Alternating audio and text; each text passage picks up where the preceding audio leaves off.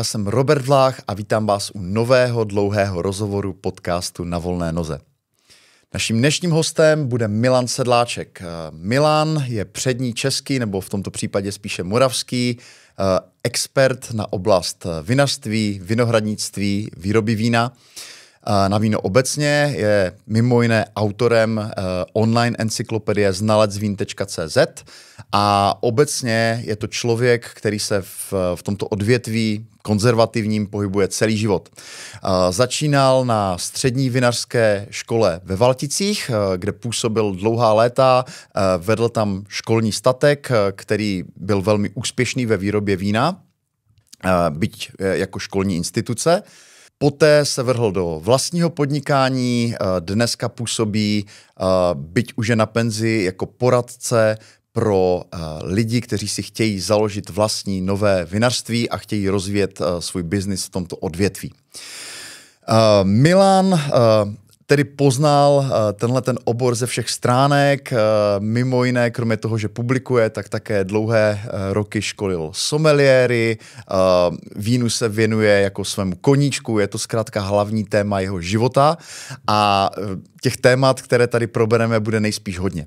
Nicméně, protože se snažíme tenhle podcast dělat co nejvíc inovativně. Každou tu epizodu se snažíme koncipovat trošku jinak, něčím ozvláštnit, tak i tahle ta bude svým způsobem dost výjimečná, protože Milan sebou přiveze Eh, tucet, možná i více vín na takovou jako řízenou degustaci, kterou uděláme v rámci natáčení.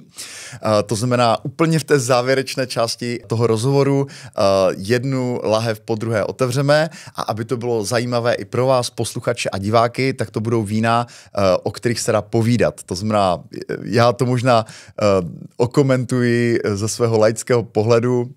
Jsem milovník vína, ale nejsem rozhodně expert a už vůbec ne takový expert jako Milan, ale on k tomu tomu popovídám mnohem víc a myslím si, že i tahle ta část, eh, byť nebudete mít ten senzorický věm, tak pro vás bude zajímavá. Eh, na závěr ještě malá rekapitulace eh, k našemu podcastu na volné noze za poslední rok. Ten první rok byl pro nás, troufám si říct, velmi úspěšný. Ten ohlas, který vyvolali uh, epizody, které jsme vydali, je obrovský. Na to, že jich bylo jenom 14 v podstatě, nevydáváme zase tak často. Uh, kdybyste se chtěli nějakým způsobem ohlédnout, nebo jste nás začali poslouchat až teďka nyní nově, Uh, tak možná doporučení čtyř epizod, které měly zdaleka největší uh, ohlas ze všech. Uh, tři z nich se týkají AI. Je to epizoda s Honzou Romportlem, uh, s Milošem Čermákem a s Davidem Grudlem. No a na podzim uh, velký ohlas, velmi pozitivní, měl rozhovor s Michelle Loskot o její tvůrčí proměně. Uh, takže to jenom, kdybyste chtěli pár tipů, uh, čím začít, pokud, uh, pokud je pro vás tento podcast úplně nový. No a teď už Milan Sedláček a naše povídání o víně, vinohradnictví a vůbec výrobě vína, o té kultuře kolem. Doufám, že si to užijete. No hele, já jsem to, já jsem, já jsem přemýšlel, kolik já jsem s tebou absolvoval degustací, tyjo. To jako možná více než stovku. Protože když, jsme, když jsem žil ve Valticích, že jo, tak ty si, ty, si, ty jich vedl spoustu. Potom uh, ve Valtickém podzemí, kde jsme dělali, tam jsme docela často dělali, dělali jsme tam srazy na volné noze. Uh, ty si uh, byl, nebo si dělal degustaci vína podle mě prakticky na všech, možná s výjimkou jednoho, dvou srazů na volné noze jako takovou osvětu vždycky podle toho, kde si zrovna dělal, tak si dovezl nějaké ty, takže, ale teďka, když jsme vybalovali ty vína, co si přivezl na tu dnešní degustaci, tak jsem si říkal, aha, tak to bude, to bude trošku něco jiného. co si přivezl? Jenom tak jako takový teaser, ne, jako budeme to dělat úplně na konci, jo, ale jenom tak jako ze zvědavostí. No, přivezl jsem víno s příběhem. Že víno bez příběhu, jako já říkám, není víno. Takže jsou tam vína taková klasika, zemědělské družstvo jedno, potom úplně nové vinařství, které, jako tím nemyslím Johannesburg, ten už je jakoby zaběhaný, ale úplně jedno nové vinařství a jedno rakouské, no a jedno, které už má 30 roku, taková akciovka klasická, a tam jenom jedno víno od nich. Mm-hmm. No, ale strašně se na to těším. 22 vín? 22, 23, já jsem to úplně tak už nespočítal přesně. To, jak jsi to řekl, tak ve mě trošku zatrnulo. Protože já jsem měl Když řekl do 15 přivést, no. tak já jsem chtěl přivést do 15, ale včera jsem objížděl ještě jako vinařství, no převčera a nejhorší bylo, že jsem řekl, že jedu do podcastu s velkou sledovaností a chci dvě vína a oni mi strčili karton každý, takže to byl problém potom z toho kartonu ty dvě, tři vína vybrat. No.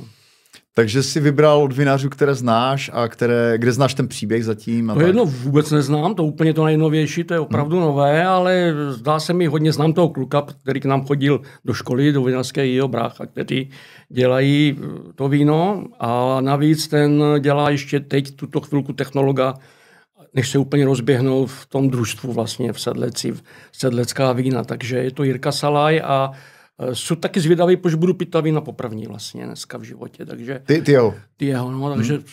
jsou, i já jako na to hodně zvědavý. Ale jsme ready, máme tu let, eh, dali jsme tady dohromady všechno, co je snad potřeba, takže a to ještě bych dodal, že co jako teda už diváci neuvidí, že tady potom bude takový, eh, takový happening, že tady ještě dojdou lidi jako naši kamarádi, lidi z Quack Studia a že ty vlastně uděláš jako dvě degustace, jednu se mnou, vlastně tady na záznam, a druhou ještě pak s lidma, kteří, kteří dorazí. No, mám z toho trošku obavy, protože ta covidová doba, která byla, tak vlastně jsem dlouho nedělal degustace. Hmm. Nemyslím tím, že jsem nedělal, ale že prostě to tělo si odvyklo toho vína takže eh, předpokládám, že po dvou degustacích ještě budu schopný jít jako na nocleh. Eh, hele, já jsem si dal závazek, že budu fakt pít jenom trošku, tak doufám, že ti tím neurazím. Ne, víno se nepije, víno se ochutnává. musíme, musíme, musíme to, a taky musíme něco nechat jim, že jo, taky samozřejmě. Uh, hele, já jsem, ještě, ještě jedna taková věc, co mi napadla, že uh, Uh, já jsem vlastně nikdy uh, tady ještě v podcastu nedělal, nedělal rozhovor s nikým, kdo je v podstatě už na penzi a zároveň jako dělá dál na volné noze. Jaký to je pocit? Je to, je to pro tebe jakákoliv jako změna, protože myslím si, že dost lidí, kteří nás poslouchají, tak jsou spíš jako v tom věku, kdy eh, rozhodně penzi nepobírají, kdy jako jsou, prostě buď začínají podnikat, nebo jsou v takovým jako, eh, ještě mají daleko, jo, ale ty, ty, jsi, ty jsi šel do penze 2022? Asi. Jo, nebo tak, nějak... řeknu přesně, ale bylo mě 63 roků a 8 měsíců, takže asi před rokem a tři čtvrtinou před dvěma lety zhruba. Změnilo se cokoliv jako ve tvém podnikání tím? Vůbec nic se nezměnilo. Ten přechod byl tak plynulý z toho pracujícího věku do toho důchodového věku, že jsem si toho ani nevšiml, protože vlastně já už dělám asi 10 roků jenom, nebo 12, 15 možná, dělám jenom to poradenství a já už jsem stejně před tím důchodem jako ubíral, takže už jsem ten kohoutek přivíral, uh, abych se nezahltil, protože jsem byl, že když mi bylo 40-50, tak jsem dělal 24 hodin denně. A teď jsem si řekl, ne, jako bych tu si toho důchodu ještě užít chvilku, bude 90, dost to nevím. Takže jsem jakoby, jakoby začal utahovat kohoutek, takže ten přechod byl pro mě, vůbec jsem si nevšiml. Samozřejmě stát začal posílat ministerstvo sociálních věcí, mě, mě začalo posílat ten důchod. Takže to bylo jediné, čeho jsem si všiml, ničeho jiného. To je dobré. Hele, uh, o vinařích uh, bych řekl, že jedna z takových těch jako jeden z takových těch mýtů možná o vinařství je, že se to dá dělat jako do fakt vysokého věku, že takový ti prostě uh, lidé, kteří mají vinice někde ve Francii, v Itálii, v Řecku, že to, to, dělají, je, že to dělají dlouho. To i u nás jakoby, to... jsou, jsou jako vinařství, ta, ta rodinná vinařství, samozřejmě ten otec, ať třeba nedělá ty hrubé práce už, to už dělají e, synové a vnukové, vzor třeba Joška Valihra, vinařství, ten mm-hmm. je starý jak já, Joška, nebo možná o rok starší. Mm-hmm. A to je ještě mladý, jako by dá se říct vinař, jo. Z tohoto hlediska, tak už to dělají jeho syni, jeho synovci a, a takový. A on už to vlastně řídí ideově, což je, což je u toho vinařství vůbec nejvíc důležité, protože ti mladí kluci, eh, aby, aby si mohli udělat jakoby svůj styl, tak by si museli udělat to vinařství od píky. Pokud budují tu rodinnou tradici, tak oni musí navazovat na to, co vybudoval ten otec, děda, praděda a jenom to poutáčí. Ještě jsem zapomněl, vlastně teď mluvíme o, o těch dědech, tak mám tady jedno vinařství, kde je to víno, které budeme ochutnávat už je osmá generace těch vinářů, je to rakouské vinařství teda. Jo. A je to ještě žena navíc, jo? takže žena už, ten její otec zemřel loni, mm-hmm. A, a neměl, ne, nemá je syna, předal vinařství dceři a ona je už osmá generace, takže to už je 240, 250 roku, nebo tam někde to vinařství staré, takže budeme taky takové víno ochutnávat. Takže to je, to je k tomu, že ti vinaři klidně do 88 roků klidně tam jsou v tom vinařství. Vzor třeba ve Valticích je akciová společnost Chateau Valtice, ti dva synové. Pan, to je ten velký křížový sklep tam ten dole? velký křížový jo, sklep, mm. to je, já nevím, třetí, čtvrtá největší firma v republice co do objemu, ohromná akciovka. A předseda představenstva je pořád starý pan nešťastný Antonín, který teď se, se na rok netrefím, ale kolem 80 určitě má. A on už tam není 8, 10, 12 hodin denně v, tam, v tom podniku, ale vidím ho každé ráno, že jde kolem té deváté, prostě po té růžové ulici a kolem oběda se vrací zpátky, rozdá úkoly synům a odchází, ale pro, prostě drží ty opratě v ruce. Jako Máš od nich nějaké vína tady? Nemám, nemám, Nemáš. nemám tady jejich vína. A to, jsou, to je hodně známá značka, že oni, to je víno Valtice, ne? Nebo to je šatovaltice. Šatovaltice, šatovaltice. Příště, příště, až budeme dělat ochutnávku, tak určitě ti vezmu něco jo, jo. od nich. Uh, no, tak to je jako, já vím, že to tam je velmi jako, oni teďka to rozjeli strašně turisticky, ne? Oni vlastně udělali, nejen, že mají ten křížový sklep, který jako sám o sobě jako asi unikátní, že v Česku předpokládám, že to je fakt velké. Je, myslím, největší křížový sklep dokonce ve střední Evropě. Jo, ale oni ještě udělali teďka takové nějaké zázemí uh, podzemní pro turisty, ne? Jak vy jste, jak ty si vlastně zakládal Vatické podzemí, tak někde v tom prostoru udělali nějaký jako Nevím, je tam velkou rotundu v Rotunda, zemi, jo? ohromná rotunda v zemi, to bylo vybagrované, dělalo se to zhora, samozřejmě. K tomu byly jako propojovací sklepy do, těch, do toho křížového sklepu a nad tou rotundou vybudovali tu 100 dolů, stovka dola, 100 dola, se hmm. to píše, ohromná vinotéka a degustovní místnost.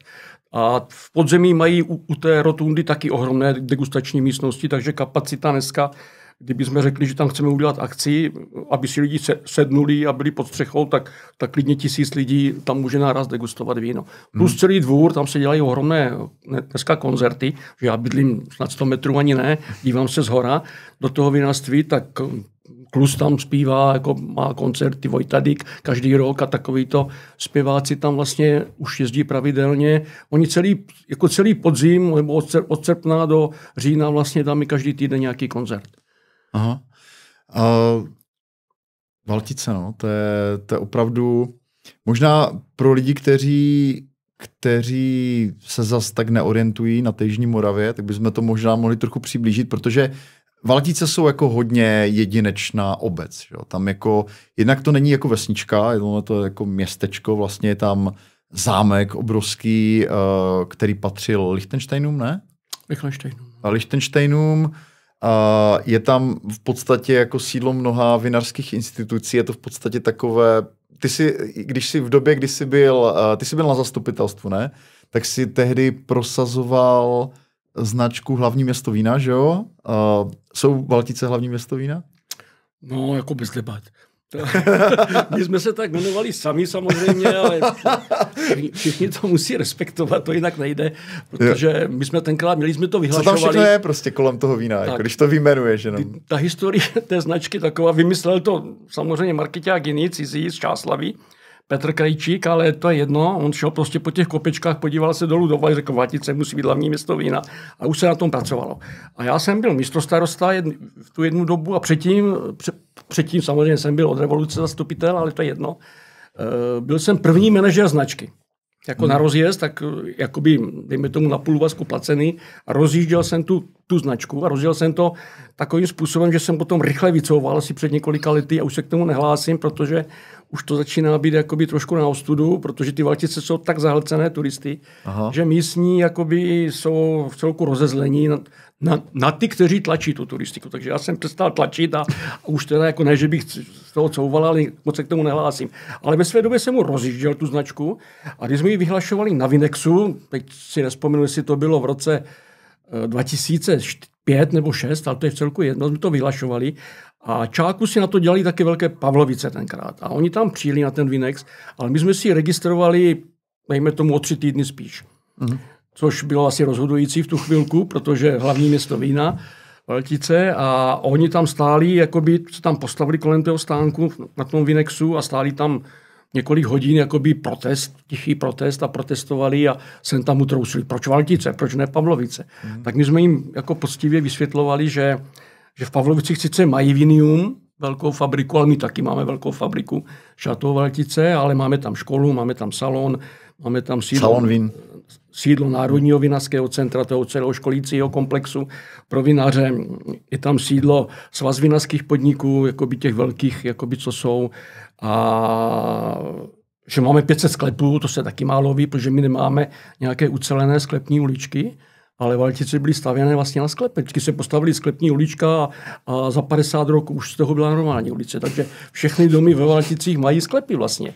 A čím starší ulice, nejstarší je ty ústřední, ty hrazené v tom 12. století, které byly, to ještě nebyly Lichtensteinové, to tam byly Sefeldové, tak eh, Sobotní a Růžová ulice, to, tam, tam, když vleze člověk do sklepu, to má až tři patra ty sklípky, jak oni postupovali nahoru, jak ten terén rostl, tak oni ty spodní opatrovali ti lidi, pokud to nebylo zaplavené a dneska tam člověk přijde a dvě, tři patra sklepu. To je jako impozantní, jako by co se týká historie sklepu Valtice.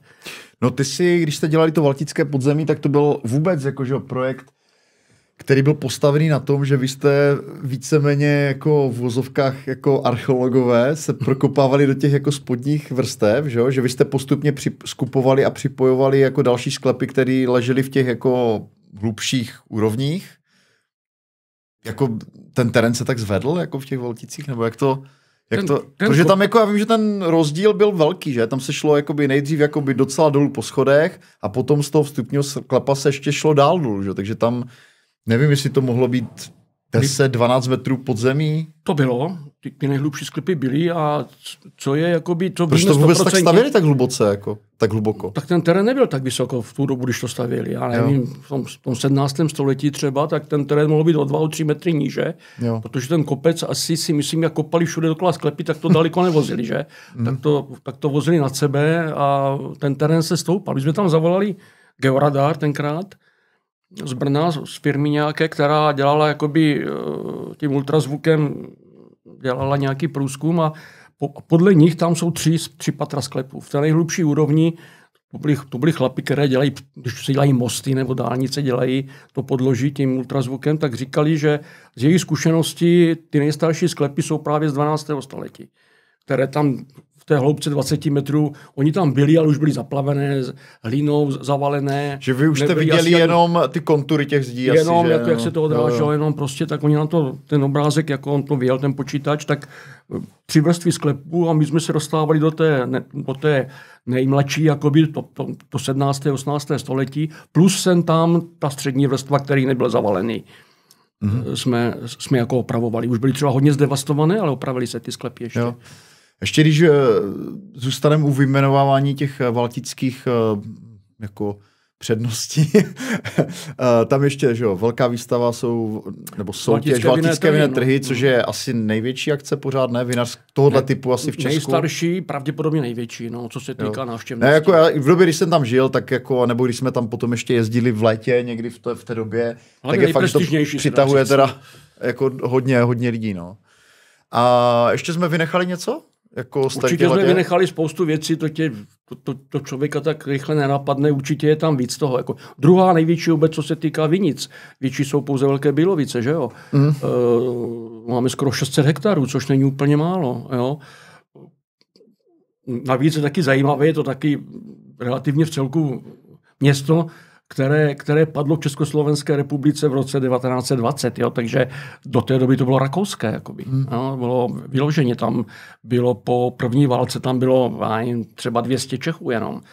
Jo, když, je, hmm. když je stěhovali, když je vystěhovali v 45. tenkrát eh, na základě Benešových dekretů, tak tam bylo asi 600 Čechů. Jo. Hmm. Všechno byli Němci a tu měli víc obyvatel, než máme dneska, jako v tom 45. Takže měli 4 tisíce necelé a teď máme 3600 a ne se zvýšit. jo. Uh, já udělám takový t- možná trošku oslý můstek jako k tomu, eh, co ty děláš dneska a možná přesto, jak my jsme se vlastně potkali, že? protože já jsem tehdy eh, já jsem tehdy, já už jsem to tady párkrát říkal ten příběh, že já jsem dělal ve Španělsku, že tam jsem jako docela vyhořel na to mají ty projekty rozhodl jsem se, že budu uh, pár měsíců dělat někde na, vi, na vinařství vlastně.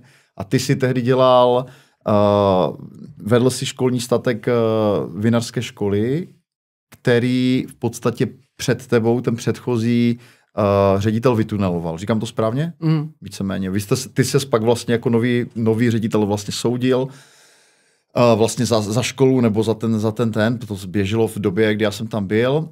Uh, kromě toho, že jsem měl teda krásný zážitek jako z Valtic, jako do dneška je to místo, které mám rád, které navštěvuju, tak uh, pro mě bylo vlastně i jako uh, velice inspirativní se potkat s tebou, a protože já jsem v té době byl docela mladý, já jsem měl 20 plus, že jo, já nevím, pár let po 20 a vlastně klient, pro kterého já jsem dělal ve Španělsku, tak byl jako vyloženě, byl jako hodně direktivní manažer. Prostě on fakt jako rozdal úkoly, jako mi se to moc netýkalo, jsem měl dost velkou autonomii, protože jsem byl jako v podstatě jako freelancer, ale jako by byl fakt jako na své zaměstnance byl jako extrémně přísný. A pak jsem přišel vlastně do školního statku, což byla v podstatě jako školní instituce přidružená, že jo, a uh, kromě mě, já jsem tam vlastně pobíral minimální mzdu, protože pro mě to nebylo o tom platu, ale o tom, že můžu dělat prostě něco v zemědělství a prostě užít si úplně jiný druh práce, jako třeba plašení špačku uh, v době vinobraní, uh, tak tam byli jako civilkáři, kteří, kteří jako to měli jako celkem na háku, protože přece jenom jako civilka, že prostě ne, nestrháš se. A pak tam byli jako lidi, kteří dělali v tom jako, já nevím, jakoby práce jako traktoristé a tak a e, zase, jo, když jsme s nima, že my jsme s nima byli každý, jako každý den jsme s nima dělali, tak zase vidíš taky jako nepředřou se. A co mě jakoby fascinovalo, uh, vlastně tvůj manažerský styl, protože já jsem tě jako v, v zásadě za celou tu dobu, co jsem tam byl, neslyšel jako nějak na nikoho zvyšovat hlas. Ale co bylo zajímavé, že ty si nejen vlastně jako uh, ten školní statek zachránil, že, že jsi tam začal dělat vynikající víno, že jsi tam vlastně, uh, že, že to víno začalo být velmi úspěšný, že jsi měl vlastně v době, kdy já jsem tam byl, tak si řešil jako export vína do Japonska, jo. A, a prostě jako věci, které prostě bez pochyby jako nebýt tebe, tak se vůbec nestaly, jo. A já jsem si jako tehdy říkal, ty to je strašně zajímavý, jak ten Milan jak je vlastně dobrý manažer, jo? že vlastně tam má lidi, kterým na té práci vlastně v podstatě nějak moc, jako nějak zvlášť nezáleží, ono hodně té práce dělalo ještě eh, dělali studenti, že jo, kteří to měli jako praxi. A jako kdo měl kdy nějakou praxi jako na škole, eh, jako v podstatě z povinnosti, tak je, jako ví, jak je velký rozdíl dělat něco vlastního jo, pro, pro sebe a dělat něco, jako že tam jsi jako student a samozřejmě jako teenager máš úplně jiné jako starosti a, a radosti, než rozvíjet eh, jako školní školní vinohrady, že jo. A stejně vlastně to by se jako podařilo vlastně za těch pár let jako udělat z toho školního statku jako velice jako úspěšnou, úspěšný venture, úspěšný podnik, dá se říct. Uh, potom ty jsi to vlastně ještě jako eh, hodněkrát jako zopakoval na jiných projektech a dneska vlastně děláš strašně zajímavou věc, kterou bychom mohli začít. A to je to, že ty ty svoje jakoby, zkušenosti, které si nazbíral, vlastně ty děláš celý, celý život vlastně kolem vína, e, jako publicista, jako ty si vlastně začínal na vinařské škole jako traktorista, že jo? Pokud si dobře vzpomínám, nebo tam... Řidič, ne, nebo řidič, jo? Auta, no. A to znamená, že ty jsi vlastně prošel všemi těmi jako vinařskými profesi vlastně tou úplně tou e, praktickou zkušeností hands-on, že jsi tu práci fakt dělal a to si myslím, že když se na to dívám jako zpětně, že byla tvoje jako obrovská manažerská výhoda. Že vlastně tebe vlastně nikdo nemohl nějak lakovat, jako co jde nebo nejde, protože ty všechny ty práce prostě někdy jsem, vykonával. Jsem si je vyzkoušel, no. A, uh, uh, a teďka vlastně děláš to, že ty, uh, když za tebou někdo přijde, tak kromě toho, že děláš věci, jako jsou degustace občas, nebo děláš popularizaci vína a tak, píšeš knížky, tady máme jednu tvoji uh, nejnovější, na které jsi spolupracoval víno v proudu času, jo, pak se k ní dostaneme určitě ještě. Uh, tak vlastně předáváš tyhle ty zkušenosti dál jako konzultant, že v podstatě, když za tebou někdo přijde, že chce založit vinařství nebo zdědí možná vinařství a chce ho prostě nějakým způsobem jako uh, obnovit nebo nějak jako restrukturalizovat tu činnost, tak vlastně ty to nabízíš jako službu. Dělá to jako více lidí v tohle v republice, nebo, nebo kolik vás je, kdo dělá tuhle tu činnost? Mm, o nikom nevím, že by to to dělal. Já si taky myslím, já jsem na to nikdy jinde totiž nenarazil. Mm. Jako. A jako předpokládám, že taky, že ten trh je jako velmi malý, že jo? protože to odvětví je hodně konzervativní. Většinou si to ty rodiny řídí sami.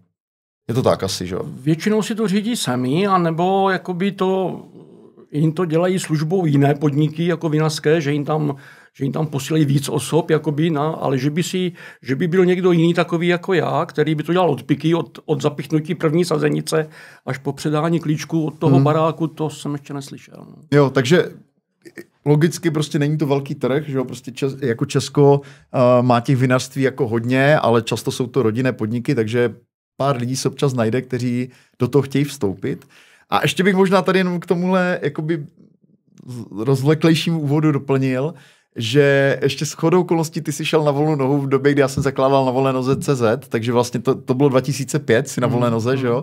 Takže máme ještě potom vlastně tuhle tu jako společnou historii, dokonce si matně vzpomínám, že si mi v té době volal, že jdeš zrovna na volnou nohu a ty jsi byl vlastně jeden z prvních členů, jako jo. Takže tam jako ty, ty koincidence jsou jako jsou, jsou, jsou, no. jsou úžasný.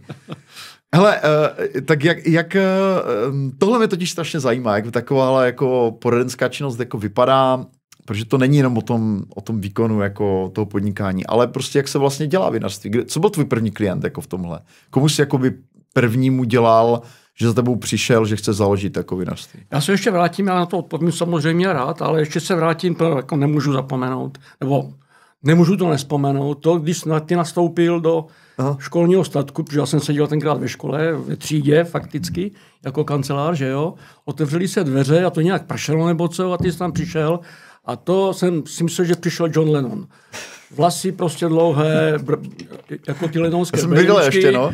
A i, i, ten tvůj profil jakoby je v celku podobný Lennonovi, že? Co si budeme povídat. No, tak já říkám, John Lennon nastoupil do vinařské školy. Tak okay. jenom tak, no a rok tam působil a myslím si, že jsi tomu čichl, k tomu řemeslu. Jo, jo, bylo to od, super. Od vinohradu až po výrobu vína.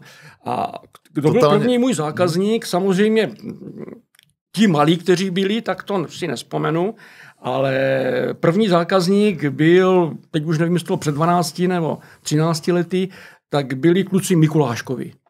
Z Vyčic od Nechranické přehrady nebo od Kadaně, to je jedno, jak to vezmeme. Kde to je? Od Chomutov Březno.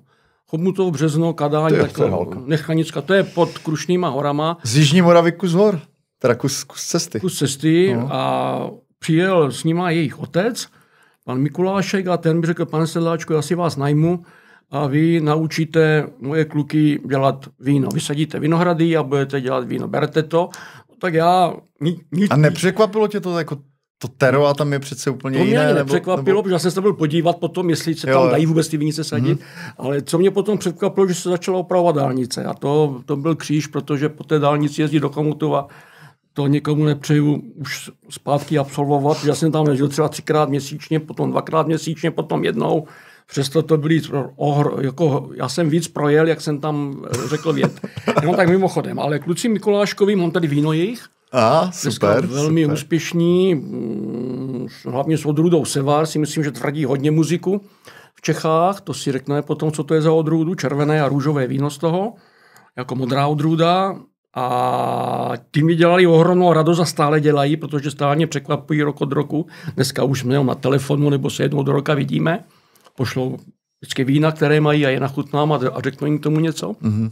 Teď to uslyší v přímém přenosu. Takže dáváš takový, ne, dáváš takový jakoby feedback k tomu, jak, jak ten ročník vypadá. Jako prostě aby, to... se, aby se taky, abych, abych řekl ten náhled z té Moravy, protože oni, on, on, oni nemají takového mentora tady odsud. Mm-hmm.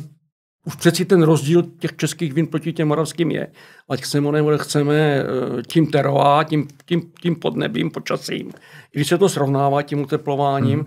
A oni vůbec pod těma horama tam krušnýma, to je, to je opravdu tam dost, dost jakoby výspa už. A, takže to konzultujeme a víceméně, když chtějí novou technologii nějakou, tak, tak se taky spojíme a řekneme si, ano, ne, nedělejte to tak, dělejte to trošku jinak. Oni to většinou jakoby udělají, co jim řeknu, nebo určitě v těch prvních pěti, osmi letech to tak dělali mm-hmm. a proto jsou tam, kde jsou, protože neměli žádný jiný návyk. A to je úplně perfektní, když se dělá nové vinařství od piky s někým nebo poradenství, kterému, když se řekne, dělej to takto, tak on to tak dělá, protože ten, kdo už má nějaký návyk nebo viděl něco, tak tomu úplně jakoby nevěřil a chce do toho dát tu svoji zkušenost. A to mm-hmm. je mhm. většinou špatně. To se muselo skončit spolupráci s několika vinaři, mladými kluky, kteří přebrali vinařství po, po otcích a chtěli vyskočit jako na vyšší level a a nepodařilo se nám to. Jo? Že jsem, já jsem to přerušil sám, protože po roce, když oni se posunuli jenom o polovinu, než kam jsme chtěli, tak to nemá smysl. Jo. No, když, takže toto bylo první takové větší, kdy jsme opravdu Jak k tomu došli? Dynastii. Oni měli jakoby pozemky, které chtěli, jestli to teda o tom můžeš mluvit, jo? Jako, že Můžu, já myslím, že to jo, není tajné. Jo, jo. Prostě ti kluci byli měli úplně... sen prostě jako založit ano, vinařství? oni měli sen, oni byli z Karlových varů, oni bydleli v Karlových varů, protože rodiče byli rozvedení, otec bydlel v Praze, maminka bydlela v, no, bydlí v Karlových mm-hmm. varech a když jim bylo 30 třeba, nebo 29 a 31, to je jedno, zhruba kolem 30, když jim bylo, tak ten otec jim řekl, tak kluci, dívejte se, asi si myslím, že to nějak probíhalo, abych to tady, ale budu jen fabulovat, tak to asi nějak muselo proběhnout. Není to citace. Kluci, kluci jakoby, tak, tak co si přejete, já jsem se vám tak nevěnoval několik roků, tak oni řekli, my bychom chtěli vinařství. Tak on řekl, dobře, tak šel někde a zehnal pozemky, eh, nebo hledal tam blízko Karlových varů pozemky a objevil až pozemky jako Vyčice byly někdy ve středověku vinařská obec. Aha. A dokonce uh, tam nějaký, nějaký majitel zámku Vyčického, který ho koupil po revoluci, tak tam měl ohromné jabloňové sady, ale ten zemřel chvilku, chvilku předtím, než jsme zahájili. A on tam měl vinice asi hektar nebo dva, ale ty už byly na zemi, když jsme tam i přišli. A tak jsem tam šel. Jakože ty hlavy byly staré, polámané. Jo, už to nebylo prostě, on jo, zemřel, neudržované. Už, to nikdo neudržoval dva nebo tři jo. roky. A ta vinice vypadá hrozně, hrozně, teda, když se neudržuje. To už nezachráníš. No, my jsme zachránili hektar, ti ostatní jsme zlikvidovali a vysázeli, kluci dneska mají, dejme tomu 10, 12. Co to bylo za odrůda? Měli tam Riesling Rýnský, což jsem se divil, že v Čechách Riesling Rýnský, že hlavně ty první roky to bylo prostě ocet hadra, ale dneska už se to srovnává. Miller Turgau, Silvánské zelené, Najburské a takové to odrůdy klasické. No a my jsme, ty ostatní vinici, no postavil se hektar, kde byl Zweigl, Miller, Rýňák, možná Silvan. A ty ostatní se vyklučili prostě a vysázelo se to, se to zrekultivovalo, vysázelo se znovu.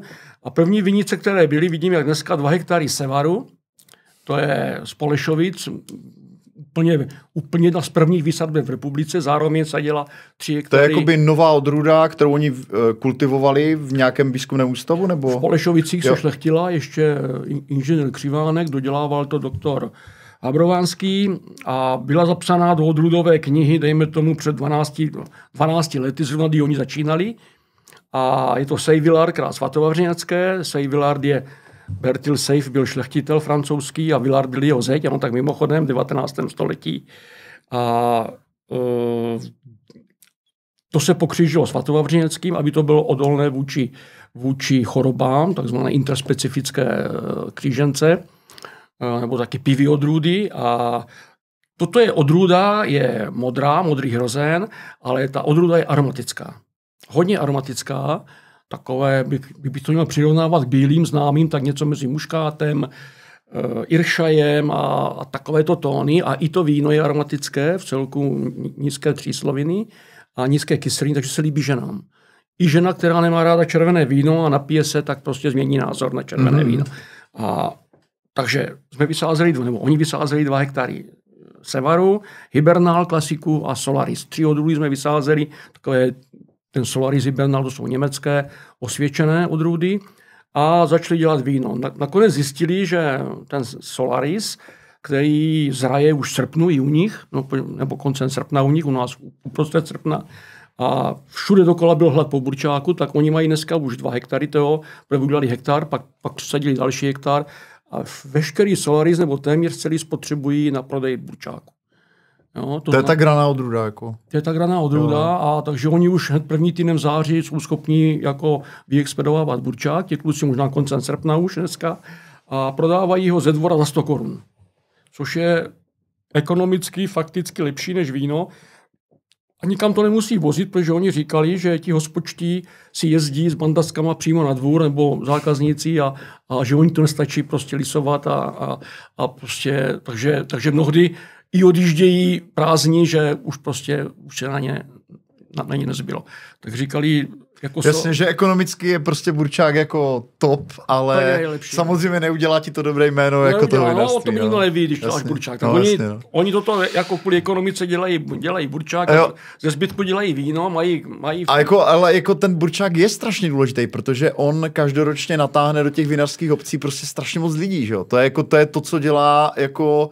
Jo. Eh, ti lidi tam přijedou, koupí si Burčák, ale k tomu přičichnou k té kultuře, Přesně nakoupíš si prostě lahve, seznámíš se s novým vinařstvím, to, je- to je super tohle. Jako ta, Je to, tady, tady, je to taky folklor a je to historie, takže Jo. ten burčák samozřejmě patří k tomu. A, a jenom jsme odbočili trošku od toho celkového našeho rozhovoru k- s tím burčákem, ale jenom říkám, jakoby to vinařství tam Vrátíme je. se k němu, to je to zajímavé Vrátíme téma. se k němu, ochutnáme ta vína, mají tam dokonce to jedno víno 1886 nebo 4, kivéčko, eh, to je eh, rok, který je vytesaný do kamene na stodole, která je, kde mají vinařství. V té, v té stodole jsme zbudovali vinařství, vestavili jsme do toho vinařství a tam vyrábí, tak, tak udělali jedno kivé, jako, tak staré, jak ta stodola se to jmenuje vlastně. Takže jako kluci, jinak si říkají dravé víno z Vyčic dneska. Dravé víno z Vyčic. Zdravé víno z Vyčic, takže podnikatelé, ty vidíš.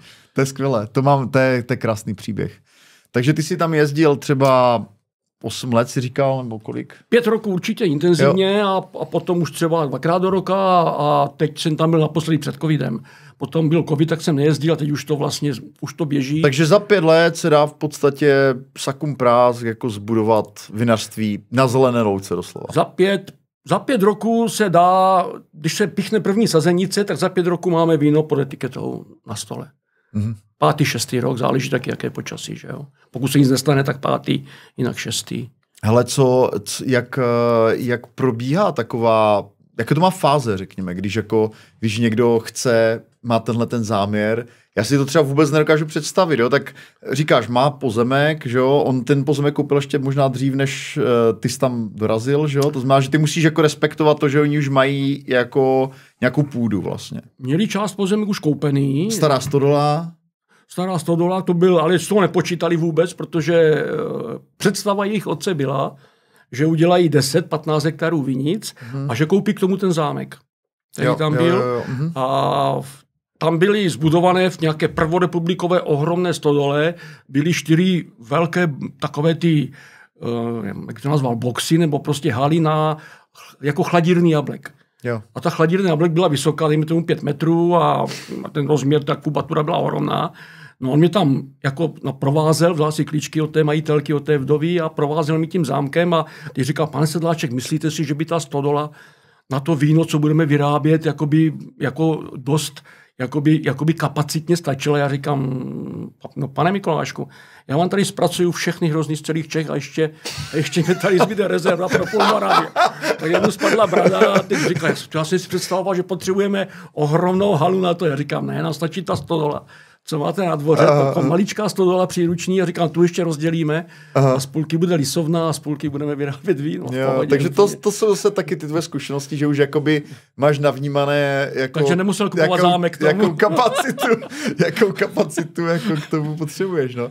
Dobře, takže to, je, takže to je prostě ten prvotní setup, že vidíš, že tam jako něco je a teďka, uh, že jo, ty musíš, uh, nebudem řešit jako kapitálovou při, připravenost, to je věc klienta a vlastně jasně, že se musíš vejít do nějakého rozpočtu, peněz. jasně. No. Uh, takže předpokládáme, že prostě každý den klient ví, kolik ho to bude stát a že, že to, to, to ne, asi ne, nemá smysl tady do tohohle zacházet, nebo možná později, to zkusíme nějak zobecnit, ale jaký je další krok? Tak to už pak vybíráš od rudy?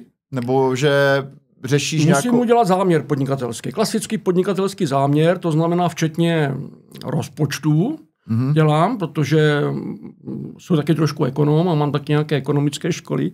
Konce jsou bakalářem ekonomie, ale no, tak mimochodem. a udělám jim záměr vlastně, kdy v ten roku, kdyby se to stihlo všechno, tak, tak je to skoro ne na korunu, ale třeba na, na, na pět tisíc ten rozpočet by, by sedl, ale jak se rychle mění ceny, tak mm-hmm. to je samozřejmě to jinde potom.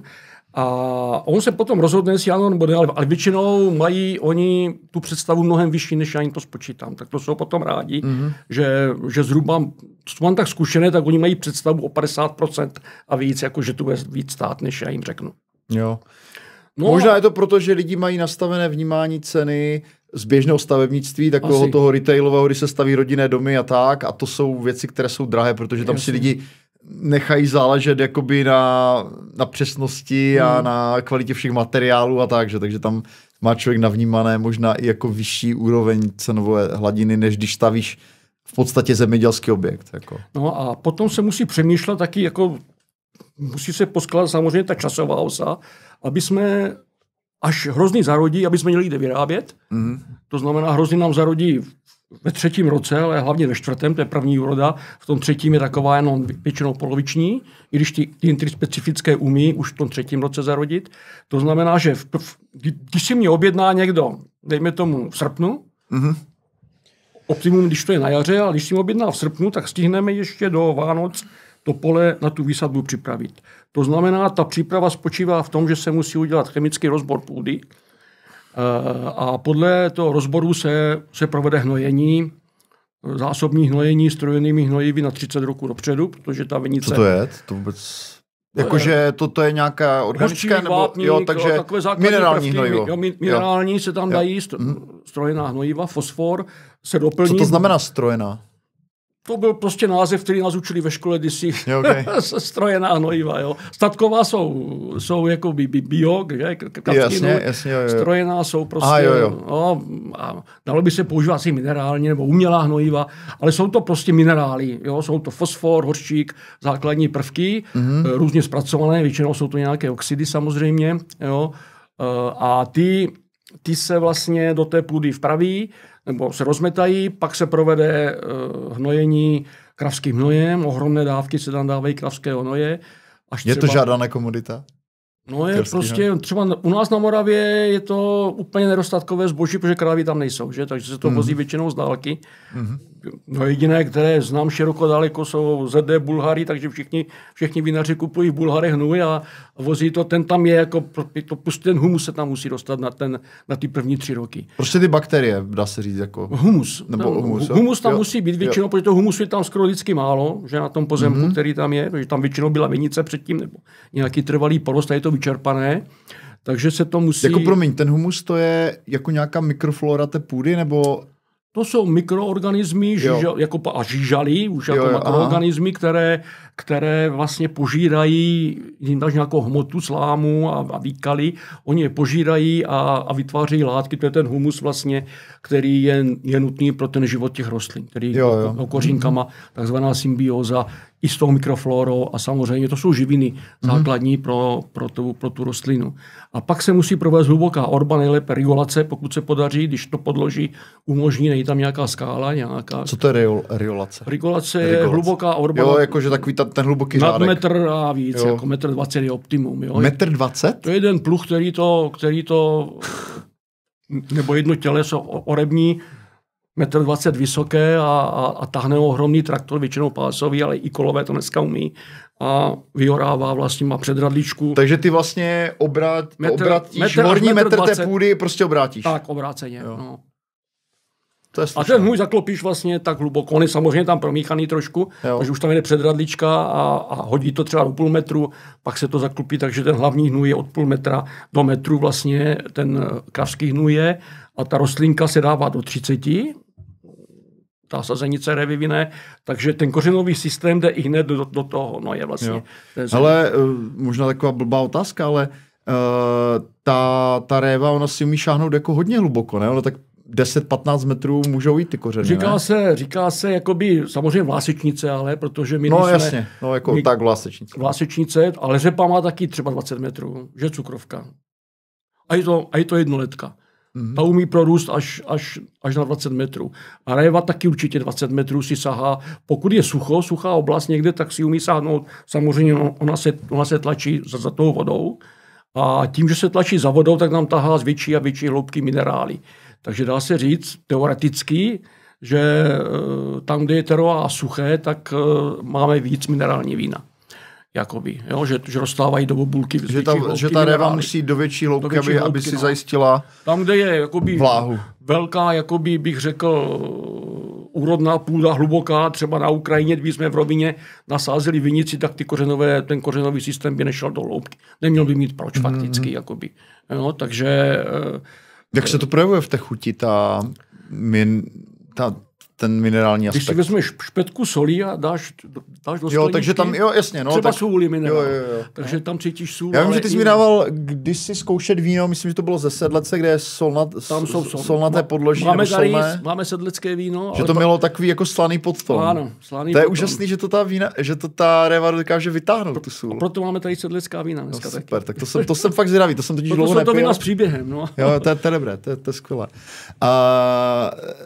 Jak probíhá ten výběr těch odrůd, protože to je vlastně jako, možná, možná se mýlím, jo, ale to je v podstatě už jakoby marketingové rozhodnutí. Jako. No to ne, to vůbec Není? ne. Protože jako některé odrůdy jsou žádané. Přesně, co říkáš teď, tak jsem absolvoval abych nekecal, Aha. v listopadu schůzku Aha. Eh, s novým zájemcem o, o výstavbu vinařství a výsadbu vinic. Aha. A jsou to Lázně Bělohrad, což Mm-hmm. Zase mám trauma, že budu jezdit až do zase, zase řekni jenom to, co můžeš, jo? Ne, jako ne, ale že budu jezdit takový kus někam jo, tři, čtyři Kde to je, kde to je? Jo. To je mezi Hořicema a Vrchlabím. Mm-hmm. No, pod, jo. pod Krkonoši, tam to bylo Krušné hory, tady Krkonoše. Ale ještě ta údolná část. Jo, ještě je to jako samozřejmě, já nevím, v nějakých 300 metrech, 280, tak ještě, to, to je v pohodě. Ale o to nejde. A, a přesně pan majitel, budoucí majitel vinařství chtěl přesně odrůdy nějaké, které které se hodí k jeho historii rodu a takovým věcem a jeho jménu. A, a já říkám, to je absolutní nesmysl. To, on, on, on nemá páru, o, o, o vinařství. O, to je dobře, ale právě. To, mm. A to jsem strašně rád, že, že se bude učit od a nebude dělat chyby. Jo? Mm. A já mu říkám, ne, my musíme jít, co vám tady uzraje, mm-hmm. to my se nemůžeme dávat.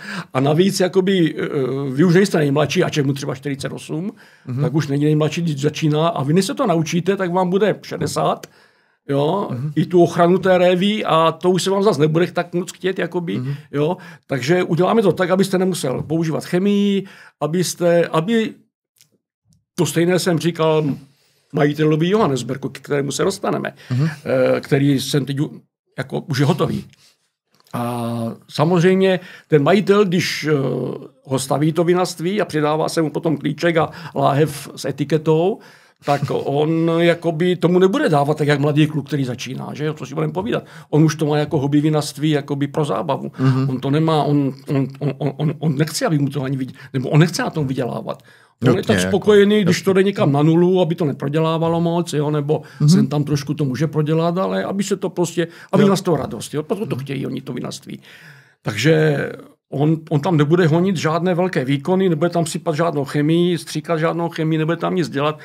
To, to vinařství musí jakoby samo. To jak to bylo v tom vinařství pod tím, pod tím Araratem, když ten, když ten pravotec Noé narazil tím šífem, to je v té knize, jak tam narazil tím šífem a, a pichl ty proutky do zemi, tak, tak, tak to musí jít samo všechno prostě, jo? A potom to pošlape někde uh, v, v nějaké kvevry. Takže ty, takže ty uh, vezmeš jako v potaz to, jaký je profil toho klienta, jaká je, jak je to teroa a, a na, základě, toho, na základě tomu řekneš, že tam prostě může být těchto těch 10 odrůd a vybíráte jakoby, a tam se myslel teda, že už pak hraje roli trošku ten marketingový výběr, že ty různé odrůdy jsou různě známé, různě uh, jako žádané, jo?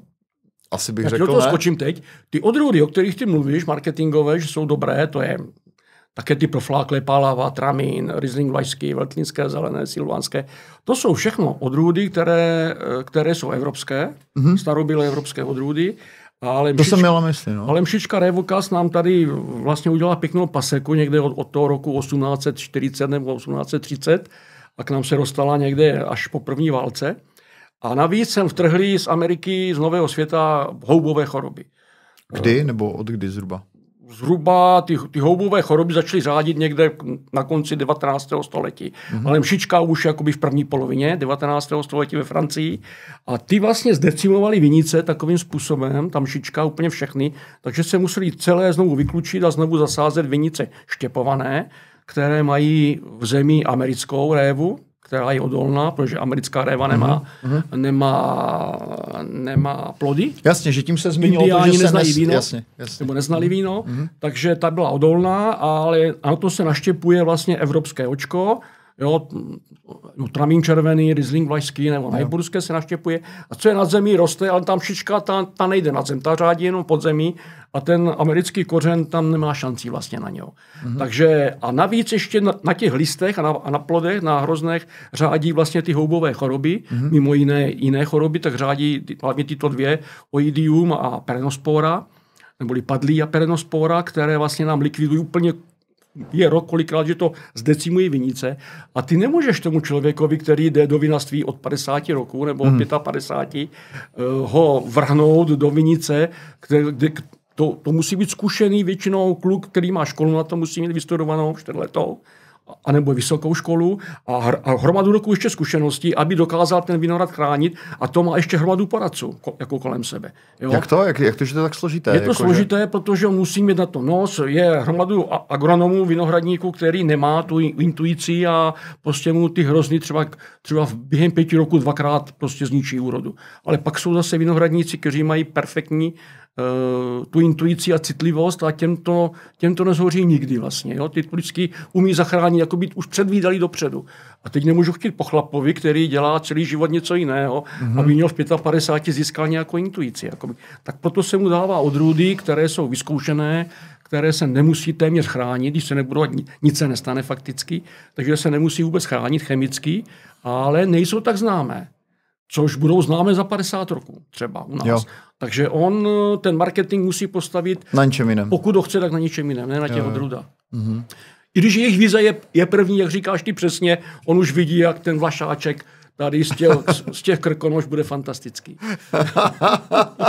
to je dobré. Uh, takže vyberou se odrůdy a ještě ten první rok se, objednají objednaj se, takže, první rok se objednají. Tak, takže jo, že uh, ty už je koupíš jakoby rovnou, uh, že už jsou spojené ta, ty podnože s těma Oni s už jsou, jo? To už je dvouletá vlastně, která už, už se vyráběla někde v Rakousku nebo ve Slovinsku nebo v Maďarsku, v těch, v těch šlechtitelských jejich Eh, jako stanici, které, které množí tu révu, už má kořenový systém, už byla naštěpovaná, už byla na stanovišti, znovu vyoraná ve školce a je v balíku svázaná, podchlazená na 4 stupně a čeká v chladírně v Mikulově v Pemagu ve firmě. Já si ji v listopadu objednám, když tu větší množství, jinak když tu 20 kusů můžu přijít přímo, ale když mm. tu 10 tisíc nebo 20 tisíc sazenic, tak si objednám v listopadu. On, oni mě seženou v Evropě někde z těch, z těch eh, šletických stanic a v kartonech jsou tam nachystané a já přijedu v Dubnu a odvezu je. Kolik stojí jedna, jedna sazenička? Dneska se pohybuje ta cena někde kolem 45 korun. Co to je dost? Ty chceš osázet lektar? Ještě před hektar? pár lety byla 35. No ale zase třeba se prodávají i sazenice v těch, na těch e-shopech, co jsou, nebo v těch uh, Bauhausech, tak za 150, za 200 sazenice jedna. Počkej, tak když to tak v rychlosti spočítám... To není velký náklad sazenice. Tak... Na hektára zhruba počítej 4-4,5 tisíce podle, podle Sazenic. Hmm. No tak to ale není jakoby no, není to málo, levné, ta ale tam jsou, tam jsou jiné náklady. Jak, jako třeba? No třeba drátěnka.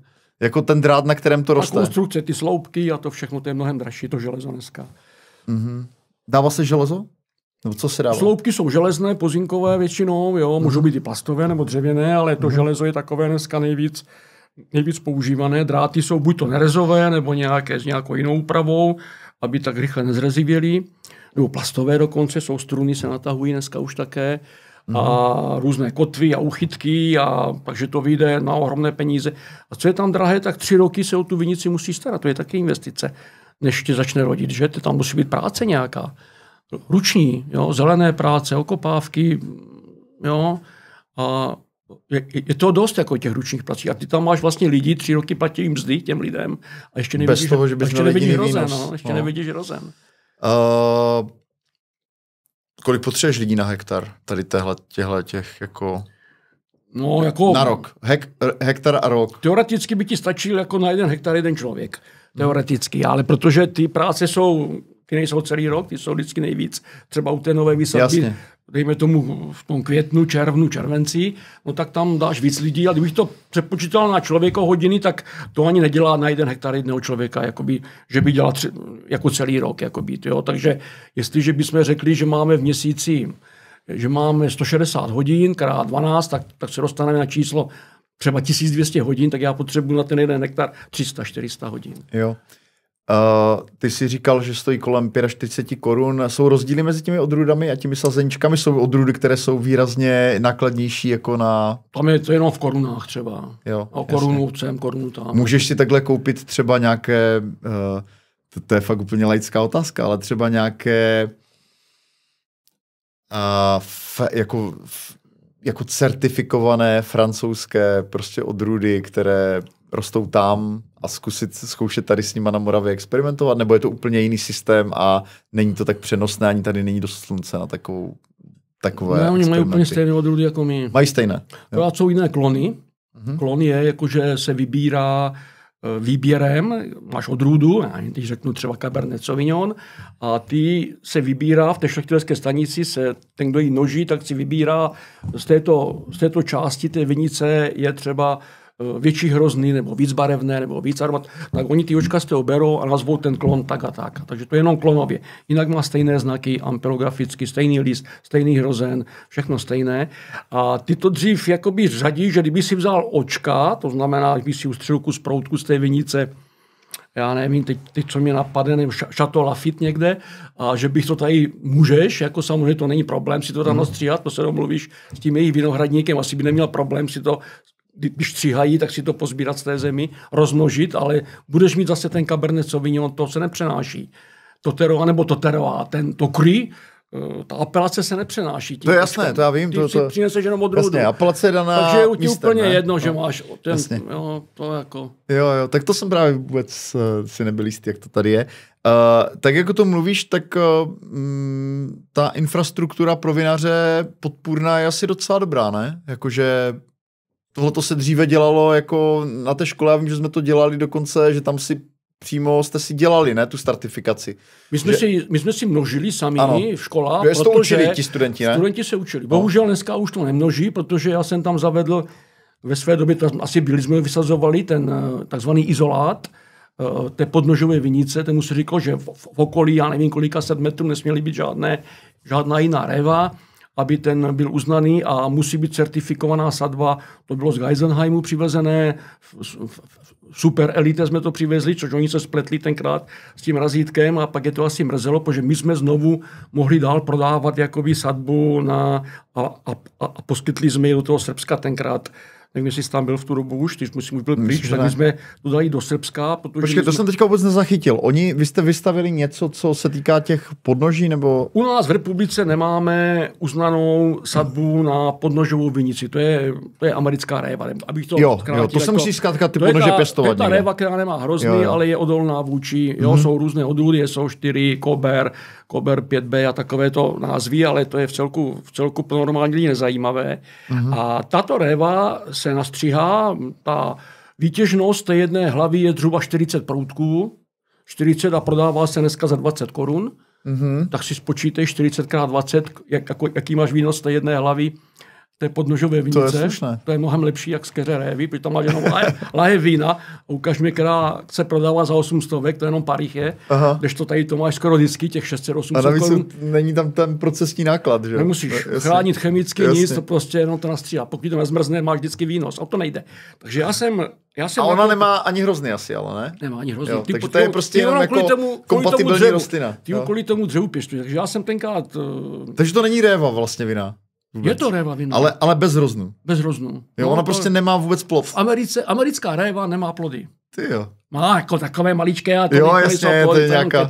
Jo. Jo, okay. A já jsem zehnal nějakou dotaci, protože jsme byli vytunelováni tenkrát, ale já jsem potřeboval, aby studenti uh, množili, aby štěpovali, aby jsme to tam stratifikovali v tom skleníku, aby to viděli, protože k, k čemu je student vinářské školy, který neviděl ani ani, ani množení vína. On musí odmnožení vlastně. On by si měl, byl schopný sám namnožit správně révu, mm-hmm. jak to bylo dřív. Jo. Takže já jsem nakoupil tu sadbu v Geisenheimu a zehnali jsme na to dotací z ministerstva zemědělství, půl milion tenkrát, myslím, na tu sadbu, a jsme si byla relativně drahá. A oni, oni, oni vystavují podle, podle nějakých do evropských norem super elite a elite. Uh-huh. Super elite je ta matečná rostlina, které můžeš dál množit s certifikátem elite, uh-huh. můžeš množit dál tu. A oni se spletli a u té jedné odrůdy nám vystavili super elite. Že vám dali tu, tu Oni vyšší, mohli, ten jako vyšší by, ale správně to, pak se teda tloukli do hlavy a my jsme tím, že jsme měli tu super elite, tak jsme Srbů mohli dát vyloženě uh-huh. mimo Unii, Maďaři to kontrolovali na hranici, jak ty papíry a, a sedělo to, protože my jsme jim vezli jakoby sadbu jo. jakoby, jako elite, takže jsme to mohli udělat jim. Jo? Uh-huh. Takže já jsem ji vysázel hektar, což z hektaru bylo 4000 keřů, krát 800 korun, když to rodí, to je zajímavé číslo. Ale to, to vedení po mně, které tam bylo, a jsem odešel z ústavu, nebo musel jsem odejít, pro nezhody, tak jsem odešel a to nové vedení tu vinici zlikvidovalo. A, ah, škoda. Byla dotovaná, byla výnosná, mm. podle mě. Oni, oni to zdůvodňovali, že, že, že by nebyli schopni ty řízky prodat, jo, ale mm. vím, že o řízky teď je enormní zájem všude, jo, jo. v celé Evropě, nejenom u nás. Jakoby. Ne, ne, já vím, že ty máš tyhle ty instinkty velmi dobré. Jak takže, znám, takže bohužel, já jsem tam věřím. ještě udělal z plastu. No, a E, e, jestli vzpomínáš, ty plastové nosníky jsem tam dal, to bylo z výroby oken nějaké odpady, tak ty dlouhé čtyřmetrové plastové nosníky, aby ten proutek byl úplně rovný. Mm-hmm. Jak tam každý dává nějaký drát, který se prohne a ty proutky jsou prohnuté. Takže to i ti Němci, co chodili na kontrolu každý rok z toho Geisenheimu, tak kulili oči, že máme takto vymakanou podnožovou vinici. No. Mm-hmm. Tak to je Uh, teďka vožu, od čeho jsme odbočili, uh, jo, že jo, ne, kolik stojí, kolik stojí sazenička, takže vlastně uh, rozdíly jsou minimální, takže vyberou se zkrátka jako odrůdy, tam se asi přihlíží k tomu, že když je to jako chladnější uh, aby jako uzráli. oblast, aby tak aby dozráli, protože mm. některé odrůdy asi potřebují hodně, že jo, dlouho času. Které jsou nejpozdější jako odrůdy, jako červené asi, že? předpokládám. No, jako kdy, Nebo... když vezmeme všechny odrůdy, nejenom interspecifické, tak uh, Riesling Vlašský je vlastně z bílých, nejpozdější, která se sbírá mm. vždycky poslední. Já si ještě vzpomínám, která se sbírala až na konci října ve Valticích v těch 80. letech, 70. a, a měla cukr na to z 15, 16 kilogramů cukru na 100 litrů moštu, na absolutní kyselák. Jo. Mm-hmm. Riesling Rýnský... Ten že ani později, vlastně, jak dlouho roste, tak stejně nedabere ani, ten cukr. Ani neuzrál. Dneska to teda uzrává bezvadně, protože máme, máme teplé roky. Mm-hmm. Jo, takže uh, Riesling Vlašský je určitě nejpozdější z bílých a z těch červených je určitě André a Frankovka, Merlot, to jsou takové ty poslední, které se vždycky sbírají. Ale uzrávají i v pohodě i, i ty merloty, i ty kabernety, ty frankovky, ty André, které málo kdy uzrávali před ještě třeba deseti lety, dneska už uzrávají každý rok bez hmm. problému. Takže jako když vybíráš pro to vinařství třeba 5-6 odrůd, tak eh, to designuješ tak, aby oni v průběhu té sezóny, řekněme od půlky léta, kdy do, dozrávají ty rané úplně, ne, to je, já nevím, jestli to je Iršaj, ne, možná takové... Iršaj, ano, ten uzrává, to řekl správně, to si ještě pamatuje ze školy, Aha. ten uzrává velice brzy, ale už se skoro nepoužívá dneska ve vinařství, už se používá právě, to je Burčáková odrůda, mm-hmm. tak se používá ten Solaris německý. Jako jo, jo, jo. Takže, to takže aby, název, aby, jim to, aby jim to vlastně pokrylo tu sezónu od půlky srpna, burčáku, nebo od půlky nebo, léta no, do, až, do... No, ono... Konec a... října, ne? Tak zhruba začátek listopadu, ne? Ten... Dá se sbírat ještě, nebo v pohodě ještě koncem října, jo? Takže Aha. když se nechá vyset na keři do konce října odrůda, já třeba to, to děláme u nás v Johannesbergu u nás, v tom Johannesbergu, tak uh, Sauvignon Gris sbíráme v září v při cukrnatosti 22, 23 a pak ho necháme ještě měsíc vyset, ale on už nenabere toho cukru někam pekelně, on nabere 26, jo, mm. jenom o 2, o 3 kg cukru víc, ale ten hrozen je úplně jinak vyzrátý a to víno má úplně jiný charakter než uh, o ty, o ty 3 kg cukru, co byl méně, ale to je tím, že jsou studené noci, teplé dny a tam probíhají samozřejmě co se tam děje v tom hrozně? Biochemické, biochemické reakce, odbourává se kyselina jablečná, úplně, ta se úplně odbourá a přeměňuje se v kyselinu mléčnou už v tom hroznu a jsou tam taky takové, jakoby už to, už kdyby ten hrozen už uzrálo to víno, už jsou takové krásné zralé tóny potom. Proto ho používáme u nás na, to, na ta vína oranžová nebo na ty batonáž, na ty, na ty antické a středověké technologie. Mm-hmm. Uh, to, to vinařství, vlastně, které ty si dělal v těch vyčicích, tak to bylo v podstatě ještě vinařství postavené na takových jako klasických technologiích, nebo už tam si, já vím, že ty si totiž jako hodně, uh, jak bych to řekl, uh, ty rád jako experimentuješ jak se starými technologiemi, tak v podstatě se zajímáš o všechno nové v tomto se profesi.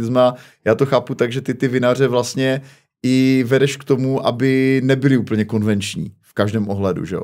A, a navíc jako i to vinařství moravské se hodně proměnilo, teď je tady ten fenomén prostě těch naturálních vín, autentických, jo, věci, které vlastně v době, kdy já jsem jako eh, k tomu jako přišel, tady tomu oboru, vůbec tak vůbec nebyli, jo, to byla, to bylo v podstatě, jako buď to byli malovinaři, kteří to dělali doma ve sklepě a jich eh, technologie spočívala v tom, že fakt to každý den chutnali to víno a prostě snažili se nějak odhadnout, kde je třeba udělat jaký zákrok. Pak ve škole už myslím tehdy bylo nějaké, já nevím, to, to kontrolované řízené kvašení, že už tam byly stroje, kde to v podstatě byl ten technologický jakoby přístup. Ale od té doby se to obrovsky jako uh, ta diverzita vlastně těch technologií obrovsky vzrostla, nebo pletu se, nebo... Ne, ne, říkáš jo. to úplně, úplně správně, v tu dobu to nebylo, ale ty jsi to možná nepostřehl ani, že škola měla nej, nejdříve sklep pod starou ředitelnou, jestli si vzpomínáš. Jasně, ten tam je do dneska asi, ne? Ten je tam do dneska, ale tam jsme vyráběli to víno hlavní, které jsme měli, protože ten sklep, eh, ta, ta venerie, ta byla zabraná jako by tím bývalým ředitelem, nechtěl opustit a tam byly ty handrkovačky. Uh, a, pak jsme ho získali a ty jsi tam přišel v tu dobu, kdy jsme tam budovali tu novou technologii, už tuším. Jo, jo. To řízené kvašení, to jsme, to jsme dostali z kraje, tenkrát byly v roce 2000 spuštěné kraje a ty nám dali hned nějakou rotaci na tu technologii, protože mm-hmm. byl náš zřizovatel škole.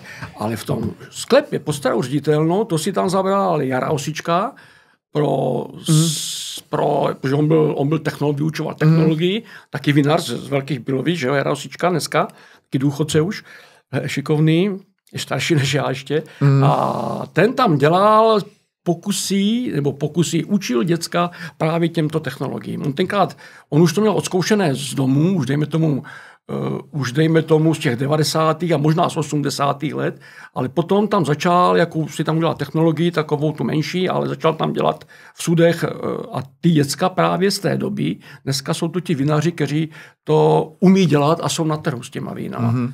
Jo, to znamená, mám tady i toho jednoho vinaře, to Jirku Salaje, který prošel tou školou toho, toho Jary Osičky a mm-hmm. který si to vinařství otevřel před pěti lety. Nebo jo, toho prostě... uh, pana Osičku si pamatuju. No, Takže Jara vím... Osička je Aha. velice, on byl zakladatel autentistů a mm-hmm. dneska je na trhu s vínem, víceméně většinu vína už vyváží do světa.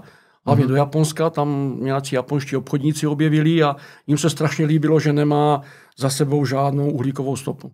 Mm-hmm. On tam nemá ani klimatizaci, ani vyhřívání, on tam má jenom nějaké kamna tam v té, v té jaký krp tam má, v té, v té lisovně, nebo tam jakoby v té lisovně a tam, tam, tam si zatopí, když je moc zima, jinak on říká, já samozřejmě používá čerpadlo, ale nic jiného nemá. Dneska mhm. všichni to mají na knoflíky, na počítače a on to má, no oni tam, oni tam došli a uhlíkovou stopu, on říká, vidíte, žádná, tak bereme. A Hele, to se jim líbilo autentisté, to je, to, to, to vymyslel on, ten pojem? Nebo byli, to byl, to byl takový první... Byl jakoby, ze zakladatelů. Podle mě to... A to vymysl... jsou naturální vína, nebo to jsou jakoby vína vyráběná jenom po staru, nebo jako kdybys to mohl nějak přiblížit, protože já sám se v tom trošku ztrácím v té, uh, v té terminologii. Poprosím režii, kdyby tam dala heslo A, autentisté, hmm. na encyklopedii a, a, a otevřeme to a měla by tam být charta autentistů, doufám, Aha. že tam vysí. Já jsem pak musel to heslo upravit, že oni se pohádali, ti autentisté. Tady někde musí být charta. Není tam něco? Uh, víno, Zdroj. Zdroj, je tady zdroj. Ne, tak už tam nevisí. A oni mají chartu, tenkrát si mm. Oni to, samozřejmě jsou to naturální vína, ale co jsou naturální vína? No, to mi řekni ty. To je, no ne, jako já si, já pokládám všeobecně otázku, jo. na to není žádný zákon, na to prostě naturální víno, když si jo, jo. otevřu vinářský zákon, tam není o tom žádné slova, ale oni, oni mají takové tři nebo čtyři základní myšlenky. Uh, používat co nejméně elektrickou energii mm-hmm. při výrobě vína, nepoužívat skoro žádnou chemii, jakoby ani ve vinici, ani ve víně, nepřidávat žádné přidatné látky do vína. Jako třeba síru nebo? Síru, to, to mají jedinou, kterou mají, kterou mm-hmm. řekne, ano, všechno, tam je tolik látek, se přidává dneska. Nekecej. Víno jediný, víno jediný produkt na stole, který nemusí psát Ečka. Fakticky. Kdyby tam musel psat ty ječka, tak by to bylo jak, jak u nějakého síru Počkej. taveného. Fakt? Nemá ze zákona, nemá ze, musí tam psat pouze, že je tam síra, na kterou jsou lidi alergičtí. Jo. Žádná jiná látka se tam a teď a jsou... co se tam dává? Jako... Třeba sorban draselný. A ten dělá co? To je konzervant. Mm-hmm.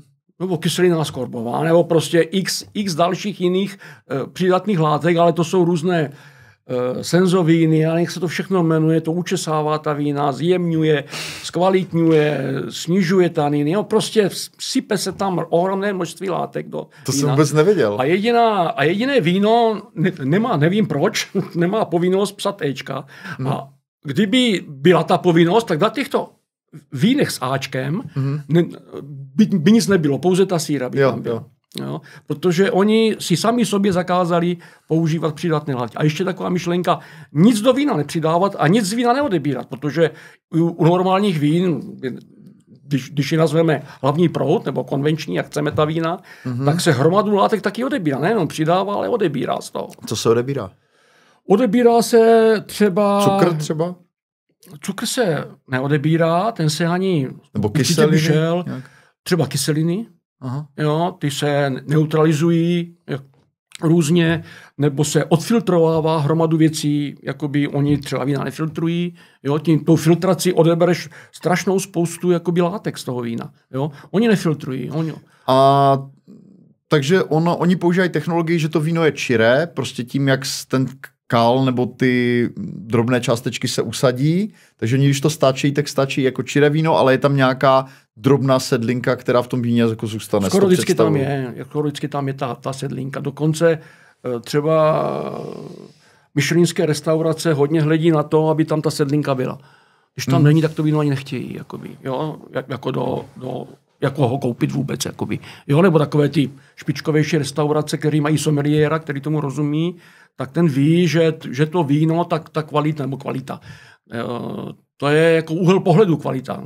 Někomu se zdá kvalitní víno z marketu špičkově vyfiltrované a špičkově ošetřené chemií, které je, jak říkají Rakušáci, eh, frisch, frisch, eh, jsem to zapomněl, leicht a, a frucht, ovocné, svižné, lehké, tak toto je, to je, to je vlastně tavený sír, když to, tak to přiblížím, to je průmyslový tavený sír, ale to autentické víno, to je, to je ten oštěpo, který visí v té, v té salaši někde, jakoby jak tam tu ovcu podojí, dá to do toho měděného kotle, roztopí to na 60 stupňů, dá tam syřidlo, to je výtažek z telecích žaludků, přírodní látka, vysráží to, pak to v nějaké látce vlastně vylisuje, namačká to do těch, do, do těch formiček a pověsí to a mírně tam tři dny topí a udělá ten oštěpok. Tak to to je prostě. Tam žádná, eh, jak, jako bych řekl, žádná sanitace, taková ta perfektní, nic není, ale všechno je to přírodní.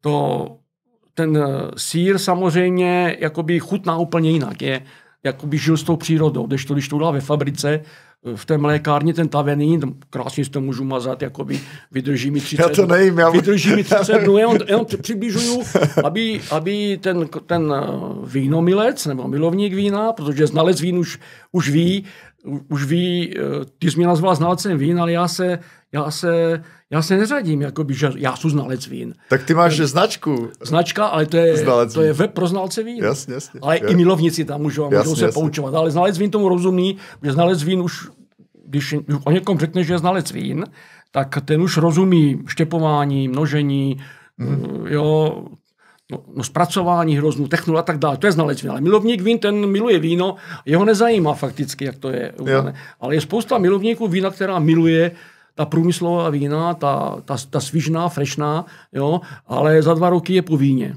nebo za rok a půl. Jo. Čím ho víc urychlíš, sva- svatomartinské, jako špičkový marketingový tah, eh, špičkově chutná, ale jenom do Vánoc. Po Vánoci už to většinou neprodejné, už, už se to nedá pít, když to ta, tato vína chutnají až po pěti letech.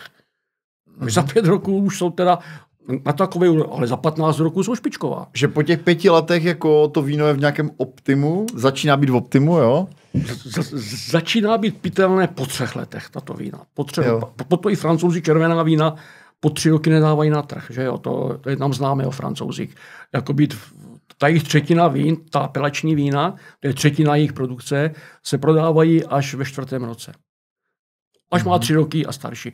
Jedině M primér, to jsou vína, která pro obchodníky, ten ho kupuje ze sudu. Ten musí jít tím sklepem, nachutná si to, musí tomu rozumět. A nakoupí si celé sudy, jo, zaplatí je dopředu a ten jim je potom ve třetím roce nalahvuje a on si odveze ty lahve.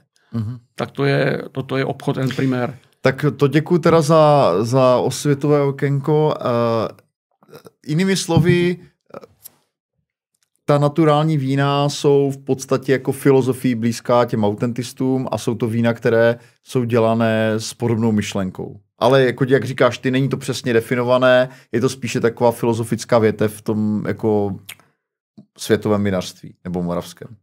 Filozofická, je, jako je to přístup, no, určitý. Dejme jako... tomu, že ano, tam ta myšlenka vždycky musí být, samozřejmě. Naturálně vinaři jako nechtějí, uh, oni chtějí vyrábět vína tím způsobem, jaká se vyráběli před napadením uh, těch vinohradů tom šičkou revokazem. To znamená, oni chtějí před rok 1830 nebo 20, dejme tomu, ať, ať tam uděláme tu čáru přesnou, nebo nebo radši trošku blíž před tu mšičku, takže dejme tomu... Takže staré odrůdy? Oni chcou jít do 18. století prostě. A přibliž to, jako co to znamená? No, aby ten hrozen byl tak zdravý, že tam není žádná chemie na něm. Uh-huh. A i ty, i ty metody té výroby samozřejmě chtějí udělat tak, aby ta vína dlouho vydržela, aby se nemusela zase nějak chemicky konzervovat, Nemuseli se tam používat pokud možno žádné stroje, žádný, žádná spotřeba jakoby uhlíku, aby tam nebyla žádná elektrická energie. E, ti, ti nejkonzervativnější autentisty, jako je třeba Richard Slávek, to je bývalý mm-hmm. redaktor Vinařského obzoru, tak ten šlape hrozný bosou nohou. Ty vogo tam už ani mlínek nemá elektrický a kýbluje a pouští hadičko, jenom prostě jakoby, takže tam vůbec možná si svítí nějakou žárovičku, ale jak ho znám, tak určitě svítí svíčko v tom sklepě, jo? ale to bych ho nechtěl pomlouvat, jo? možná má žárovku ve sklepě, jo? Ale, určitě má, ne? Asi jo, ale, ale, ale, ale, já jsem v jeho sklepě nepil. To je, to ale, ale jo, vína jsem pil to přímo ve vinici, kde běhali kozy, mm-hmm. v té vinici spásali trávu ty kozy, takže mm-hmm. ani, ani sekačka tam žádná nejezdila. Tak koza ti nesežere to víno? Ne, to byly ne? ty malé, jo, jo, jo. oni by teda rozkočili asi, ale ne, oni když mají to škrmívat, tak oni jako, mm-hmm. takže oni mu tam spásali a je to fantastické třeba, že ta jeho vinice je naproti sjezdovky jeho oce mm-hmm. v Němčičkách, to je nejnižší sjezdovka, teď jsem o ní slyšel v rádiu, jsem sem měl, mm-hmm. že tam teď mají 30 cm sněhu. Mm-hmm. 180 metrů vysoko je ta sjezdovka. A to je prostě takový, takový kotel, ten jižní svah, to je ty vinice, to je Richarda, toho syna, a ten severní svah, to je eh, jeho otec sjezdovka. A já jsem tam byl, když tam se ještě lyžovalo, někde na konci dubna, ale tady už, už to pučilo ta réva, jakoby, jo. A on mi tam dal ochutnat z těch, z těch kost, co se tam pásly, tak mi nakrájel klobásky a přinesl mi ta vína, ta jeho oranžová, ta autentická vína. To byl pro mě já jako jako já, já vydržím lecos, ale normálně na mě dýchl prostě taková energie, jaká asi středověká nebo nějaká, Aha. se úplně zamotala. Říkám, to není možné. To víno chutnalo samozřejmě úplně jinak, už tím prostředím, ale to víno bylo navíc dobré, samozřejmě to, toho Richarda. A však je to popsané ve dvou článcích, které jsem, oni tam vysí někde i i tady to jsou možná oni, ty, ty články jsou v PDFC, které vyšly ve Vinařském obzoru, kde jsem popisoval ty autentisty někde v roce já vím, že ty jsi byl jeden z prvních, kdo o nich psal. Já jsem o nich první no, napsal jo, vlastně, jo, ale on mě vím. požádal, protože on psal nemohl, on byl šéf to byl střed zájmu, tak, tak požádal mě, já říkám, to mě zajímá, tak jsem je všechny objel, nakutnal jsem ta vína, popsal jsem to tam a oni potom jako strmě šli nahoru po těch článcích, ti lidi teprve to dočetli, co to vůbec je. Že když to neví ten člověk, tak ani potom vínu nepase. A i když ho ochutná to víno, tak mu ani nechutná, protože on neví, co to je za víno. Já když, já nevím, jestli, uh, jestli schutnal oštěpok někdy a, a nic o něm neslyšel. Kdyby ti dal někdo oštěpok. No jasně, když to dáš dětem, tak oni to nechcou. To, to je, no, to jasně, se ne, jo, jo, jo. zvyklí na ty tavené síry, nebo na, na No ne, ale jiné. jako na ty průmyslové. No, na ty no, průmyslové, třeba, no. tak to, ale když mu o tom řekneš, jak se to dělá, tak řekne, ukáž to, to, to, je zajímavé. A už je to myšlení úplně jiné. A ten člověk najednou zjistí, jak mu to chutná. Hele, tomu se ví... říká, eh, já teda nevím, jak se tomu říká česky, v angličtině to acquired taste a je to vlastně, to jsou ty chutě, které ty si musíš jako osvojit, jako třeba pivo, že když se poprvé napiješ piva, tak je to nechutná. typicky nechutná. No, uh, to samé, ještě jsou nějaké další potraviny, teď se mi nevybavují nějaké další, já vím, že to jsou takové často exotické, uh, Počkat, co je ještě acquired taste? Uh, no, kouření třeba samozřejmě, mm, to když mm. člověk poprvé kouří, jak to asi nikomu nechutná a přitom je to tak návykové a jako to. Co ještě může být? No, jakože to je prostě, jo, taková, a myslím, že ten oštěpok je zrovna taková věc. Jako. To je jako, to mi tak vždycky napadne, že to je, abych to přiblížil, že to je vyloženě primitivně dělaný sír, že jsem mu toho byl na té salaši, viděl jsem to, jak tam i, i, no i ty bobky v, v, ten, v tom mléku plavaly a ten bača to prostě, jako ten, tam bylo normální, ale já jsem to, on mi dal té, eh, té žinčice napít a to bylo s těm bobkama, tak jsem je vyhodil a pil jsem to, ale prostě byl jsem na salaši, tak jsem to tak bral, jako já jsem tak přírodní původní člověk, takže zase jako v pohodě chutnalo mě to. Handlovala jsem s ním, to bylo, dejme tomu, buď to těsně po revoluci, dejme v 90. jsem, protože já jezdím celý život do Tater na dovolené, i v zimě, i v létě. To bylo v létě, byli jsme na chatě tam od známých z Vašců půjčenou chatu a hned na louce 100 metrů od nás byla saláž a ti, a ti bačové tam dělali právě, měli tam pět kotlů a vařili tu, tu žinčicu a dělali ty oštěpky.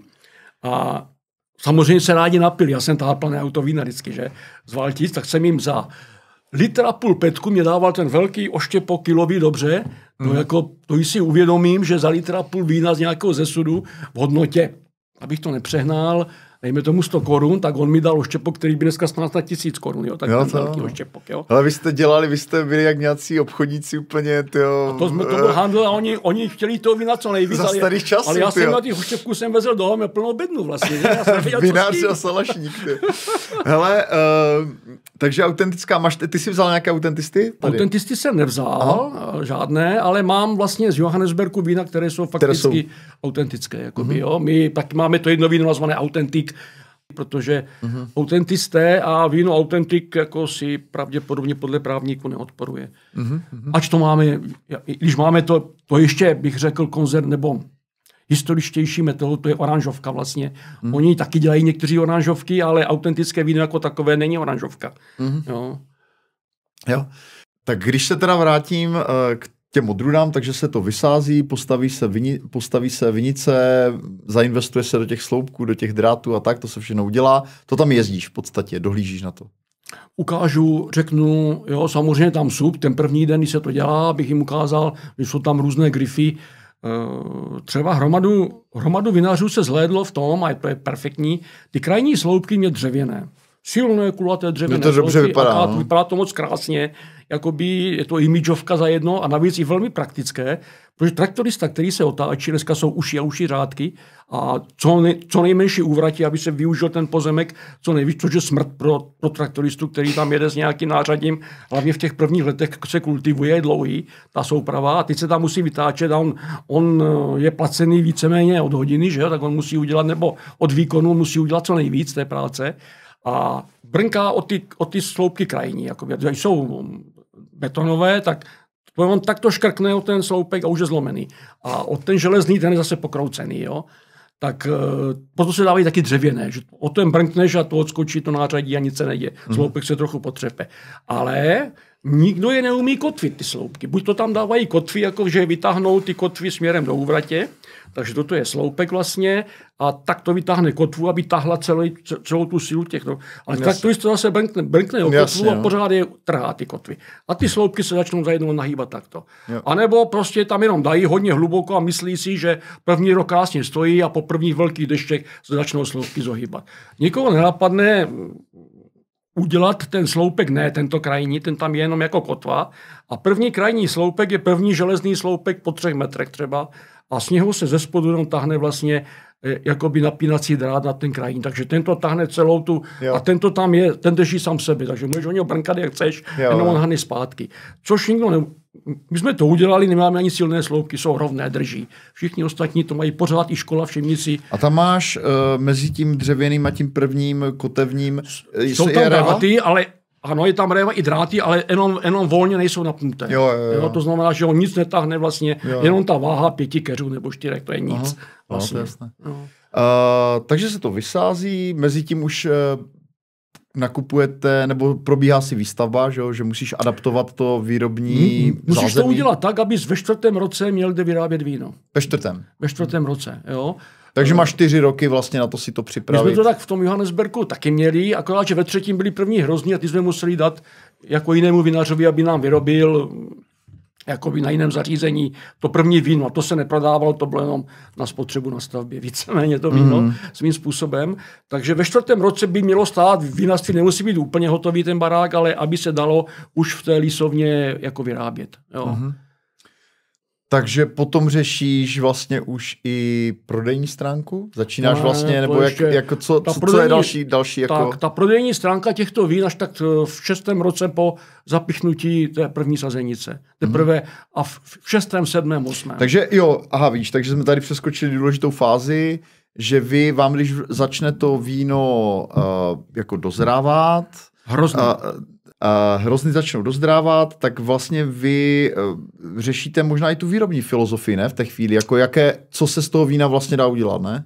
To se většinou už řeší v té první fázi v tom, v tom business plánu. Že vlastně. nečekáš, jakou, jaký charakter ty hrozny budou mít úplně. To se ví, ta odruda jaká je. Jo. Jako, jak, no to, A to terroa mám vliv jako samozřejmě- na jiné věci, než na, eh, na chuť a na prostě to charakter má, toho vína. to má, jo? ale to potom dolaďuješ, ale ty si ty si prostě musíš říct, tak to my jsme, když jsme, když jsme dělali jako, abych pravdu řekl, ten Johannesberg, co jsme teď vytvořil, tak tam eh, jsem se i já učil, protože já jsem to byla první, kdy jsem to sám dě- dělal sám, protože tam to dělají kluci Mikuláškovi, oni si mm-hmm. sami, já jsem jim to jenom říkal, tady jsem to já realizoval navíc, protože investor je ještě stále v Dubaji.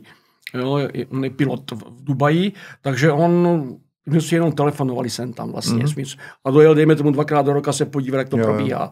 Takže ale už hned od počátku jsme si řekli, všechny, jsme si vydiskutovali úplně všechno, aspoň jakoby v nějakých blokách, jaké víno budeme dělat a jak. S tím teda, že já jsem vždycky říkal, já ti tady můžu říct dvě, tři varianty a ty si vždycky vyber jednu, protože to je tvoje vinařství, to není moje, já ti jenom radím. Jo. Já si myslím, že je nejlepší tato, ale ty klidně řekneš, že Bčko je správně. Tak jsem řekl, tak jakou technologii, tak jsem řekl, jaké jsou technologie a on říkal, uděláme všechny. Ty hlavní technologie.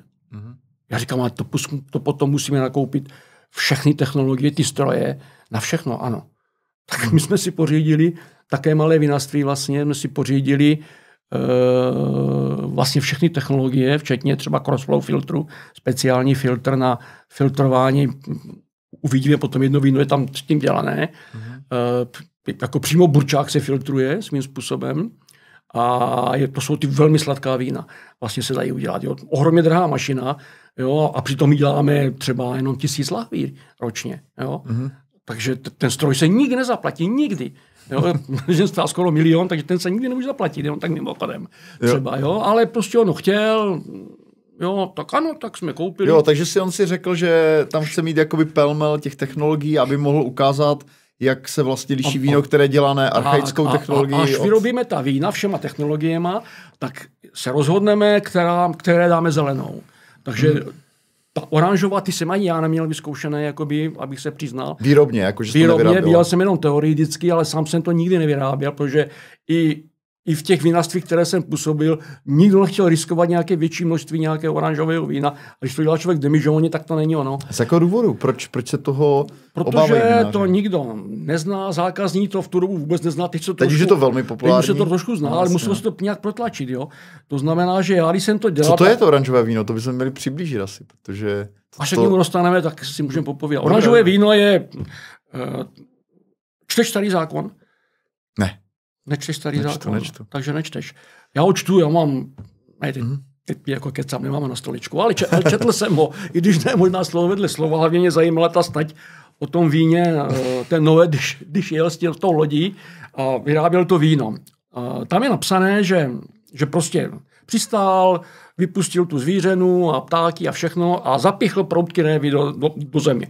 Jasné, on asi už, už vynařil před tou povodní ten Noé, takže si tahl, tahl si proutky, jako by sazenice, že v balíku krásně. Zapichl, za tři roky měl hrozný a tam bylo napsané, že vyrobil víno. A teď já jsem si položil otázku, jak on to víno vyrobil. V Gruzii, v Arménii, dejme tomu v Arménii, ale to je, to je ta oblast těch kveví. Dan tam byl na Radatu. A my se, jo, Co, no, to pil, jsi tam víno, pil jsi tam víno, Dané? On je dneska v Turecku, Araraduš. Turecko, no. Aha. Ale to je jedno. Můžeme se podívat, jak vypadá ta kvevry, když jsme ji zakopávali v tom vinařství do zemí. Je to Kverve. prostě taková amfora, taková trošku baculatější amfora a, a proto tam oni vyrábějí to víno v těch amforách. Jo, to je ono, to je ono. No. Jakoby, jo, to je jo. ona, tak to vypadá, toto je pětistovka. To, to je velké. A to, Velké, vá, to, jste do, to jste dováželi někde Z Gruzie. stři- z Gruzie To je jo? z Gruzie přivezené, protože oni, oni tam mají v té keramické hlíně stříbro, ti Gruzínci, a to určitě i ten Noé tak udělal, ale on, on nedělal takovou tu amforu, protože asi neměl ani čas, ani protože tam budoval jiné věci. Podle mě to víno vyrobil tenkrát tak, nebo ten první člověk, který to tak dělal, jako obrazně Noé, Jasně. vyhrabával díru v zemi a, samo, a proto má ona dole úplně takovou špicu, jakoby ta, ta, ta, ta amfora. Mm-hmm. Až kam došáhl, samozřejmě, když už byl hluboko, tak už tam už šel potom jako do špice. Pak vymazal tu díru v té zemi blátem, což je logické, tím, tím, tou keramickou hlinou to vymazal, Jasně. udělal tam oheň a vypálil si přímo v zemi tu kvevry. Mm-hmm. Uh, nasypal tam hrozný a přímo v té je pošlapal. Přikryl to břidlicí, zasypal to hlínou, nechal to tak, až odešly sněhy, dostal na jaře, odrabal břidlici a měl oranžové víno. On žádný jiné nemohl vyrobit. Pokud měl bílé hrozny, pokud měl modré hmm. hrozny, vyrobil červené, ale, ale pokud měl bílé, mohl vyrobit pouze oranžové víno, žádný jiné nemohl vyrobit. Proč se tomu říká oranžové víno? Protože je oranžové. A to je dané tou keramikou? Barvou. Nebo...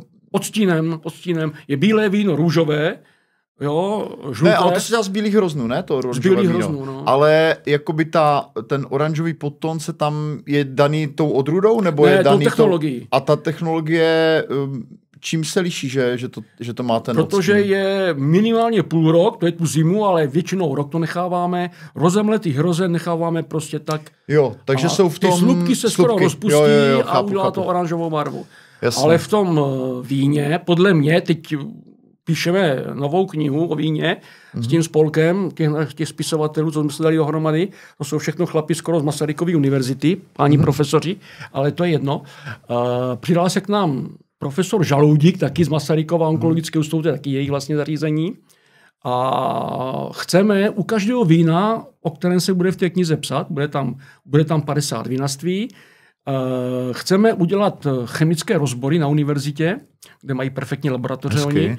A chceme, jakoby o kterých se ví látkách, flavonech, flavonoidy, jak, jak, jak je nazveme, hlavně ten resveratrol mm-hmm. a takové podobné, o kterých se myslí, nebo ono se to neví stoprocentně, ale myslí se, že mají vliv na lidské zdraví. Jo, tak, taky protektivní. Takže ještě, no.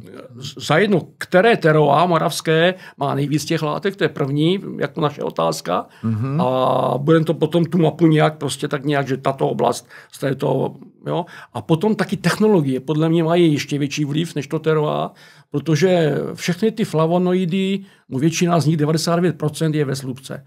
A pokud já vezmu hrozen a budu dělat to víno fresh nebo fresh, jak chceme, eh, jak to nazveme, to znamená, že přivezu hrozen velmi rychle z vinice a hned ho, hned ho vylisuju, aby to bylo fakt svížné víno a takové to moderní, tak eh, já vlastně ono nebylo vůbec na té, ono, buď ten hrozen rostl, jako by žil, anebo se mohl hned, hned zbavil té slupky, ten mošt tu šťávu. Ale tady je to rok, to znamená, že ty flavonoidy, teoreticky ty flavony se vyluhují do toho vína téměř všechny.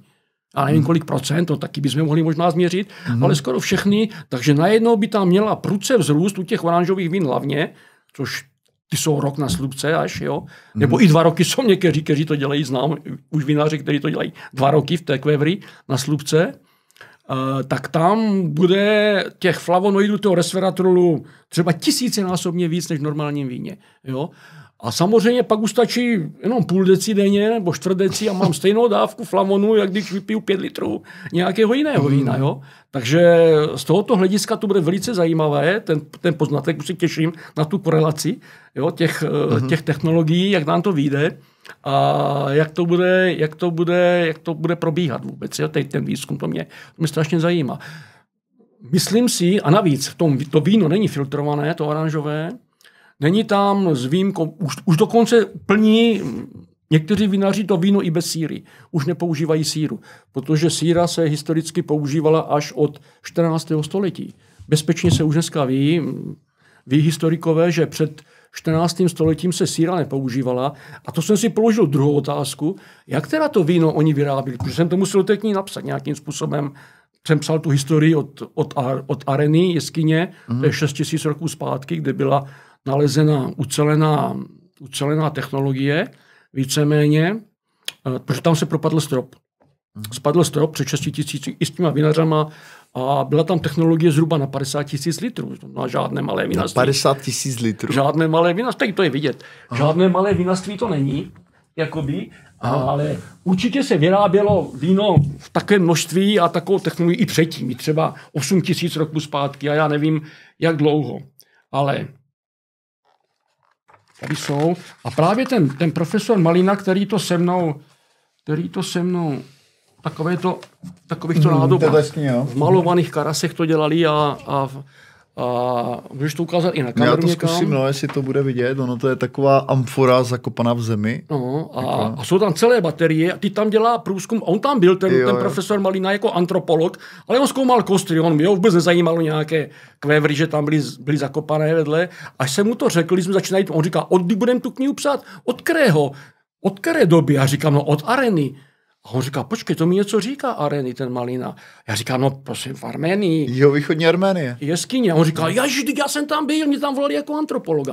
A teď tam, ten a loni ráda. tam z Pardubické univerzity dělali ten 3D, 3D scan té jeskyně, tam byly, mm-hmm. to jsou obrázky, to nám poskytli oni, teď mo- teď, teď ty poslední, už tam toho vykopali mnohem víc, ale zatím jenom asi jednu desetinu těch nádob jako vykopali a už teď jim to ukazuje hm, asi 10 tisíc litrů, jo? takže ono to bude asi víc jak 50 tisíc litrů pravděpodobně, celková kapacita.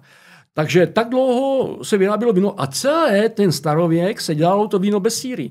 A půlku středověku vlastně se dělalo bez síry. Mm-hmm. A proto ta vína jim vydržela 100 roků. Klidně. Proto oni musí dát technologie takové, aby to víno dostalo co největší jakoby, eh, ten startovací potenciál do té budoucnosti, aby to víno mohlo ležet. No to je všechno ve slupce. Pokud tu sloupku hned v první fázi vyhodím, tak zbavím to víno vlastně té možnosti eh, té archivace fakticky. Jo? Proto červená vína aniž si to kdo uvědomil, se dají archivovat mnohem déle než bílá, protože minimálně 7 dnů jsou na slupce. 7 dnů proti ro- roku v těch oranžových. Jo? Uh, nemáš jako takhle. Uh, ty říkáš, že vlastně ty šlupky obsahují látky, které jsou prospěšné. Nemáš obavu, eh, že, protože zase ta slupka pravděpodobně má i jako vyšší míru té toxicity z těch postříků a tak, že jo? Proto se to musí dělat. s Takže to musíš dělat nestříkají. přesně tak, že tuhle tu technologii teda musíš naparovat jakoby vlastně s vinicí, která je jako naprosto minimalistická nebo ideálně nebo nepoužívá. ekologického, i, i obyčejné odrůdy se dají, nebo umí se už dneska i Riesling Weissky nebo Veltlínské zelené nebo Chardonnay se umí pěstovat vlastně bez chemických postřiků. Oni je třeba stříkají. Třeba to jsou takzvané prvky biodynamiky, biodynamikové. Stříkají révu. Ale stříkají to třeba křemeným práškem. Příklad. Anebo Jo. eh, nějakým, nějakou sodou, jakoby, jakoby, jo, tě, jo, proti těm houbám se dá bojovat jinak, nemusí to být zrovna chemie. A ten křemený prášek třeba, to, to, to píše ve své knize Nikolas Joly, Víno z nebe na zem, eh, píše, že... To je nějaký naučil- propagator biovinařství nebo bio... Nikolas Joly z Couleur de Serrand z údolí Loire je jeden z největších propagátorů biodynamiky, biodynamického vinařství na světě. Chodí dělat přednášky, já jsem byl osobně, to už je určitě 15-20 roků na jeho přednášce, byl ve Valticích osobně. Přednášel, mám i knížku podepsanou od něho, která vyšla. A on říkal, že jeho dědeček ho učil, když je deštivý rok, tak eh, a, a v tu ranu řádí prenospora, to je houba na listech a, a na hroznech a zničí úplně, tak eh, stříkal, stříkal tu révu eh, zhruba lžičku, lžící, polévkovou lžící na tisíc litrů křemeného prášku. V moždíři rozemletou poctivě úplně na jemný prášek. To, když to až pod mikroskop, pak jsou to velmi ostré krystaly samozřejmě, ten křemen, mm-hmm. když rozemeleš, tak to. A on to nasype do toho postřikovače, klasického postřikovače na toho, toho zmlžovače a on, on postříkal tou vinici a on tvrdil, že to zkoumal zase mikroskopem ten list a ten list byl posetý těma jelenama zapichnutým do toho listu. Do těch buněk listů byly zapíchnuté ty křemeny. A Což asi stresuje tu rostlinu, ne, že my jsme se ho ptali, proč to teda, proč to, ma- proč to působí. A on říká, i když, se je, i když je 14 dní v kuse zamračené a prší, tak to slunce těma, těmi mraky jde. Ale je to, toho slunce tak málo, že ta réva se nedokáže bránit té houbě, uh, jo, když je pořád vlhko, nedokáže se bránit. A tím, když tam vlastně napíchám ty, ty krystaly, on si myslí, že to tak funguje, on to Jasně, neví, no, to je si. hypotéza, no. I když on je botanik jinak původem, Jo. tak si myslí, že je to jako anténa, jako zesilovač toho slunečního záření a že to prostě tu houbu ničí kolem sebe, to, že to zesiluje záření. A on říkal, když to uděláte, tak proto se to dává, fakt ta, ta houba tam nemá šanci na těch listech. Hmm, zvláštní, No, to jsou jo. zajímavé, takže oni se brání, on to vymyslel nějaký Víš Steiner. co, tady se ještě dostáváme k tomu, že občas se v tom zemědělství prostě dělají věci, které možná fungují a vlastně Nevíme není úplně, pro, nevíš, nikdo se nezabýval úplně přesně tím, Říkal proč. jsem mu, zrovna na té při té přednášce v těch Valticích tenkrát tam došli takový ti správní, my, nám bylo tenkrát 40, dejme tomu, Jo, jo. a jo, 45 dní bylo, když byla ta přednáška, tak jsem se, to jsem byl ten mladý šohaj, ten, ten jakoby, co, ten progresivní v tom a ta generace, co byla o 10 roků starší, pouhý 55 už jsem prostě bral, že to je prostě konzervator. Jako. A ještě starší tam došli chlapi, takový ti sedmdesátníci, co už, už jsou já teď dneska, skoro, tak ti tam došli v těch beranicích a poslouchali ho a ty říkal, šarlatán, na ně začali řvat, jo. A on říká, proč jsi šarlatán? Jak můžeš dávat, muži, oni, oni mu hned týkali samozřejmě, jak můžeš dávat kravský roh do půdy, naplněný kravským lejnem, ten roh, a čekat od něho, že ti tam udělá nějakou práci. Tak na to zdůvodní nějak. A on se tam dává proto, jako by ty, ty kravské rohy, opravdu dneska se to vozí z jatek celé fůry kravských rohů a spolu se kravským lejnem. A Fakt, jakože to normálně... to se normálně jo. používá na celém světě dneska. Aha, Dává jo, se aha, to do takový. půdy, Aha. v síti metr krát metr, Aha. pak se to zahrabává 30 Jak cm. metr krát metr, jakože na každý metr čtvereční máš Tak to, jeden? nebo- ano. Jo, jo. Jako uprostřed každého Jo, jo, metru jo, jeden. chápu, jo, jasně. Jo. A když to dáš do půdy a máš zničenou půdu herbicidy, her, herbicid je, je fungicid na, na, na ničení plevelů, Mhm. mm-hmm. ale když, když stříkáš intenzivně jakoby herbicidem půdu, tak zničíš veškerou mikrofloru. Když zrušíš mik- mikrofloru, tak zrušíš i žížaly, protože tam není potom humus nic a ta žížala jakoby tam nefunguje. A ty rostliny nemůžou komunikovat ten kořenový systém s tou mikroflorou a ta rostlina, jedno jestli je to trvalá nebo, nebo jednoletá rostlina, trpí pod výživou, protože je špatná interakce eh, toho kořenového systému s tím okolím. Když nejsou mikro, to je, to je po miliony roků v přírodě, po 100 Jasně. miliony roků to tak je zavedené. A ty těma herbicidama zničíš totálně ten kořenový, jakoby tu mikrofloru a tím pádem kořenový systém nemá moc šancí. A návratnost do původního stavu, když přestaneš stříkat tu půdu, ten pozemek přestane Bylo desítky let, ne? Možná. 30 roků to trvalo. No, 30 roků, on to zkoumal jako celý svůj život, to zkoumal ten, ten Žolí, má, má doma perfektní mikroskopy, to zkoumal a říkal, za 30 roků je tam plná mikroflora, ale já to umím za rok vrátit. Za rok umí vrátit tu mikrofloru jak na tu původní úroveň právě těma kravskýma rohama. A oni mu říkali, ale proč? Jako, tak na to vysvětlí. On říkal, já to nevím, proč to tak je, ale je to tak. Mhm. To zajímavé. To, to napsal Steiner, nějaký byl biodynamik, zakladatel biodynamiky, filozof a on byl Chorvat z Rakouska, Uherska. Uh, jo, někde v 19. století ty knihy psal, 18 třeba 40, jak Havlíček Borovský někde v té době.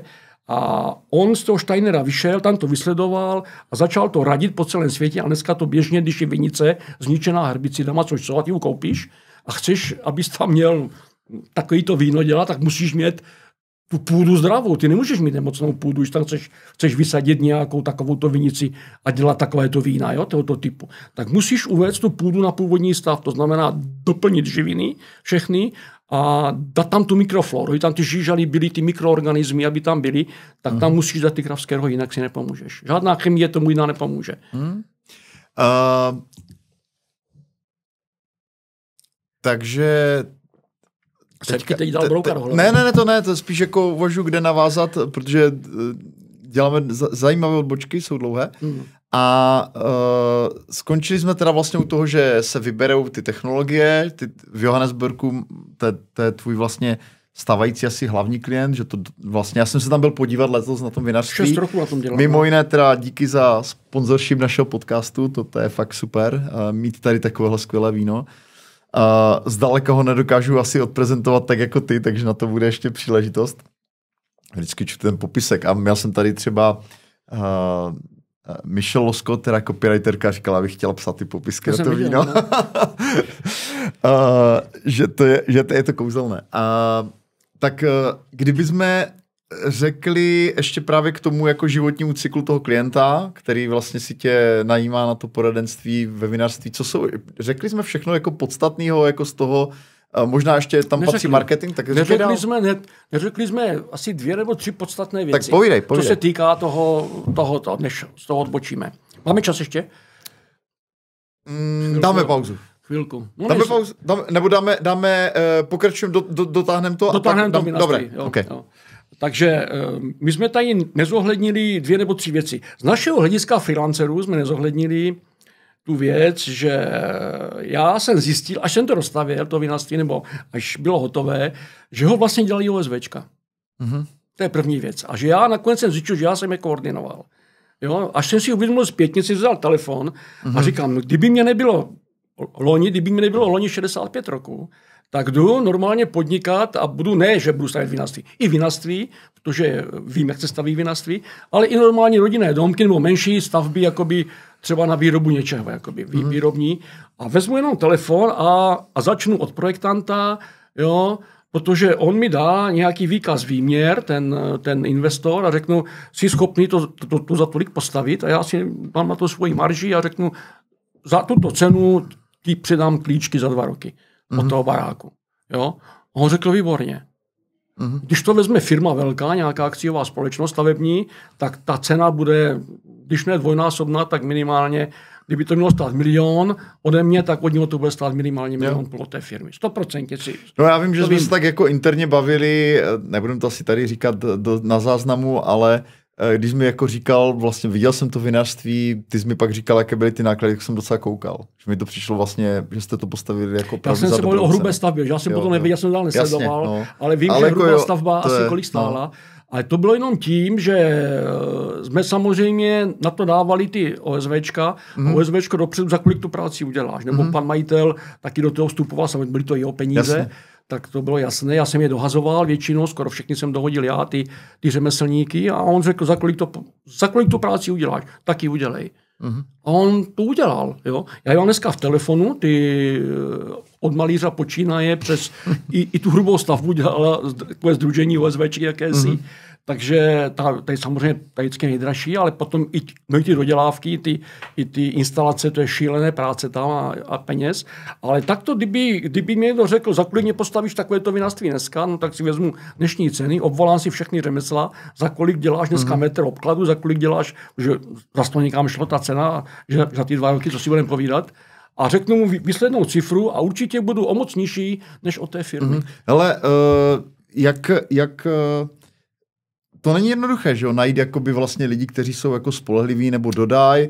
Ty máš jako dost manažerských zkušeností, takže věřím, že to nějak jako zúročíš, ale i tak jako jdeš eh, spíše po lidech, na které si dostal doporučení. Aha.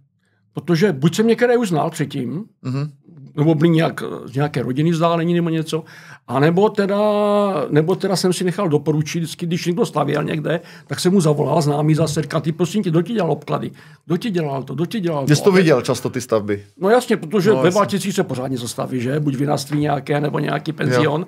Takže se mi ta práce líbá, jsem, to, tak on mi dal číslo, tak mu zavolej, jestli má a, a spolehlivý, spolehlivý, perfektní, zálohu si sice vzal, ale dodělal, tak jsem mu zavolal a opravdu když ti to někdo doporučí známý, tak ti to neudělá schvál, že by ti doporučil nějakého Jasně. Jasně, že. Mm. Takže takto jsme, spálili jsme se tam při celé stavbě akorát na jednom, ale to jsem dohodil já, to si zehnal pan majitel sám nějakého uh, chlapíka, co měl dělat terasu na ta terasa je vlastně na takových plastových válcích, mm-hmm. jakoby je srovnaná a pod tím je to vyspádované a on to měl dělat.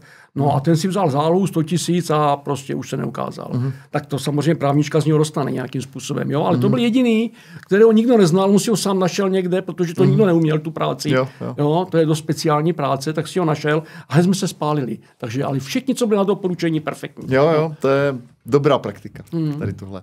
OK, tak to je jedna věc. Co, co další, co jsme ještě neřekli, jak se dělá vinařství? Tak když, a dál když to takhle... je to jako, to není jenom, že si postavíš jakoby samozřejmě pro radost něco, mm. ale je to investice. Mm-hmm. A jako investice, teď se člověk musí zabývat tím, jestli, když uvažuji jako investor, i kdybych to nebyla pro radost, jako mám, mám prostředky, někde získal jsem prostředky, nějakou řádku milionů a teď řekl, do čeho budu investovat? Do zlata? Jak to znáš, ten, tu klasickou otázku. Mm-hmm. Když si postavíš vinařství, to je tak likvidní zboží normálně, protože to je pořád někdo zání vinařství. Oni nejradši, jako málo kdo chce stavět a čekat pět roků. Oni to chcou kupovat dneska už hotové na klíč, už kupovat i z toho lahví. Ne. No, ano, je normálně skupina investorů, kteří nechtějí, protože už asi mají roky pravděpodobně, Aha. takže on už, on už nebude pět roků, šest roků čekat. Já mimochodem jsem to pochopil v Pačkově v Polsku, když, když jsem dělal taky poradenství ještě kdysi dávno, ještě, to jsem hmm. možná byl ještě ve škole. Když mi tam natáhl pán ze Zlína, který dělal plastové sloupky, abych tam jel a poradil mu kolem vinic a on, že mu tam dává ty plastové sloupky. A to byl, to byl majitel fabriky na ultralighty z, z Varšavy a v Pačkově za Lázněm a Jeseník, první městečko v Polsku, když se jde člověk z Jeseníku dolů, tak Pačkov, zámeček a potom mm. tři hektary vinice. A on, on mi teď říkal, já jsem mu řekl, po prvním roce ustřínete sazenice u zemi. A on říkal, já je nebudu stříhat. A říkám, proč? Protože ti Němci, kde jsem koupil ty sazenice, mi řekli, že už mám v tom prvním roce tvarovat kmínek. Já říkám, pojďte se mnou do Vinohrad. Jsem mu ukázal, ano, ze, ze 60% kmínku bych to tak mohl dát, ale těch 40% vy zničíte, protože vy ho přinutíte dělat rozen a ty půjdou, jako, ty půjdou do kytiček. Když ne všechny, tak většina. Hmm. No tak je prostě to, jo, je dobré ustřinout ze zemí a, a nechat ten kořenový systém znovu posílit. Jo. A on řekl, pane Sedlář, říkám, a proč to chcete ustřínout? A on říká, no kolik si myslíte, že mi je roku? A jsem na něho podíval, tak mi to tak pokud říkám, tak 68 a on říká 75. Fakt jako byl zachovalý, ale měl 75 roků. A on říkal, já když to takto udělám, tak zase o rok prodloužím ten, ty hrozně. Říkám, no samozřejmě. A on říkal, jak dlouho si myslíte, že já budu čekat na ty hrozně? Já se třeba ani nedožiju. A to mi zapálilo, jakoby, jo, že on opravdu nemá tolik času když mi 40, no tak nebo já nevím, třeba má 95 a ještě pořád by, by to mohlo dělat, jo, já nevím, kolik má dneska roku on, nebo jestli ještě žije, už jsem tam od té doby nebyl, jenom. to byla taková jenom taková, taková jednorázová porada, jo. A, a navíc mě neposlechl, neustřihl to, nechal to tak. A, a když má někdo 50, no tak ještě jakoby jako může, nebo 45, může stavět vinařství, protože za pět roků je mu 52. Ale když je někomu 70 a má peníze a chce vinařství, tak co mu zbývá? Koupí si Koupí. A kdo ti ho prodá? Nikdo. Ukaž mi, kdo ti ho prodá. Takže proto je to likvidní zboží. To znamená, kdo chce investovat a je mladý, nebo je mu třeba 40 a má peníze a chce, chce, chce otočit za pět roků o 100, o 150% to mění, tak postaví vinařství, udělá live i s značkou zregistrovanou s registrovaným brandem a všechno, v tu chvílku je to nejlikvidnější zboží, protože ty uh, vinařství, které má hodnotu, hodnotu pořízení 25 milionů, mm-hmm. tak prodáš za 70 jak nic. Tak, tak okolí zhodnotil z peníze za pět roků. Mm-hmm. Jasně, otázka, tak otázka, jestli jako, jak velký ten trh je, že jo? protože možná je ta poptávka po pěti, No. deseti ročně třeba, jo, by to, mohla to být, jo? Víc. Těžko říct. Co já vím, tak Jako víš, že se prodávají, že se, protože, že se dělají reálně ty protože transakce? na mě se otáčejí vlastně jako by Obracejí, jako jo, že lidi. Obracejí se, na mě, obracejí se na mě, co ti obchodníci z nemovitostí, jak jsem jim říkal, no ty, ty agentury, co... Co kupují firmy? Ne, co, ne. co kupují a prodávají nemovitosti, jak jsem jim říkal. Uh, realitní. Realitní kanceláře se na mě obracejí. Hmm. Jestli nevím o nějakém vinařství, které se prodává. Já říkám, no, jako nevím, jo, a to je jako oni po mě chtějí poradu. Jo. Abych jim, jako, že mi to zaplatí, když jako, já říkám, ale já o žádném nevím, že by se prodávalo. Aha, takže jasně. No, vím o jednom, které se prodává a to je tak drahé, že ho nikdo nechce koupit. Mm-hmm. Jo, to je dobré. Co, co ještě jsme uh, chtěli Takže dodat? To, to, to, je, to, to jsou dva aspekty, které aha. jsme určitě zapomněli. Jo, jo, aha, aha. Zvečka. Jakoby, to, to, jakoby ta investice, takže to není jenom, takže on se to nepostaví pro radost, ale když řekne a půjdu rybařit nebo si koupím jachtu, no tak to ze dne na den prodá a, a má ještě velký jo. zisk pořád. Jo? Takže mm. to, je, to je taky dost a to mi taky napadlo až postupně tyto záležitosti. Jo? Jo. Když, když tento majitel to určitě prodat nechce, to vím, protože mm-hmm. byly přímo, přímo dotazy i na něho, i na mě, jestli to neprodá v této fázi, jak to je. Mm-hmm. jo? Jo. Takže asi tak, to mě potom mi třeba napadne ještě něco dalšího. Dobrá, dáme pauzu. Dáme pauzu. Tak, jsme zpět. Hele, uh, ty na tom projektu uh, vinařství Johannesberg, uh, ten tvůj klient vlastně, pan Klika, on je kapitán Boeingu 777, pro Emiráty teďka lítá. Jak se, jak se k tobě dostane takový, jako, takový zadavatel? To je dost jako unikátní, ne? No, asi jo. Já jsem se ho ptal, jak se ke mně dostal a on řekl, že si dal do vyhledávače jako poradenství pro začínající hmm. vinařství a skočila mu moje encyklopedie. No, jo, takže, takže přes znalce vín. Tam si našel mě a víceméně mi zavolal. Aha. To bylo v roce 2017, no to si vzpomínám jak dneska. Seděli jsme ve To je, ta, to je ta fotka? ne, Ne? toto už je hotové vinařství, nebo skoro hotové, jo, jo, ještě venku se staví, ale už jsme seděli v penzionu, v degustovně penzionu a konzultovali Mhm. jsme a seděli jsme v létě ve vinné galerii ve Valticích a on tam přijel s manželkou a jakože by chtěl postavit hobby vinařství. Mhm. A já mu ten, ta řeč skoro probíhá skoro vždycky stejně. To je zajímavé, s každým zájemcem to probíhá takto.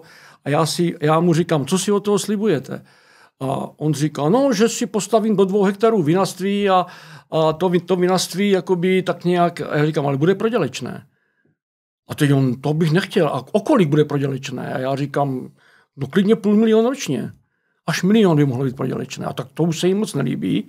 Samozřejmě taková řeč, tak, eh, tak jdeme dál. Já říkám, buď to navýšíme hektary, což nechtějí, No, že to už je moc práce, to si každý spočítá lehko, anebo samozřejmě chtěli, chtějí hledat jinou cestu, tak ta jiná cesta je, což jsme našli hned v, t- v ten, ten první den tého setkání, že přidáme tomu vinařství penzion.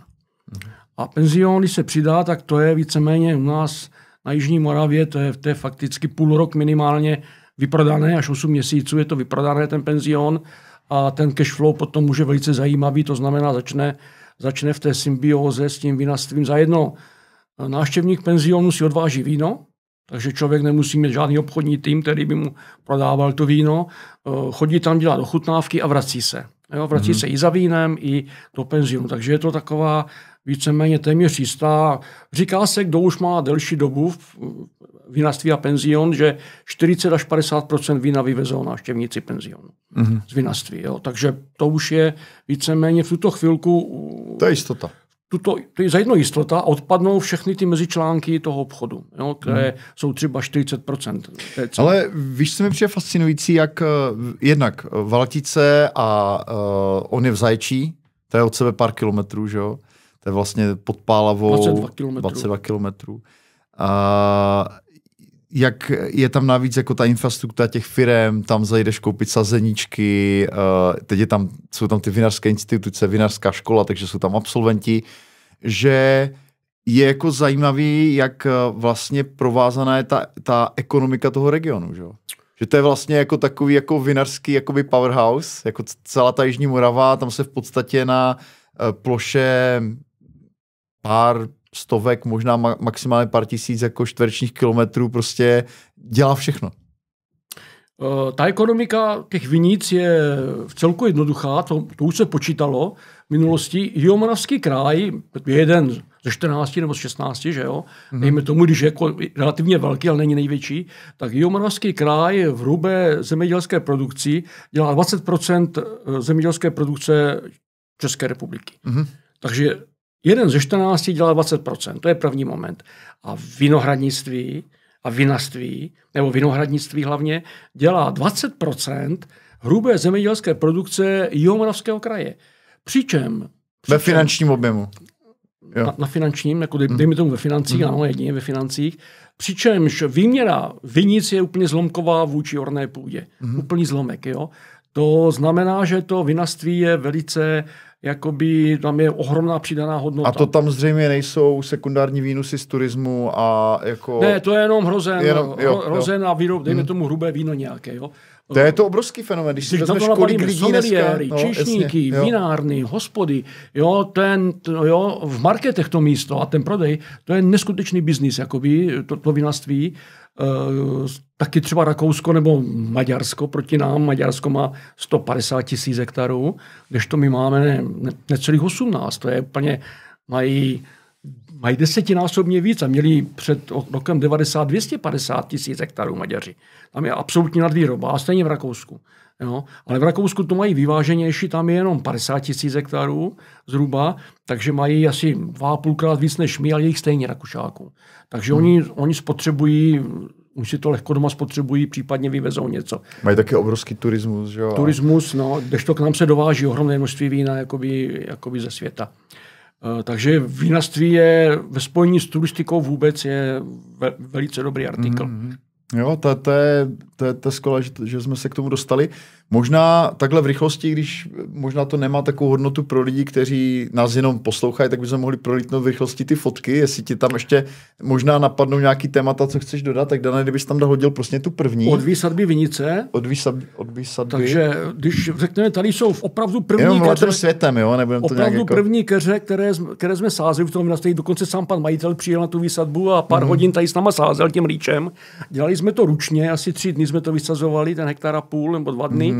S tím teda, že kdyby přijel stroj, tak to má za půl hodiny nebo za hodinu vysázené, ale úspěšnost eh, uchycení těch sazenic je u toho stroje, když je sucho třeba 70%, 60%, mm-hmm. a tady sucho bylo, jsme vysazovali a bylo 99%. Ty jo, to, je jo, to znamená, to 1% už bylo jenom na chybě té, té, toho štěpování. Aha. Takže perfektní, je to pracné samozřejmě, rýčem se musí pracovat, ale speciálně rýč jsem vyrobil, dva rýče Aha. a dvě partie, tak to jsme dělali v pěti, v šesti lidech, jsme to vysázeli. Tak klidně jde dál a Můžeme zastav ho, Milane, až, až budeš... Tady je, tady je betonování základu, vyhrabané základy vlastně toho vinařství, jak se to lije beton, můžeme dál. A tady je usazování kvevry, ve které vyrábíme dvě vedle sebe, tak to se to dávalo do zemí, to je vlastně v podlaze zabudované, v degustovně přímo vyrábíme víno. Tady je hlína, která se čerpala nahoru na střechu, eh, na zelené, jako zelená střecha, to je schodiště, můžeme dál. Aha. Tady máme konzultaci s majitelem a hrozný. A, to je ten je... Sauvignon Gris, který budeme chutnat.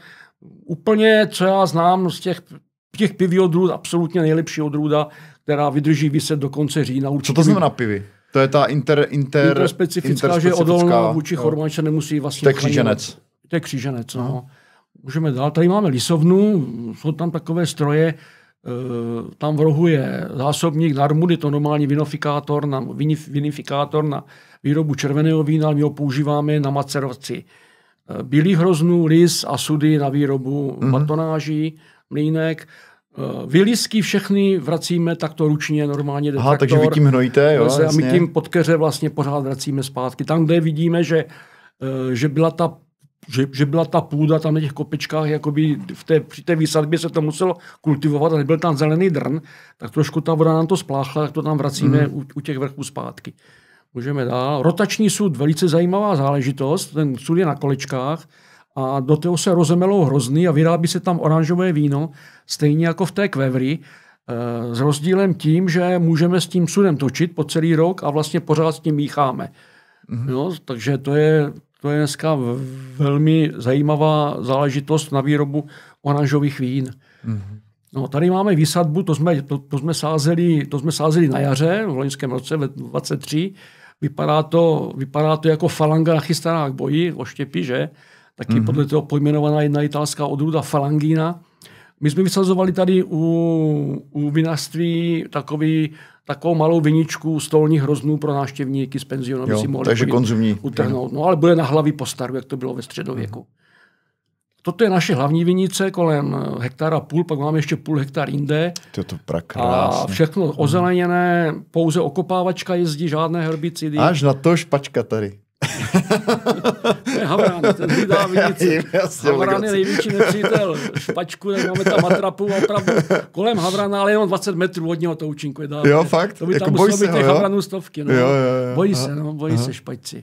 Tak to svážíme hrozný v bednách, všechno ruční sběry. Aha. A jeden chlap, tak to, to vinařství je dělané pro jednoho chlapa aby mohl sám jako všechno s výjimkou sběru, když si zavolá brigádu. By design. A, yeah. Takže proto je to v bednách, aby on sám mohl sypat bedny do mlínku, sám si je nakládat do bedny a na hydraulici si je zvedne a jede. Mm-hmm. A Potom jsou sběrači, brigádníci vlastně, což už dneska se moc nevidí ve vinařství sbírat.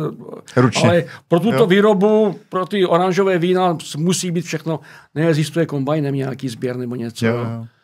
Tady vidíte, že přímo v degustovně vyrábíme víno v sudech, to znamená, tam je teplota v létě 20 stupňů, 21. Byl jsem tam, byl tam příjemný chládek, jo, jo. V zimě je tam Aha. 18, 17 držíme, eh, i 15 třeba, to znamená, i v obýváku bychom dokázali takto vlastně v sudech vyrábět uh, tou metodou sirly, to je v těch sudech je uh, vlastně na spodu toho sudu je kál a tam se naleje po vykvašení víno a celý rok to tam leží bez síry, tak jak to je a sirli se dá přeložit. Ten kál je jako z předchozího vína, nebo?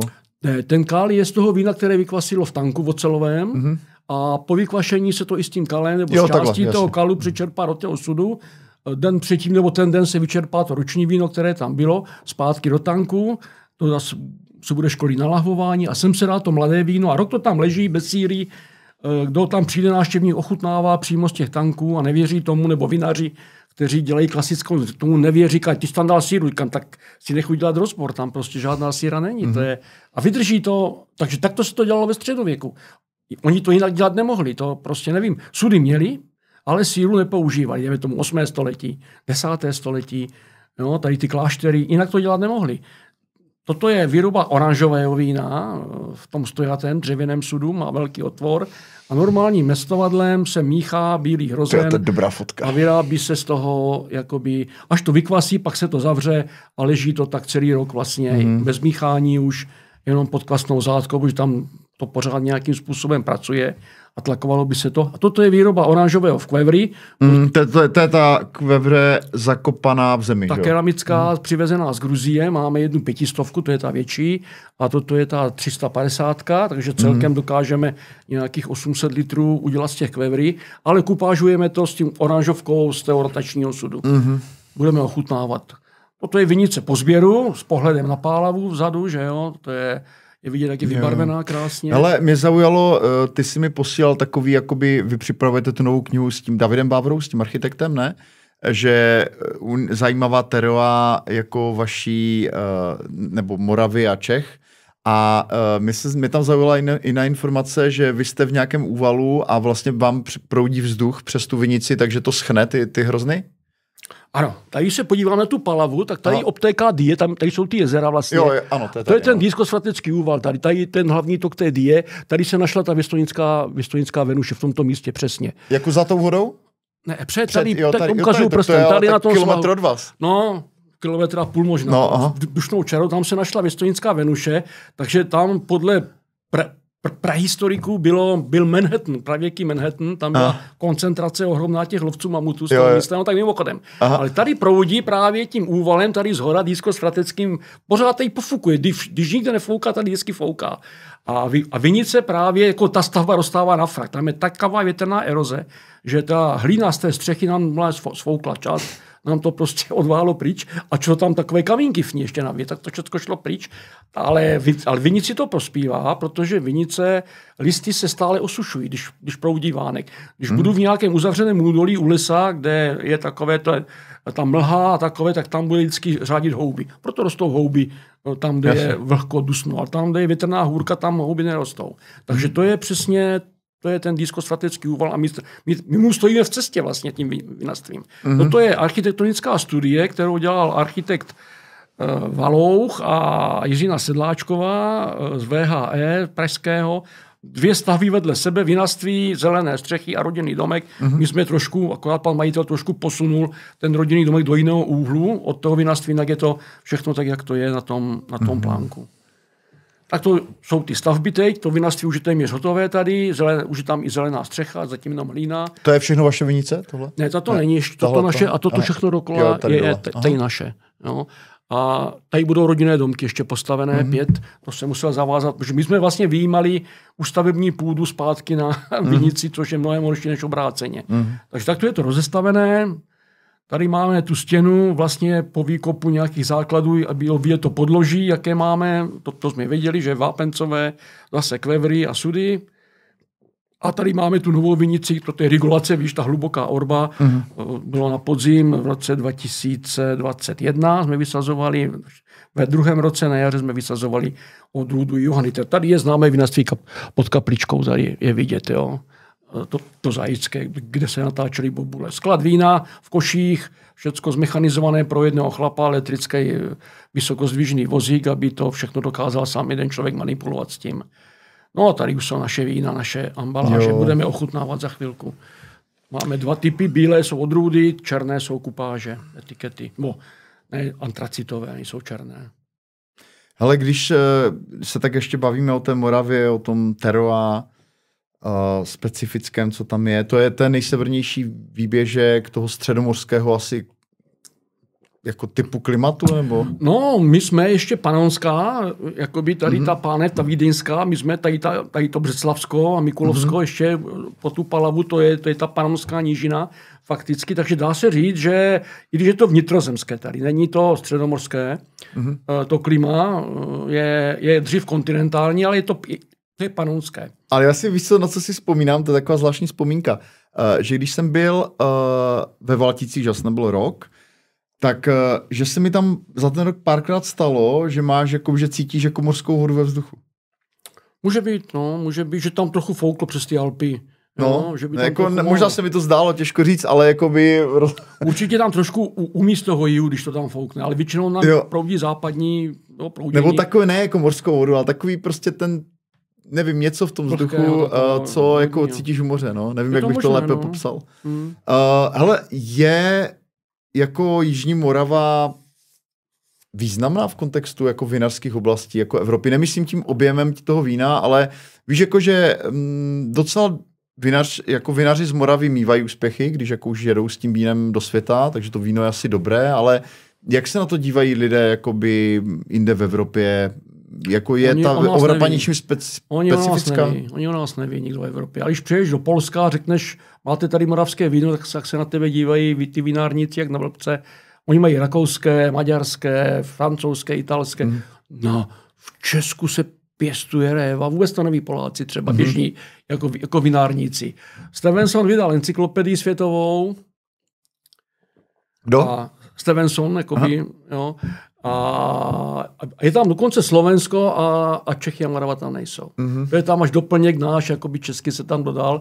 Jenom tak mimochodem. Japonci, mm-hmm. když jsme vyváželi víno do Japonska, vzpomeň si tenkrát, to bylo první víno do Japonska na vánoční trh, Eh, veltlínské zelené, kamion letecky z Línce šel, z vinařské školy.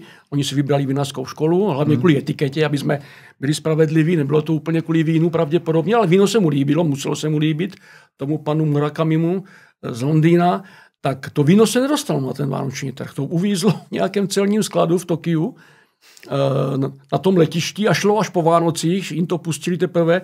Oni po nás chtěli, aby jsme jim dali z ministerstva zemědělství potvrzení, že jsme výrobci vína. Ti Japonci. že oni se nedočetli v žádné encyklopedii, že jsme výrobci vína. Tak já jsem psal náměstkovi ministra zemědělství, už si nespomínám, jak se jmenoval tenkrát, aby, aby nám dal potvrzení, že jsme vinařská škola, že jsme, nebo ne, vinařská škola če, jako Česká republika, že jsme výrobci vína.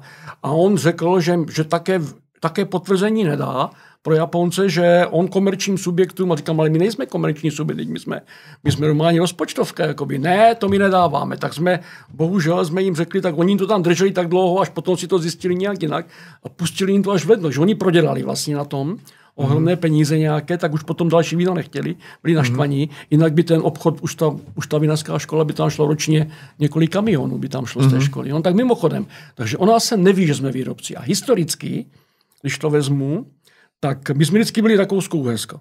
Mm. Jako jo, v, té, v té posledním nějaké historii. A jenom tak mimochodem, Ra- Rakousko-Uhersko byl největší nebo nejsilnější vinařský stát na světě ve své době. Až do roku 1980. Byl silnější než Francie, nebo Španělsko, nebo Itálie. Měl víc vinic, vyrobil víc vína. Počkej, do roku 1880? 1918. De, tra, jo, takhle. Dokonce, když bylo Rakousko, pak, pak se rozpadlo. No, Maďarsko, Ita, eh, Itálie, severní Itálie, ta Adiže, mm. jo, Rakousko s tím Steiermarkem a Burgenlandem a Chorvatsko a Slovinsko, jo, kus Rumunska vlastně a Slovensko a Česko, tady bylo mnohem víc vinic tu dobu za jedno v tom 19. století, až za Brno byly vinice, tady byla ohromná výměra, Slováci měli, sami Slováci 30 tisíc hektarů tenkrát měli, takže Rakousko mělo odhadem nějakých 600 až 700 tisíc hektarů v tu dobu. Mm. Jo, to znamená, proti bylo nejsilnější stát a my jsme byli pouze jenom takový vlastně, jenom jeden takový vývěšek. Slovensko bylo Uhry, Mm-hmm. Takže, takže Morava měla třeba 20 tisíc hektarů tenkrát, nebo možná 25, a co to bylo vůči 600 tisícům nebo 700. Takže jsme byli pořád braní jako taková nějaká provincie, tak, tak proto nemáme jakoby v podvědomí eh, toho světa, že jsme výrobci vína. Jo? Ale já myslím, že se tam dostáváme pomaličku právě tím, že naši vinaři vystavují v celku masivně, mm-hmm. hlavně sladká vína teda, tam vyhrávají v celku bezpečně, Čím to ale je? už i suchýma, no protože tam najednou není taková konkurence, eh, protože všichni jdou na výstavu. To, je, to byl taky takový paradox v 90. letech, kdy eh, my jsme taky zvítězili vinařská škola v Bruselu, Brusel Wien Expo Velká zlata, Muškát hmm. Moravský 98. Hmm. Ježiš, ten byl výborný. Jestli si vzpomínám, byl špičkový, hmm. ale my jsme ho měli 6-7 tisíc láví. No a dali jsme ho, protože tam mě to organizoval, já nevím, myslím svaz vinařů, tak školu oslovili tam dát taky vzorky, tak my jsme dali, nic netuše, že vyhrajeme a my jsme vyhráli, přeci ne. A obchodník z Beneluxu, který zásoboval vysokoškolské kluby vínem a, ty, a kolem ty hospody, a tak se mu to líbilo to víno a řekl, dělá to škola, to bude mít úspěch, tak že si vezme na zkoušku kamion přeci, ne? Vzpomínáš si na to. Mm. A já mu říkám, odepíš mu, že ne, že už to řekl pozdě, že už jsem dělat blbců ze sebe, tak mu řekni, že už se přihlásí, že už jsme to slíbili jinam. Tak on se je, že to je škoda, že se nepřihlásil včera, ale my jsme mu, my jsme mu poslali 6 tisíc lahví, to by bylo uh, jenom třetinu kamionu by jsme mu poslali. Mm. A on řekl na zkoušku, kamion, na zkoušku. Mm. To znamená, z toho jsem rychle usoudil, že na výstavu takovéhoto typu se má dávat víno, které mám 100 tisíc litrů, nebo aspoň lahví 100 tisíc, abych pak mohl obchodovat.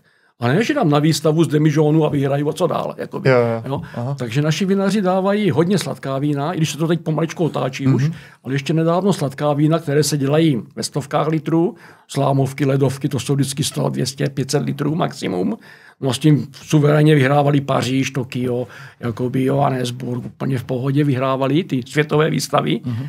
No ale co je to za obchod? S třema, s třema z ty flaškama. Je to ta prestiž, no. Tak chce mít aspoň no. 100 tisíc lahví, milion lahví. Jasně. Takže tam, když tam na, mm. na výstavu víno a vyhraju velkou zlato a mám toho 3 miliony lahví, tak to je pak biznis, protože to mi prodá to víno.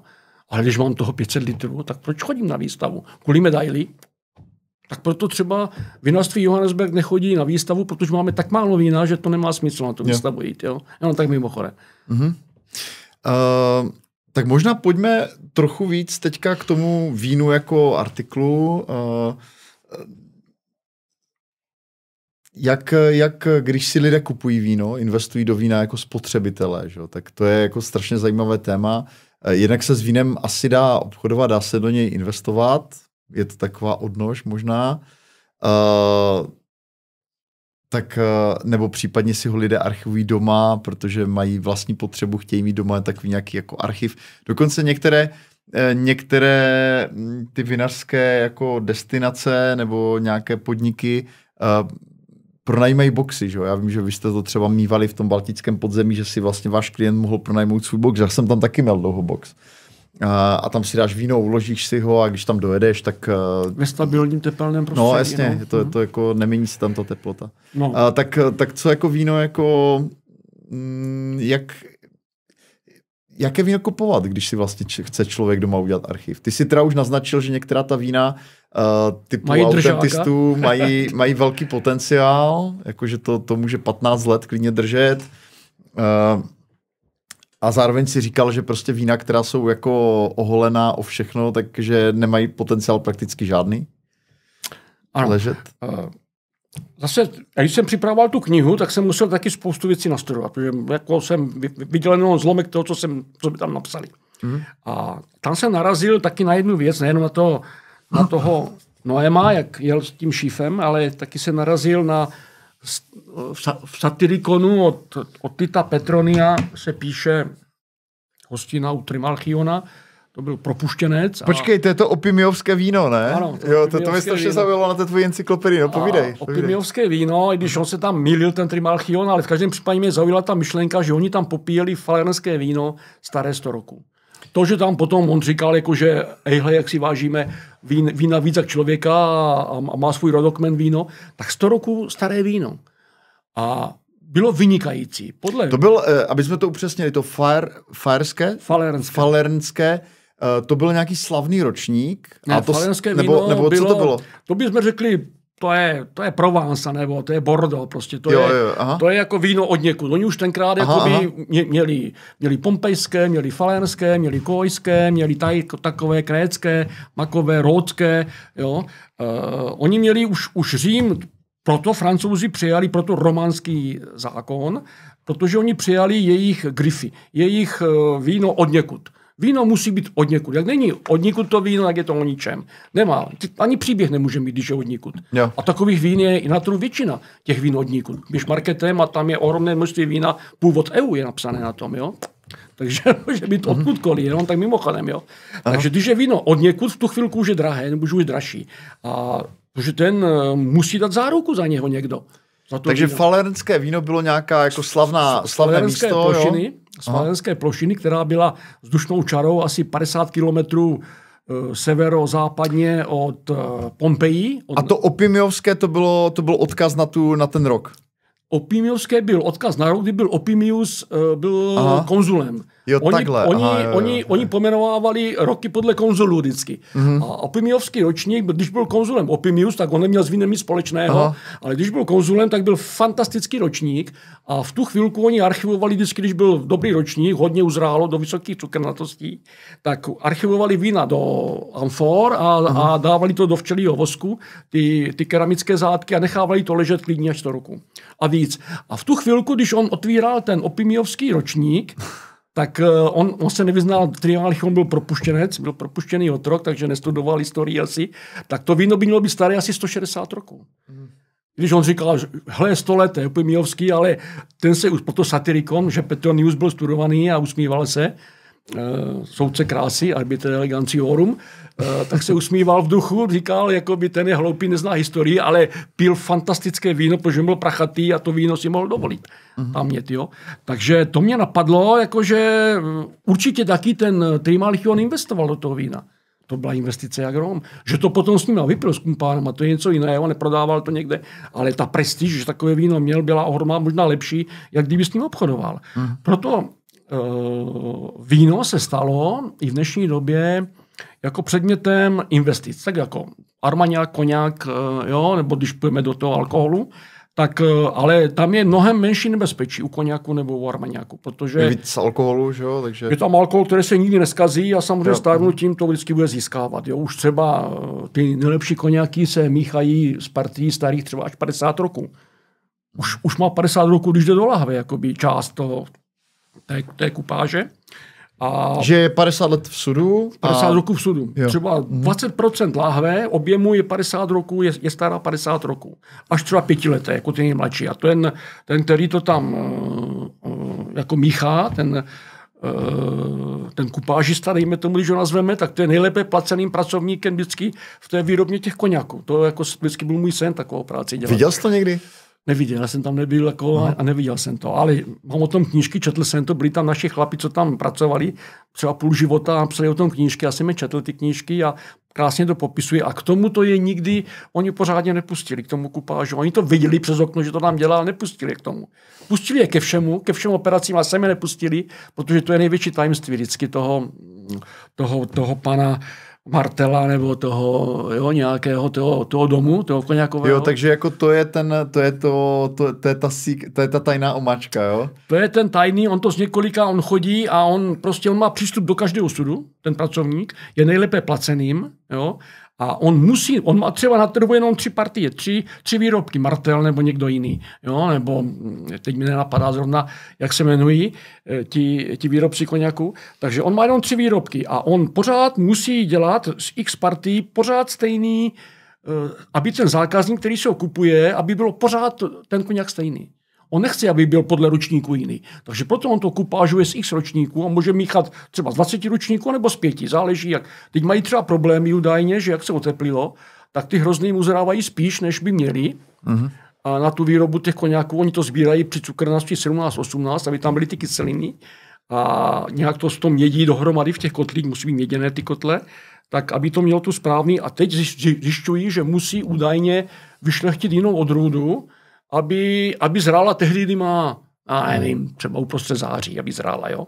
Že jim zrájí už třeba v srpnu teď, jo, takže mají problémy s tím.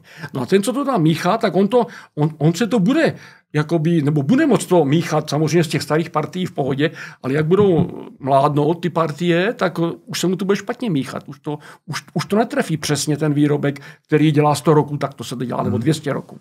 Takže to je, to je to, ta, ta lepší placená práce. Takže toto je investice do koněku, když si koupíš koněk už namíchaný, tom stáří, jak je, a za 10 roků ho budeš držet, tak ti nabíde minimálně 5 až 8 ročně. Automaticky ho prodáš potom na trhu, dáš ho do aukce jo, a tam mezi znalce i víc ho prodáš. Když má 50 roků ještě, takže 50 roků, od, od nalahování 50 roků, tak to už jsou, to už jsou pecky, to už ho prodáš mnohonásobně víc. Ty jsi nějaké takové, ty, ty jsi to asi pil, předpokládám. Ano.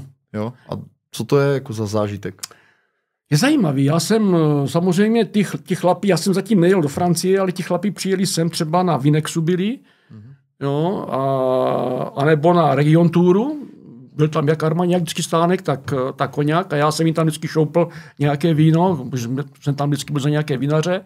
No a on mě i hned pozval na, který si ročník, 57, tak on tam měl ty flašky od, od 1900 až, já nevím, tak 57 první.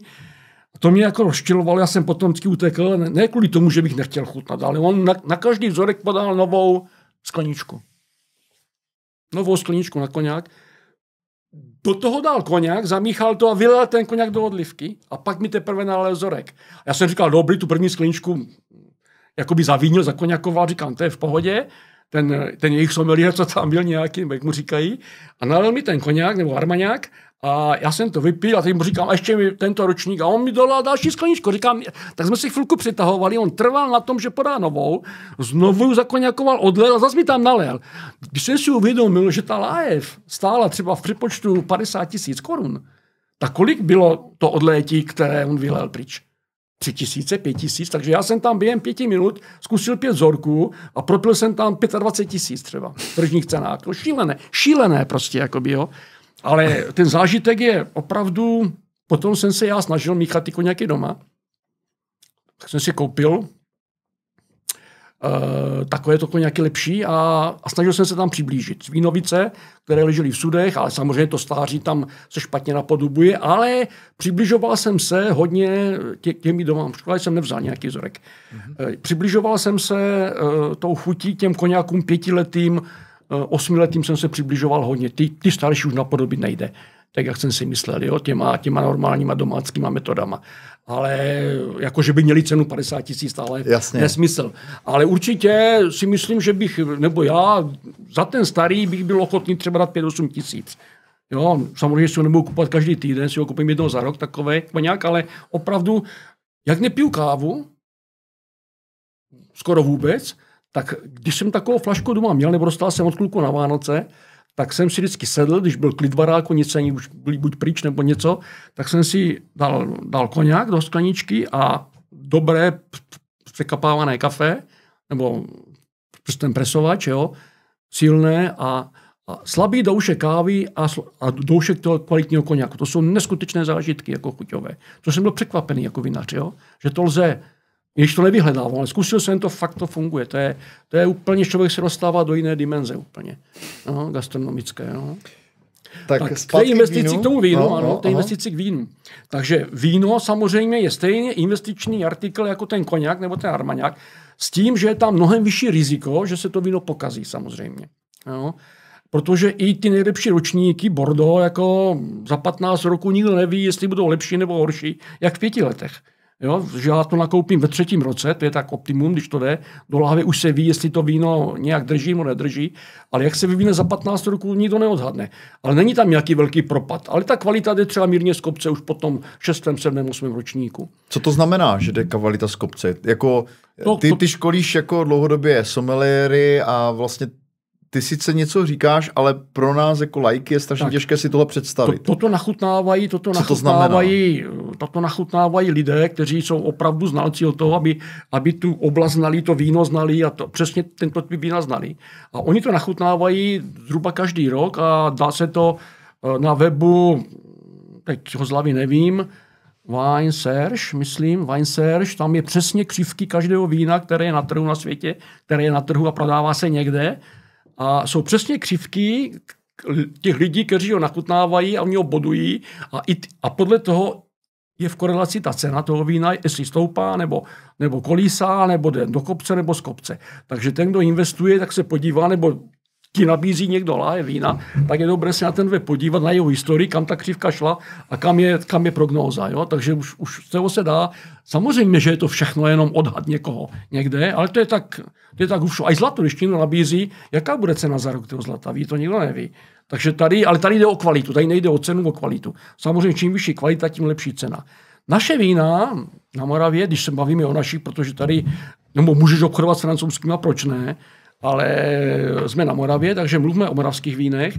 Tady by se špatně jakoby investovalo do vína, protože ten hlavní proud, 95% nebo 8% vína na trhu, je víno fresh, uh, frucht a light. Jo? To znamená, toto víno, když si koupíš, teď se bavili o kamošovi ve Valticích, co má vinotéku a, a nakoupil si několik tisíc lahví, byl covid, že penzion bylo zavřené a, a, ty, a ty sezóny vyhořely vlastně a, a jemu zůstaly tříleté lahve, které už jsou nepitelné. Jo, mm-hmm. Protože byly roční nebo dvouleté maximálně. Ale už jsou fakt pokažené, to už prostě se nedá prodat. No hele, e, ještě abych se vrátil k té otázce, když teda máš jakoby nějaké bordo, jo, nějaké osmileté, uh, to, že jde dolů s tou kvalitou, znamená, že už jako že, že tam začíná přibývat jako nějakých jako negativních jako aspektů té chuti, které souvisí s tím stářím, jo? Že, to, že to víno jako do, má nějaké nepříjemné podtóny, jo? třeba v té chuti. Víno se vždycky posuzuje v chuti a ve vůni, má tři, tři takové okruhy. Jsou primární tóny. Primární tóny jsou tóny ovocné a čím mladší víno, tím víc má primárních tónů. Když, když budeme se bavit o nějaké, to je myslím, to je myslím ono, Mm-hmm. Jo, tak to to vypadá. Ty Počkej, Dane, ukaž věď tím nahoru, co to je. Takže to je 2000, 2000 Chateau ukázka z toho webu, jo? 2014 no. Chateau Mouton Rothschild. Rothschild. Eh, průměrná to je cena 13 nejvyšších 800. Eh, bordských apelací. Grand Cru. Jo, teď tady ty vinařství má. Jo. Takže jedna lahev 14 tisíc zhruba, ta cena se dlouhodobě moc nemění a tohle je zrovna ročník 2014. Když tady dáš dané třeba 2008 toho vína, tady, tady, tady, Vidíš, že stoupala a už jde tak, tak trošku se pohybuje po, Tak se pohybuje tato, kolem 15 tisíc. Tato, dívej se, tady stala tolik a tam, tam na konci skoro pořád stejně. Takže toto je, toto je dobrá investice. Myslíš, že je dobrá, když se to vůbec nemění, ta cena? Jo, to je cena, pardon, to není kvalita, ano, máš jo, pravdu. Jo, jo, to je to, cena. To je, to je to je, není zase tak dobrá investice, protože úplně, ta cena se úplně moc... Není. Ale počkej, to je, to je jenom rok asi a rok a půl, tak to zase není tak dlouhá doba. Ale tady dá jde, se dá neukázat i kdyby to tak bylo, ale i kdyby to tak bylo, že, že by nešla někam ta cena nahoru, Aha. tak se dá s ní obchodovat už jenom kvůli tomu stáří, ale. Jo, jo, jo, na druhou stranu. Jo. Jasně. A když se vyprodají a ty máš ještě lahve, nebo už je málo, tak potom ta cena skáče. Jo, to tady je vidět. Eh, do, dostupnost. Bacha, toto jsou vína, s kterými se obchoduje v hotelích a ve, ve vinotékách. Jo. Mm. Takže toto nejsou vína, které má někdo v archivu a které už nejsou v prodeji. Ty, které nejsou v prodeji, tak ty potom rostou o, ohromně rychle, rychle nahoru. Jo, jo. Takže to, tohle víno, které ještě zkrátka je, je dobré, je, je vzácné a relativně vzácné teda. Jo, chápu, chápu. Takže eh, tu na Moravě, kdybych eh, měl radit někomu, já nejsou poradce na investičních vín, samozřejmě na to by měl být eh, jako investiční poradce, by se měl Jasně. tady specializovat, ale co se týká kvality a z toho všeobecného hlediska, tak bych řekl, běžte do vín, nikdy neinvestujte do vína, které, které jsou vyrobené tou technologií do dvou roků spotřeba.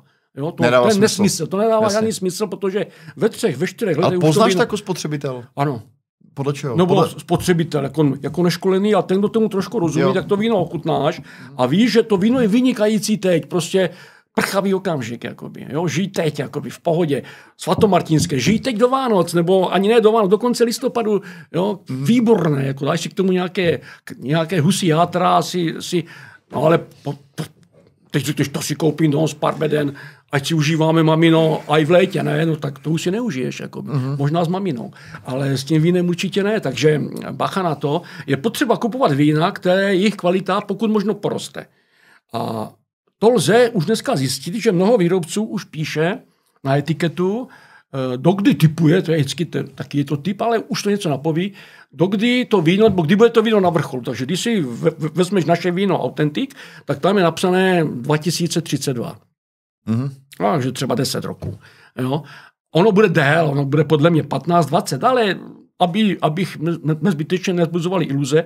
To znamená, to už by se dalo nějaký střednědobí už investovat do takovéto vína. To znamená, do oranžových vín určitě, ale se dá investovat s tím, že minimálně 10 roků to víno bude jako poleze nahoru. Jo? A potom... Což už znamená teda, že aby jsme to zase teda ještě se vrátím k té otázce, jakože, že tam ještě pořád jakoby v té, ty změny v té chuti tak budou pozitivním směrem. Já jo? jsem to ano. řekl. Takže jsou primární tóny, to je u těch mladých vín, eh, které jsou ovocné. Takže co hrozen, když vezmu nějaký mladý tramín hmm. a čuchnu bobulce a zkusím tramín, tak to musí být jedno prostě. Jedna vůně, jedna chuť, když tam je víc cukru v té hmm. bobulce samozřejmě. Potom jsou tam takzvané tóny sekundární, které jsou technologické zvolená technologie. Oranžové víno hodně mění, to je ohromný sekundární, jakoby, eh, bych řekl, vklad sekundárních tónů. Tím, že to leží na slupce a pracuje to, jak to pracuje to víno, tak se to úplně přemění a ztratí to víno eh, odrůdový charakter. Tam, tam vůbec nevíš, čeho je to vyrobené. To nemá šanci poznat, z jaké odrůdy to je. Tam ten hmm. primární se úplně ztratí. Pak to víno dáš do lahve a teď, teď se tam začnou vytvářet tzv. terciální tóny. To, znamená, to, jsou, to je první řada tónů, primární, sekundární, druho, druhá řada tónů, třetí řada terciální.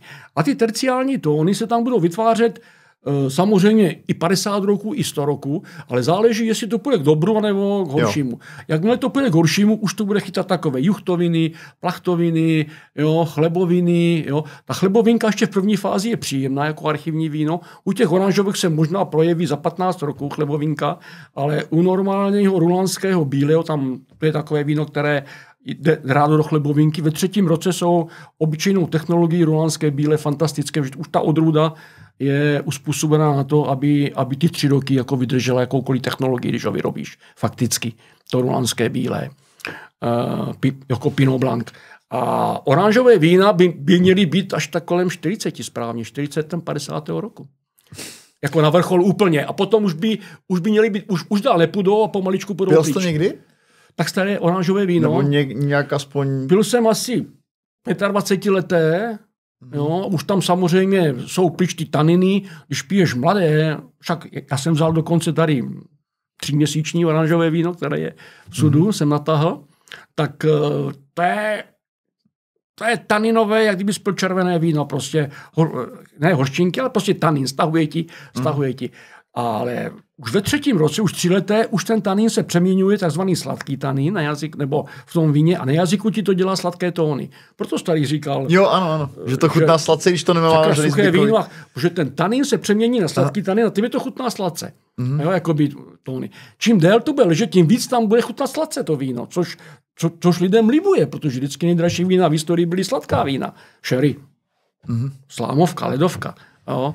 Madeira nebo cokoliv, port, Porto, jako portské víno, sladké víno vždycky značilo luxus a, a drahotu, taky bylo drahé. Jo, už, už, už ta výroba byla drahá toho vína, hmm. samozřejmě. A oranžové víno, vidíš, se dá vyrobit i suché a s příjemnýma sladšíma tónama, e, s tím teda, že i cukrovkáři ho můžou, mm-hmm. způsobem, protože ho nezaťužuje cukrem vůbec to víno. Samozřejmě alkohol nevím, jestli jim prospívá těm cukrovkářům, asi moc ne, ale v každém případě tím, že tam absentují veškeré konzervanty, protože už chceme i my dělat víno bez síry, protože už si troufnu i já dávat dneska víno do láve bez síry, jo, i třeba na 30 roků, už, si, už, už mám, mám v celku, bych řekl, téměř ze 100% jistotu, že se mu nic, nic nemůže stát bez síry i do lahve.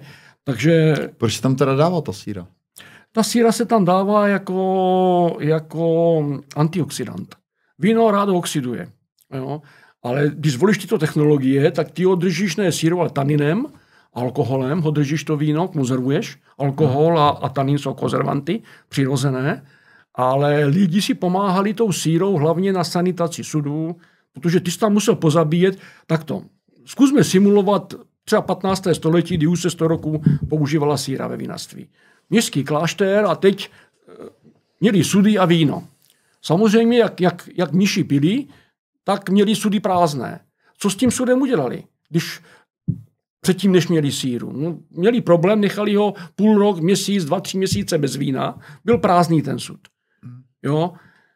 V tu chvilku nastoupili plísně a zaplesnivili ten sud. Plísně houby prostě jsou, tam to nastoupili. Oni do toho dali mošt a najednou víno špatné. Jakoby. Když to zasíruješ ten sud, tak ho udržíš klidně i rok ale musíš ho třeba každý měsíc sírovat dávkou oxidu siličitu a pozabíš tam všechno živé, co tam je fakticky. Takže jdeš dát vinobraní a máš sud zdravý a dobrý. Takže oni potom se naučili dávat to víno i do síry, protože zjistili, že jim neoxiduje, mohli lisovat mnohem dříve, nemuseli čekat dlouho na slupce, vylisovali, dali, zasírovali eh, ten sud a do toho oxidu léli to víno. On si natáhl, absorboval do sebe oxid siričitý a síra je antioxidant a konzervant a zabije všechno, všechno kolem sebe živé. Vlastně. Jo? To znamená, to je perfektní přípravek a, a proto se toleruje i dneska i i v těch naturálních, jo, že síra jediný je tolerovaný prostředek. Na tom se shodli všichni vinaři. Všichni Navíc víno si při Je toxická? Mm, ani ne. Je sice, tě, ona tě může zabít, ale že byla toxická, jakoby, to se nedá říct. Jakoby, jako, v, jak, jako v jakém smyslu toxická? No jakože jestli to je jako věc, která kdyby z toho konzumoval jako více, což tě asi zabije spíš ta konzumace, ale jestli no prostě jako s vínem samo ne, sobě... ale jako kdyby samozřejmě ona vytlačí kyslík a ty se udusí, že? Jako oxid, jako oxid uhličitý. No, no, jasně, jo, oxid jako, uhličitý toxický jasně, nevím, jako není toxický jo, z tohoto hlediska. Jo. Ale co je důležité, na síru začíná být více a více lidí alergických. Aha, tak... Jak na všechno dneska. Jasně. Odhadem už je, lékaři říkají, že už je to uh, alergických na síru 20% lidí. Někdo více, někdo mm-hmm. méně, ale jsou lidé, kteří, když se napijí půl deci hodně zasírovaného vína, ale ona je tam vyvázaná, ta síra, oni to neví, on to ani necítí, a on se napije a on se začne dusit třeba ten člověk. Mm-hmm. To, je, to je ta jedna strana, ti hodně alergičtí. Ti méně alergičtí mu začnou vyskakovat chloupky třeba nebo cítí se nepříjemně. Jo? To znamená, že je snaha za jedno omezovat tu síru. Profesor Baroň v Lednici na univerzitě, na fakultě zahradnické, dělá už delší dobu pokusy s přípravkama jinýma, které by e, nahradili tu síru a celku se mu to daří. Ale taky šel cestou jeho vinaství e, domén Ice Group, se jmenuje Lednické, e, dělá taky takovéto vína, které také naturální, s minimální sírou, pokud možno. A určitě přijde taky. Takže umíme už, ne, že nahradíme síru ničím, ale vyřadíme. Už tu technologii zvládáme, jak už zvládali v tom 13. a 12. století a v té antice. Jo, to, je, to mi je fascinující, že uh, uh, zřejmě ta inovace prostě přišla teda nejdřív jako s tím, že oni jako dezinfikovali ty sudy a vlastně potom to proniklo i do té výroby vlastní teda, jo? Ano, automaticky, jo. protože zjistili, protože mm, on, oni sírovali určitě, jako kdyby jsme se vzali toho prvního vinaře, který začal používat síru, jak ten Noé, když začal vyrábět víno, to se těžko bude zjišťovat, to, nezjist, to nejde zjistit, kdo ho první použil, ale použili v tom 14. století za Karla IV. tak mimochodem, zhruba v tom období Karla IV. tak začali používat síru, kláštery, a oni, jak ten sud dezinfikovali proti těm houbám, proti těm plísním, tak eh, ta síra v tom sudu byla. Oni do toho naléli ten mušt. Hmm. Jo? A najednou řekli, ježi, co, takže v tom, ale zjistili, že ten zasírovaný mošt se chová lepší než ten nezasírovaný, zase na druhé straně. Jo. Když jako dělají tuto technologii. Oni už nedělali ze slupkou, nebo dělají s kalama ještě, tu dobu se dělalo hodně s kalama, batonáže a sirlí metody, aby to víno jim vydrželo co nejdéle. To je taky dobré obohacování vína různýma látkama, protože kvasinka, který on tak mimochodem, kvasinka je největší pracovník ve, ve vinařství, ten pracuje 24 hodin denně, bez nároku na socku, na zdravku, na mzdu, na, na dovolenou, nic. A dělá. Množí se velmi rychle, vlastně čtvercem, že jo, se dělí, takže 2, 4, 8, 16, 32. Hmm. Během chvilky jsou tam myriády v jednom eh, mililitru, což je centimetr krychlový kvasícího burčáku, pro představu je 350 zhruba milionů kvasinek mm-hmm. jo, žijících. A takže oni, když eh, vyrobí alkohol, tak sami sebe zabíjí. Ten alkohol je zničí, protože alkohol je v celku zabiják ve větší koncentraci a oni sami sebe zabijí, ty kvasinky, sednou ke dnu. Většinou se víno stočí a ty, a ty kvasnice se vylejí někam, jo, nebo se to vypálí tím nižší v tom středověku to nechávali to víno na těch kalech, protože zjistili, že když je víno na kalech, tak nenaoxiduje. To je zajímavý efekt, to jak to máme mít ten, tu pyramidu těch sudů, jak byla vidět na tom obrázku v té degustovně, jako v obyváku, když mám doma, mm-hmm.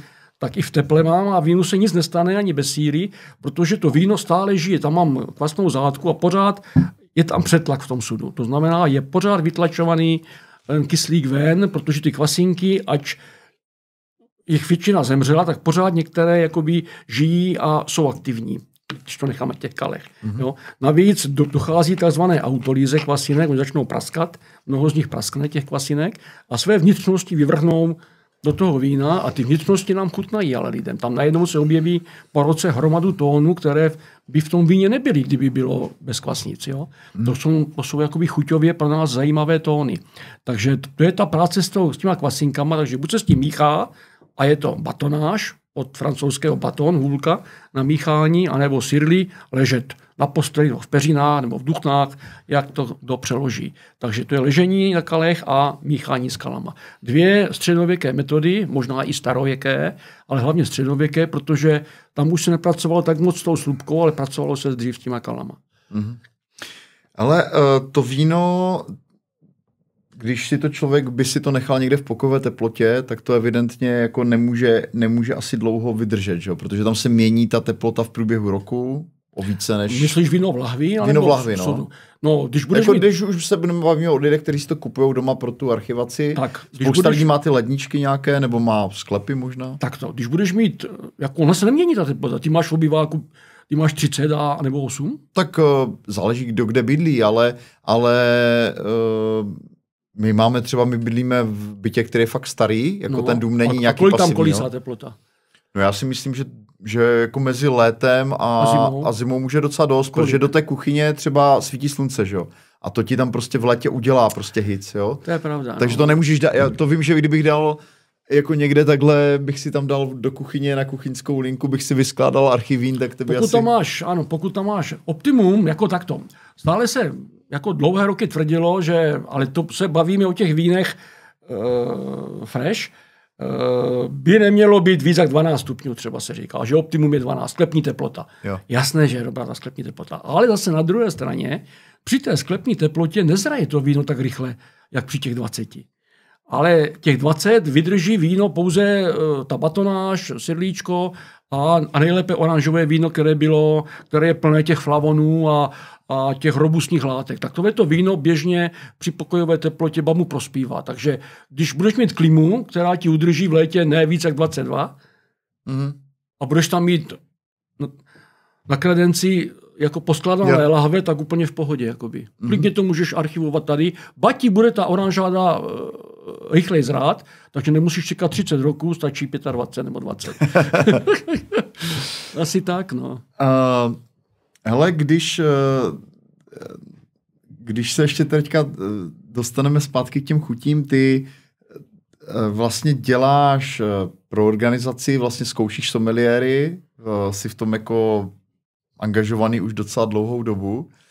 A kdybychom se bavili možná ještě o takových jako věcech kolem degustace vína, jak to vlastně jak vlastně, jak, jak tomu přistoupit, jako když někdo se chce v tomhle trošku začít vzdělávat, nechce rovnou studovat, protože to asi málo kdo si ten čas najde, ale co jsou, co jsou vlastně věci, které by měl znát člověk, který si víno kupuje a právě chtěl by kupovat si lepší vína, umět hmm. je prostě poznat. Hmm. Jo, protože my, jsme, my se tady vlastně teďka hodně bavíme o tom, že tady je nějaká uh, jako třída vín, které jsou dělané prakticky k okamžité spotřebě.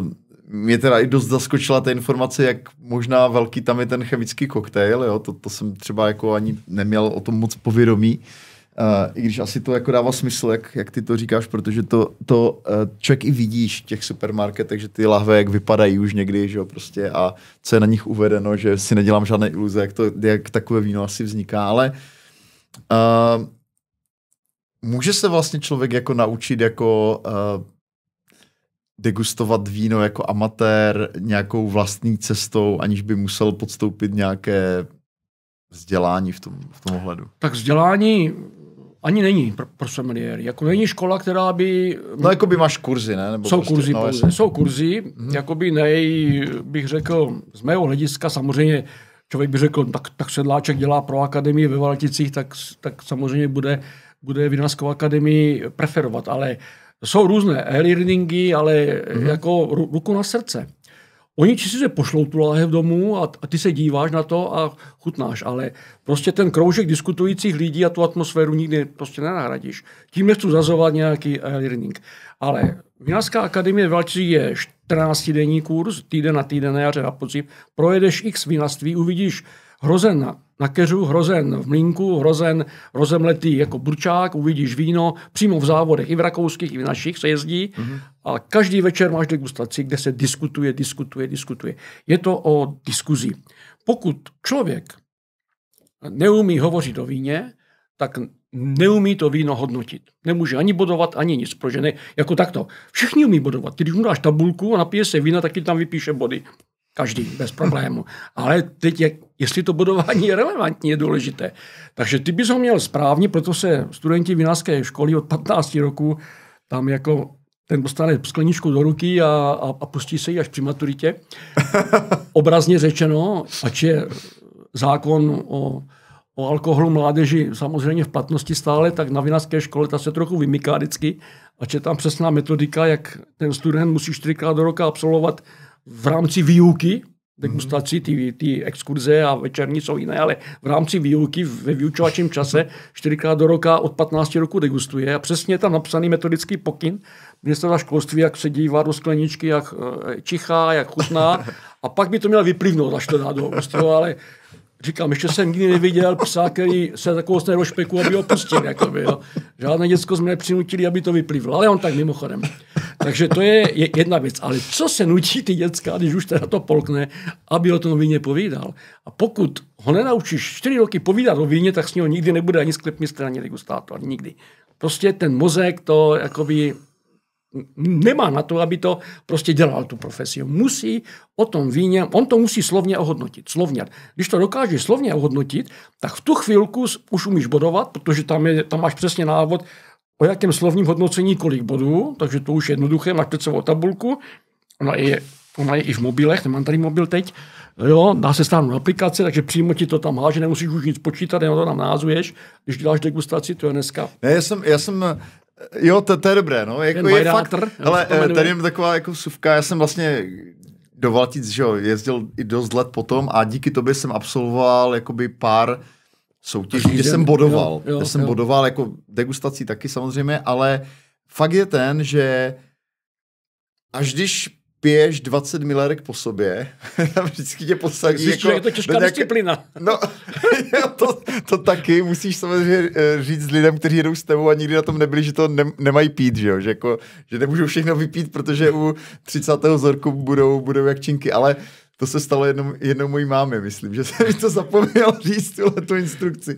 Ale je fakt, že to, že to si vybavuju, že i když jsem předtím těch degustací absolvoval spousty, tak teprve, když piješ fakt jako 20 šardoné po sobě třeba, nebo si v té řadě, kde zrovna jdou ty, ty, ta odrůda. Tak chytneš grif tak vlastně zjistíš, si najednou špatné, no. vyprofiluješ strašně jako silný názor na to, co vlastně je dobré víno, co je špatné. No. A jako, Tam to poznáš teprve, no. Jo, po vzorku krásně. To, to vím, potom. že pro mě byl, když, se, když o tom se teďka takhle bavíme, že to pro mě bylo jako dost průmová zkušenost, že si najednou uvědomíš jednak, charakteristiku těch odrůd, jako byť teda v té dané oblasti, protože je mi jasný, že když to budou dělat někde ve Francii nebo v Rakousku, zase mají možná trošku jiný přístup k tomu, ale eh, najednou vlastně jednak okamžitě poznáš špatné víno, nemusíš ani vědět, proč je špatné, jako ty to samozřejmě poznáš jako expert, že chápeš, že tam je něco, co je špatně už ve výrobě chyba, nebo no, tak, jasně, jo. No. Ale, ale ty to jako like poznáš. Prostě poznáš v těch 20 milarkách, no. prostě poznáš ty tři, který tam být v podstatě neměl. Jasně, jasně. To je pravda. Tady v těch řadách to je úplně perfektní, protože to vždycky, když školíme začínající degustátory, protože si musíme vychovávat, tady nebudeme věčně, a chceme mít v těch komisích pět lidí, takže ne dva, aby tam seděli, to je nesmysl. Hmm. Ale musíš ty, no ty nováčky, a oni se bojí tam jít si sednout s těma starýma fotrama, kteří je budou šikanovat. Tak my jim děláme školení a říkáme, je, je jedno, jaká je stupnice, to jsou všechny stejné, akorát má, má jiné body. Ten, ten styl je pořád stejný. Jak to říkáš ty? Když máš řadu vín, tak proto se dává nultý vzorek.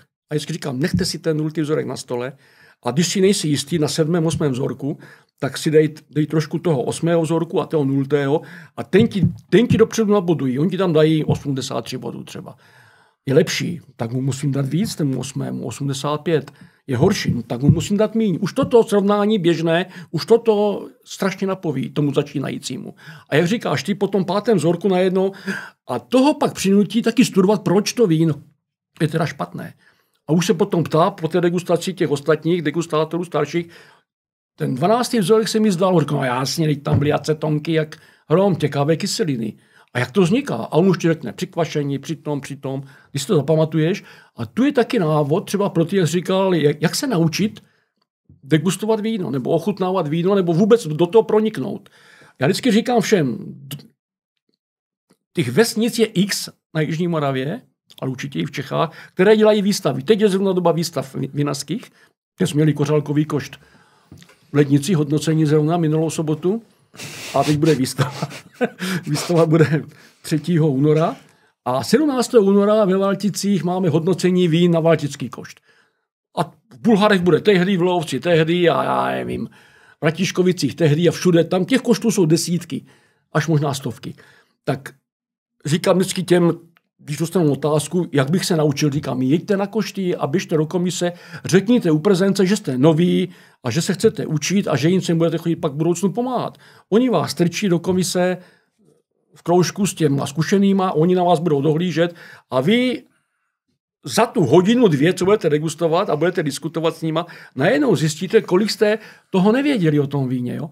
Potom půjdete na výstavu, samozřejmě za 14 dní jdete na výstavu a už se znáte s pěti lidma, že jste byli v komisi a už s nima chodíte a najednou ochutnáte 120 vzorků, 150 po pěti molekulách, jo, a ochutnáte a tam najednou slyšíte tolik, za dvě, tři hodiny tolik, co vás nenaučí žádná škola za měsíc.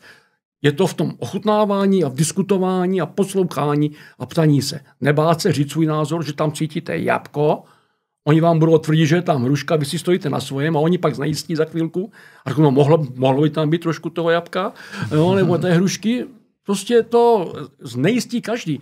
Žádný zase na druhé straně. A nebo, uh, promiň, teď jsem ti skočil. Ne, chtěl jsem říct, že když my se bojíme, když oni, a když jsou v kroužku a oni o tom diskutují, tak já se bojím vždycky, protože o tom, já tam cítím třeba něco jiného, ale bojím se to říct. Říkám, tak se nebojte. Když dáte pět degustátorů, Teď nemluvím o, o vadách, to, jako tam je to jasné, to je prostě chřipka je chřipka a, prostata je prostata, tam, tam, tam to je jasné, tam je to dané, ale o tom, jestli je tam víc květiny, nebo víc jablíčka, nebo víc ovoce, nebo mirabelky, nebo něčeho, tak to už je velice subjektivní asociace toho degustátora. Dáte pět degustátorů do boxu, aby na sebe neviděli. Dáte jim jedno víno a tušku a papír a popište mě ho. Co tam cítíte? Oni to popíší. Tak těch pět Pět bude úplně odlišných od sebe. Ten tam cítí víc toho, ten toho. Pak se dohádají, vynadají si, že ten je blbec, že ten to cítí lepší. Takže vidíte i školení degustátory se dohádají a budou, budou vepři. Takže vy se vůbec nebojte jako noví, ba o to víc, co si vás budou vážit, jako když to tam řeknete.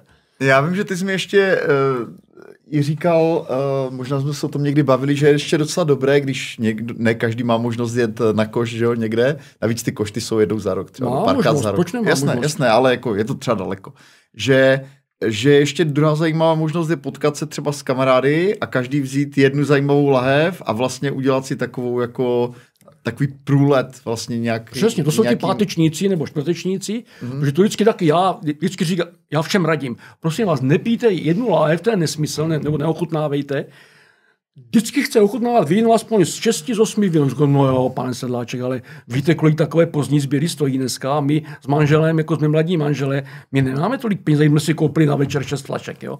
Říkám, to jsem jako nechtěl, jste si kupovali každý večer 6, ani byste je nevypili. Domluvte se, kamarádi, scházejte se jednou týdně nebo jednou za 14 dní, to je úplně jedno. Když to bude jednou týdně, to je 650 krát v roce. Když vás, když vás bude 8, když vás bude 8, tak přinesete každý jednu láhev za 150 korun v průměru. Vy si nastudujete všechno o odrůdě, o tom sklepmistrovi, s kým chodí, s kým chodila babička před válkou, s kým po válce. Všechno si nastudujete z webu, dojdete na to a ve třech minutách to víno představte. Řeknete, odruda je taková maková, víno je takové, vyrobené tehdy a tam, ochutnejte. Za večer, za 150 korun ochutnáte 8 vín.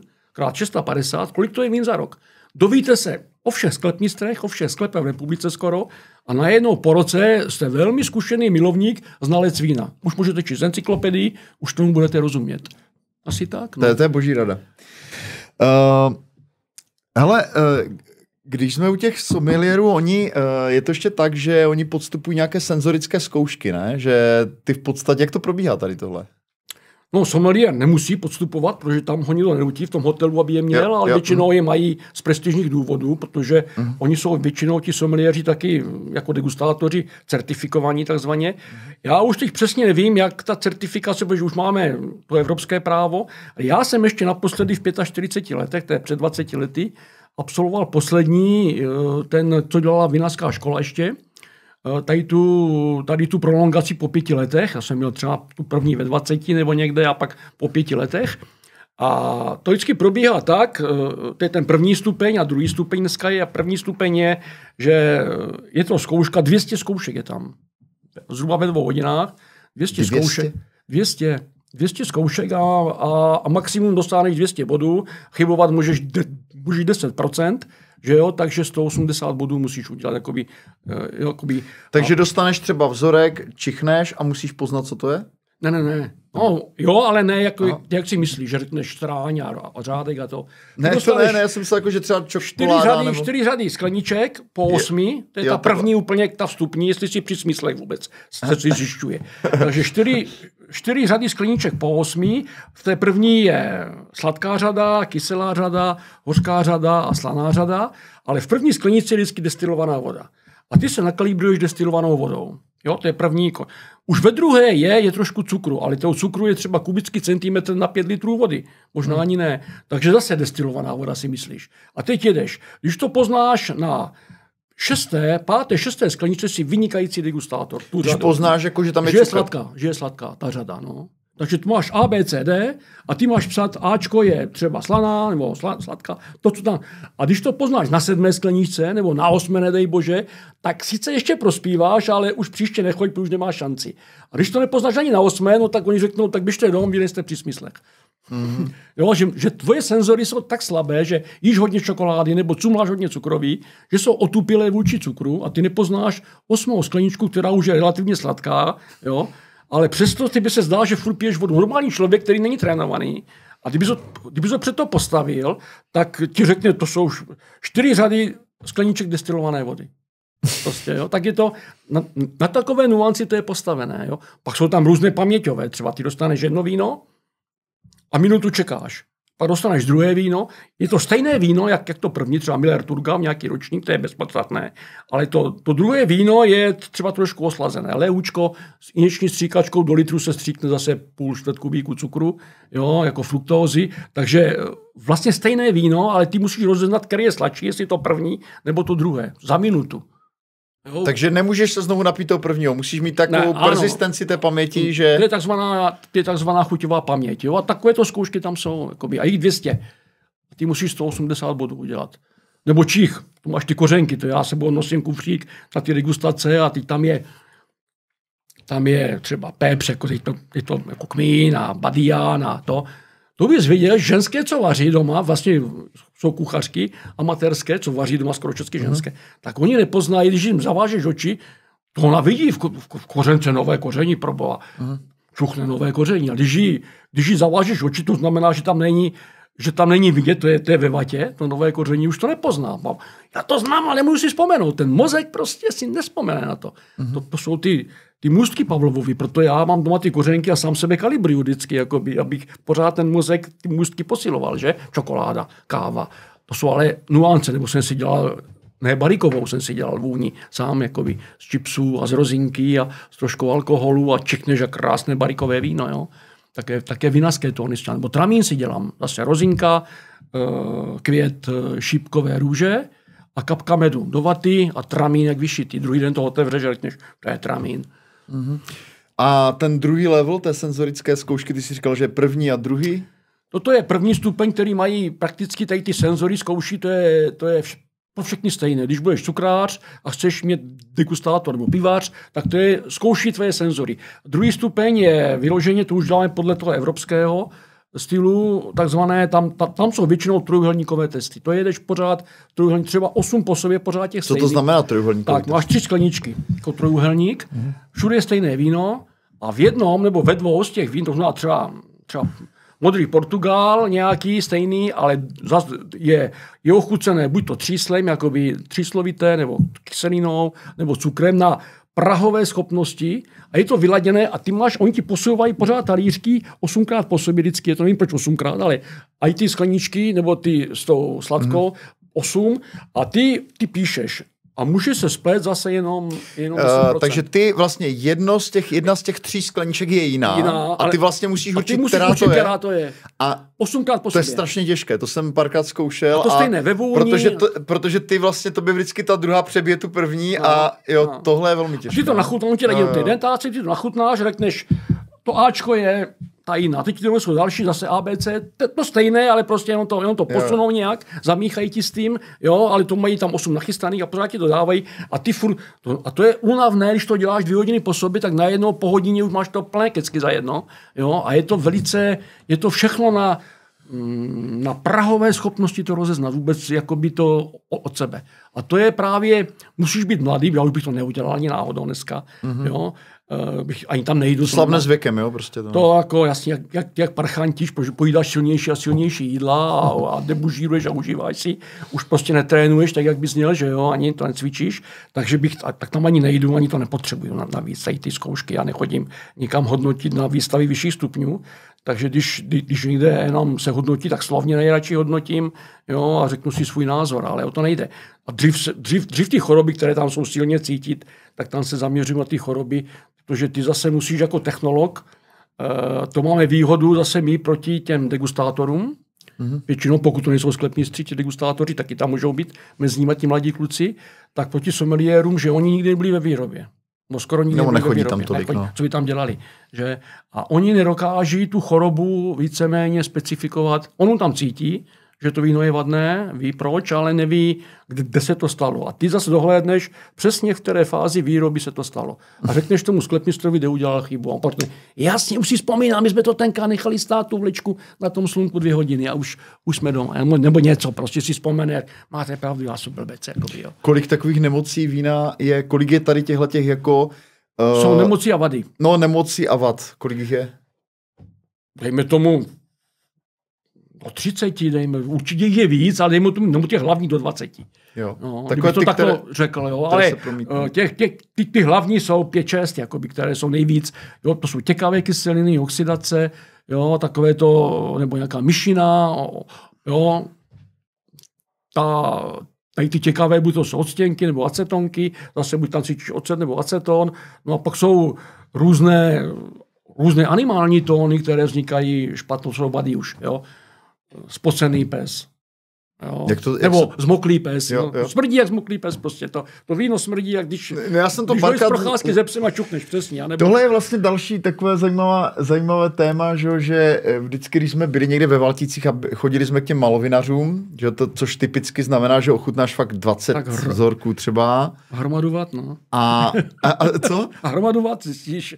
no, je to, je to tak, jo, že prostě, uh, že jednak ten člověk si na to zvykne, na to své víno, takže vlastně to se mi taky hodně líbilo, že uh, ti malovináři, že to je hodně postavené na tom, že oni se navzájem navštěvují a vlastně jako dávají si zpětnou vazbu vlastně k těm svým vínům.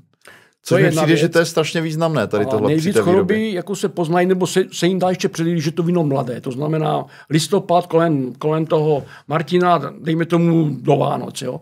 Proto, když jsem byl mladý, tak jsem hodně chodil, mě zvali, jsem měl ještě dobrý nos, i dobrý jazyk ve vinařské škole, tak jsem chodil, no a manželka nebyla moc ráda, když já jsem byl každý, každý večer v trapu, no a, ale se musím Joškovi, co kdyby měl sírku, tak běž a dojdi brzo dom, jo, jo, jo. No to jsme se tahli až ráno vždycky z těch sklepů. No a to, to ty manželky moc jako rádi nesnáší, takové to samozřejmě, ale ono to opravdu jinak nejde, protože když tam nedojde do toho sklepa, jsou takový, co nikoho nesvou zvat, jsou lakomí, nechcou nikoho pozvat, tak potom tam má ve, ve dvou, ve třech sudech sírku, a že to navylétí, pak to teprve zjistí sám, že už je to, a to už je močka, ale to už s tím se nedá nic dělat, jo. Mm-hmm. Tak to je. Ale no. ty jsi zmínil, jak jsi mluvil o těch senzorických testech, že, uh, že je jako samozřejmě nereálné pozva, uh, poznat uh, nějaký původ vína nebo něco takového. Jak je taková ta, to je jeden z takových těch mýtů o víně, že, že prostě někdo vyzkouší víno a pozná z jaké obce, pomalu z jakého svahu. No to byl Radek, jo, no, ten to a... měl perfektně. No. Ale Ale co jsou ještě jako největší mýty za tebe o, o víně jakoby tohohle typu? Jako? Co si jako lidi myslí, že by mělo být, nemělo, nebo že je možné, nemožné? No, teď mi zrovna nic nenapadá, co mi napadne jeden, tak je spousta vinařů, který si myslí, že si pozná svoje víno mezi ostatními. Mm-hmm. Jo, a on přijde na degustaci, na hodnocení a samozřejmě se namelduje do komise, kde ví, že má víno a myslí si, že je dobré a že bude šampion, že si ho pozná, že si ho naboduje. No a pak zjistí, že bodoval sousedové víno nebo úplně něčí jiné. Jo. Mm. To znamená, že nadhodnotí. On si nepozná svoje víno. Mm. Ale to je normální, protože jako každé víno, které ty chutnáš, možná i každý nápoj, chutná po jiném víně jinak, jak kdyby zopil úplně po jiném víně. Jo? To znamená, když budeš pít suché po sladkém, jo, tak ti bude chutnat úplně jinak, když budeš pít sladké po suchém nebo suché po suchém. A teď na, na té výstavě dojdou ty, ty vzorky, hlavně u těch vesnických, tam se to netřídí na suché a polosuché nebo nějaké, je to všechno v jedné lajně. A taky se stává, že vinář vyhraje na jedné výstavě šampiona, anebo zlatou v té jo, vesnické výstavě a potom to dá samozřejmě, když má tak dobré víno jiné, a tam se propadne úplně na chvost. Jo. A teď on říká, tam, tam, tam jsou blbí degusta, oni vůbec nerozumí vínu. V té vesnici to jsou tam blbci, nejsou. No protože on tam dal suché víno. Jo? A tu mu šlo třeba páté v řadě po suchém a opravdu po nějakém horším víně a, a ti chlapi byli tak ovlivněni, že mu tam tu zlatou dali. Jo, prostě bylo to výborné. A teď se dostal do jiné vesnice, kde mu to šuplí po sladkém. A to sladké ho úplně zabilo, to suché víno. To prostě to je vodička najednou po sladkém. Proto se dávají na degustacích vyšších stupňů se dávají kategorie suché a sladké. Samozřejmě, aby, aby to sladké nezabíjelo to víno tady v tomto. Jo? To hmm. znamená, že eh, to není tím, ten člověk, když hodnotí to víno, tak je, to je všechno subjektivní, subjektivní pocit a záleží, jak tu řadu poskládáš. Proto já, když jdu dělat degustaci, tak poskládám to víno vždycky tak, abych dal to první víno, takzvané na rozpití, nejjednodušší, obyčejné víno a to poslední vždycky buď to buď to samozřejmě většinou červené, které si poradí i s čímkoliv jiným, ale to poslední bílé je buď to velmi sladké, nebo velmi aromatické, nebo pokud možno obojí. Jo? Aby, kdybych ho dal první, no tak už nemusíme nic chutnat, všechno už bude voda. Uh-huh. A teď si vezmi, že, že to je na té výstavě. Někdo dá to, ten tramín sladký dá na třetí místo té řady někde a teď tam, a za ní půjdou suché vína. Tak už to letí dolů všechno, ty, ty body. To je subjektivní pocit, jenom srovnávání. Uh-huh. Jo? Uh, mají podle tebe jakoby význam ty velké soutěže typu valtické vinné trhy, jakoby ve smyslu toho hodnocení vína. Já si jako samozřejmě uvědomuji, že to je jako obrovská jako kulturní událost, že to je prostě jako to město se zaplní lidmi, je tam prostě hudba, je to, je to jako úžasný. Jo. Ten, jako každému doporučuji, kdo nebyl na nějaké takové velké vinařské akci tohle zažít, protože ať už jsou to nějaké dny otevřených sklepů nebo tak, myslím si, že to je fakt jako uh, velmi autentický jako kulturní zážitek po, po všech stránkách.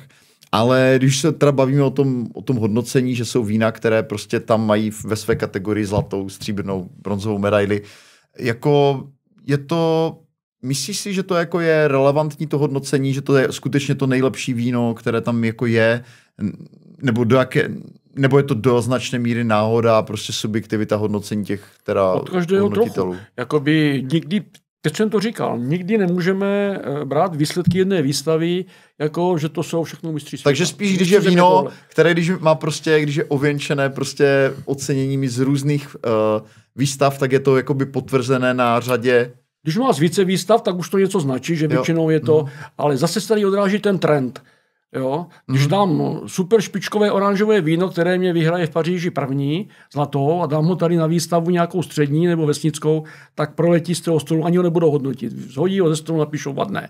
Jo? Kde je pravda? Kde je jo. pravda? Ta, ta zlatá z té Paříže, jakoby, co je proti tomu, že ho zhodí ze stolu? Nebo tady by získal třeba nějaké osmé místo nebo desáté. Jasně, předpokládám, že taky, že když, máš, to... když jsi ve Francii a máš nějakou významnou apelaci, tak asi taky nepřihlašuješ to víno radši do soutěže. Taky, taky, no. ale co je ještě Nebo smutné, je to tak, nebo to tak není? Je, je, je. je? je? Tato vína vůbec nechodí do soutěží. Hmm. Vůbec nechodí. Jo, tady ty apelační. Oni, oni nedávají. Proč? Za jedno jich nemá tolik, aby tam to mělo hmm. smysl hmm. pro něho. A proč by dávala víno do soutěže, když už má pět, osm sezon dopředu prodaných? Hmm.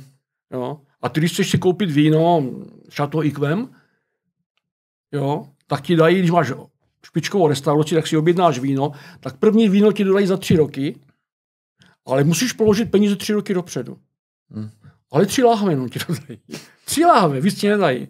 No, oni nemají víc toho vína. Jo, protože těch hospod je hodně po světě, co chcou šatojkvem. Jo, ten, to je jako nejlepší vinařství? No, je, je jedno z, jako z nejdražší, třeba 150 tisíc korun stojí láhev ten rok. Jo, ta, ta tři leta. A ty, ty si objednáš. Ještě fakt? Ty si objednáš tři a zaplatíš 450 tisíc korun dopředu tři roky. Tam máš blokované peníze. A oni ti za tři roky vyjde balíček, nějaký, nějaká pepelka ti doveze tři, tři flašky. Ne, to jsem přehnal, to si dovezou v kufříku sami ti lidi. Jo. Ale máš ho. A teď takže si dáš prostě a do on na výstavu a on no. nevyhraje šampiona. Co se stane no. s těma 150 tisícama? Vlastně. Udrží tu cenu? Tak Šatpejkem nevyhrálo. To nemá cenu 150 tisíc mm-hmm. korun, to má cenu... Ale jsi tahle vína? Ne, takové to až, až této, té, této třídy ne, pil jsem, dejme tomu té třídy 40-50 tisíc, jo, mm-hmm. nějaké, nějaké šatomuto, nebo tady v tomto, jo, tohoto typu. A... Jaký byl tvůj zážitek? Pil jsem šampaňské drahé, ale to ti řeknu taky. A jako jsou dobré, ale to je úplně nesmyslné ceny. Jo? Jako i z ekonomického hlediska, i z, z mojeho pohledu technologa. Prostě není to jako je to 50 krát lepší Je to jenom chuť, značka. Jo, to je, je to jenom značka. Nemůže, a to ani nejde. Jakoby. Jasně, no. To je jako jen smysl. Ale prostě eh, jsou lidé, kteří musí mít vrangle na sobě rifle, No to jsou já třeba, já jinak rifle neobleču. Nesmyslně bych mohl jiné oblec, neobleču. To je prostě, jo. A jsou lidi, kteří si nekoupí, protože má ty peníze, já mám teda jenom na Wrangle, ale on má, on má na šato Iquem, tak on si kupuje šato Iquem třeba. Jo. Takže je to podle tebe spíš jako taková trošku elitářská záležitost. Určitě.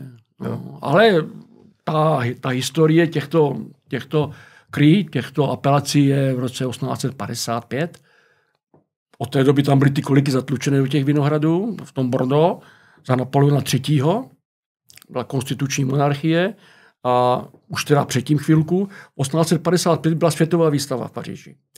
A Paříž byla, nebo Francie byla v tomto roce, nebo v, v, v, v této dekádě byla na vzestupu ekonomickém po napoleonských válkách. Jo, konečně se to, už ty lidi už nebyli tak oškubaní a už, už, už, už začal i průmysl začínal a už byli bohatší francouzi. A Napoleon III. chtěl ukázat světu, že jsou na tom jak angličani, protože chvilku předtím byla, byla v Londýně světová výstava. Pět roků třeba v 50. no tak nějak. A on, on si zavolal vládu a říká, milá vládo, asi tak to probíhalo, milá vládo, za pět roků máme světovou výstavu a já bych chtěl ukázat světu to nejlepší, co tady v té Francii máme. Co máme nejlepší ve Francii? No a minister Orbis zvedl ruku a říká víno. Říká, výborně.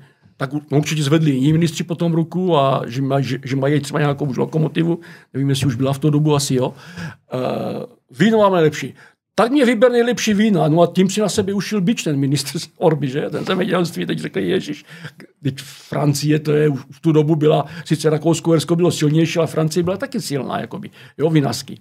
A, a kvalitu měla určitě lepší než Rakousko-Uhersko. No tak on, on jako si svolal štáb odborníků, nějakou komisi, a řekl, přátelé, které víno ve Francii máme nejlepší? No tak ti říkali Provence, No ty říkali údolí Loáry, ty říkali Burgundsko, ty, no a zvítězilo jakoby ten názor, že asi Bordeaux, že bude asi nejlepší. A on říkal, dobře, tak běžte do Bordeaux a, vy, a vyberte mi třeba nejlepších sto vín.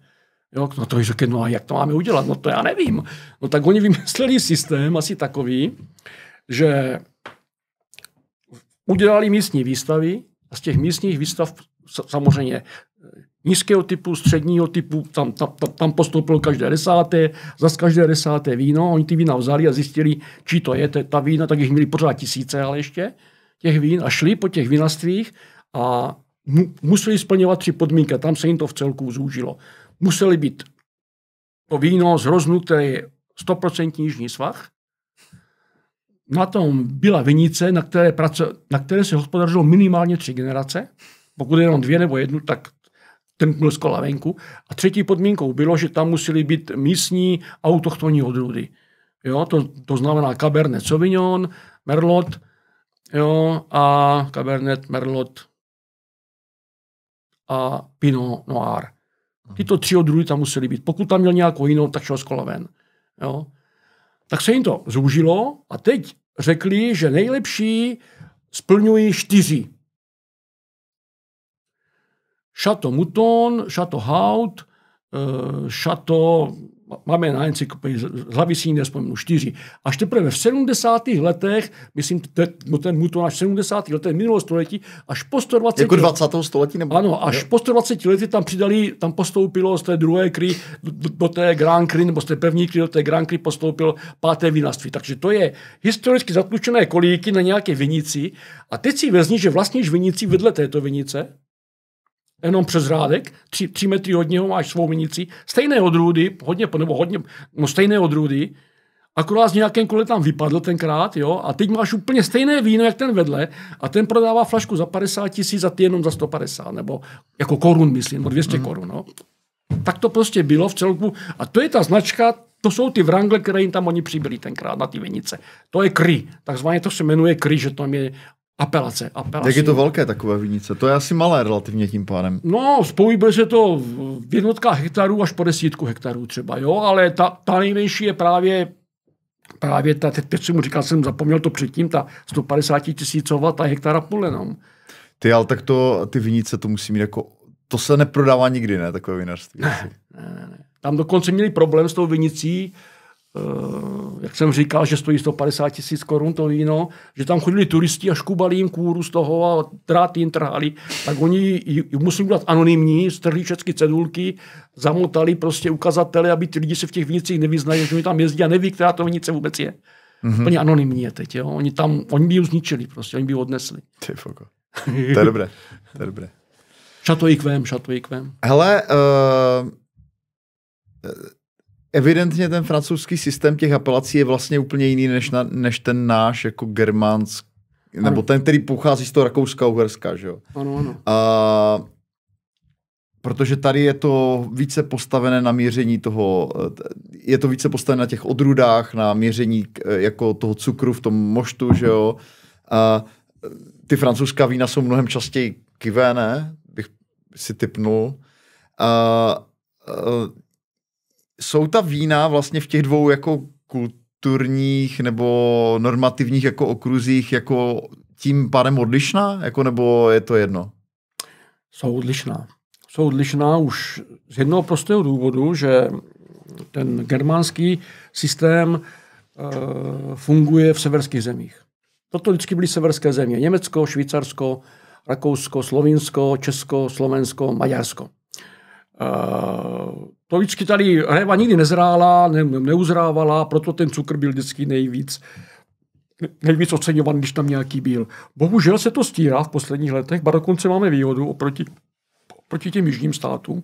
Proto přecházejí všechny státy na románský způsob. Rakousko přešlo, proto jsem vzal to Rakousko, mm. to DACčko jejich, aby jsme si řekli, co to znamená vůbec DAC. Že ten systém je lepší prostě, těch apelací jako?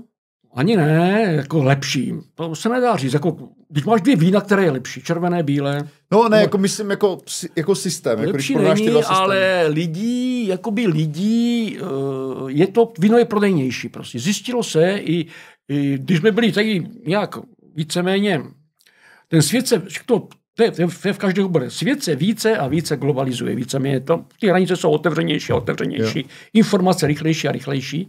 Ale ten uh, románský styl, který zavedli Římani tím falenským svým a tím pompejským vínem, tak ten prostě se zjistilo, že je nejvíce ten člověk v té dnešní hrozné době, když ty doješ do obchodu a nekoupíš nic vert, fakticky, nic není pořádné, v žádném klobásku není maso, tak víno je jeden z artiklů, ač nemusí uvádět Ečka, tak to je sice pravda, ale na druhé straně třeba přívlastková vína jsou nejvíce hlídaným víceméně výrobkem, třeba olivový olej proti tomu hlídaný na houby, protože to je, no, tam, vím, tam je spousta podvodů. No, jasně, no. ale toto víno ty nesfalzifikuješ vlastně. Do, dokonce dneska se hlídá, odkud ten hrozen je, jestli z náhodu nepřivezl sice stejně kvalitní hrozen, ale o kus dál, než měl být přivezený. Mají atomový spektrofotometr na inspekci na Květné ulici v Brně, který ti zjistí přesně, odkud ten hrozen je vlastně dneska. No? Jasně. A když tam dáš vodu, tak oni dokonce zjistí, odkud ta voda je, jestli u tebe, nebo až, až u toho, ten do to rozlévá někde. No, tak třeba mimochodem, jo. Ale hmm. to nejde.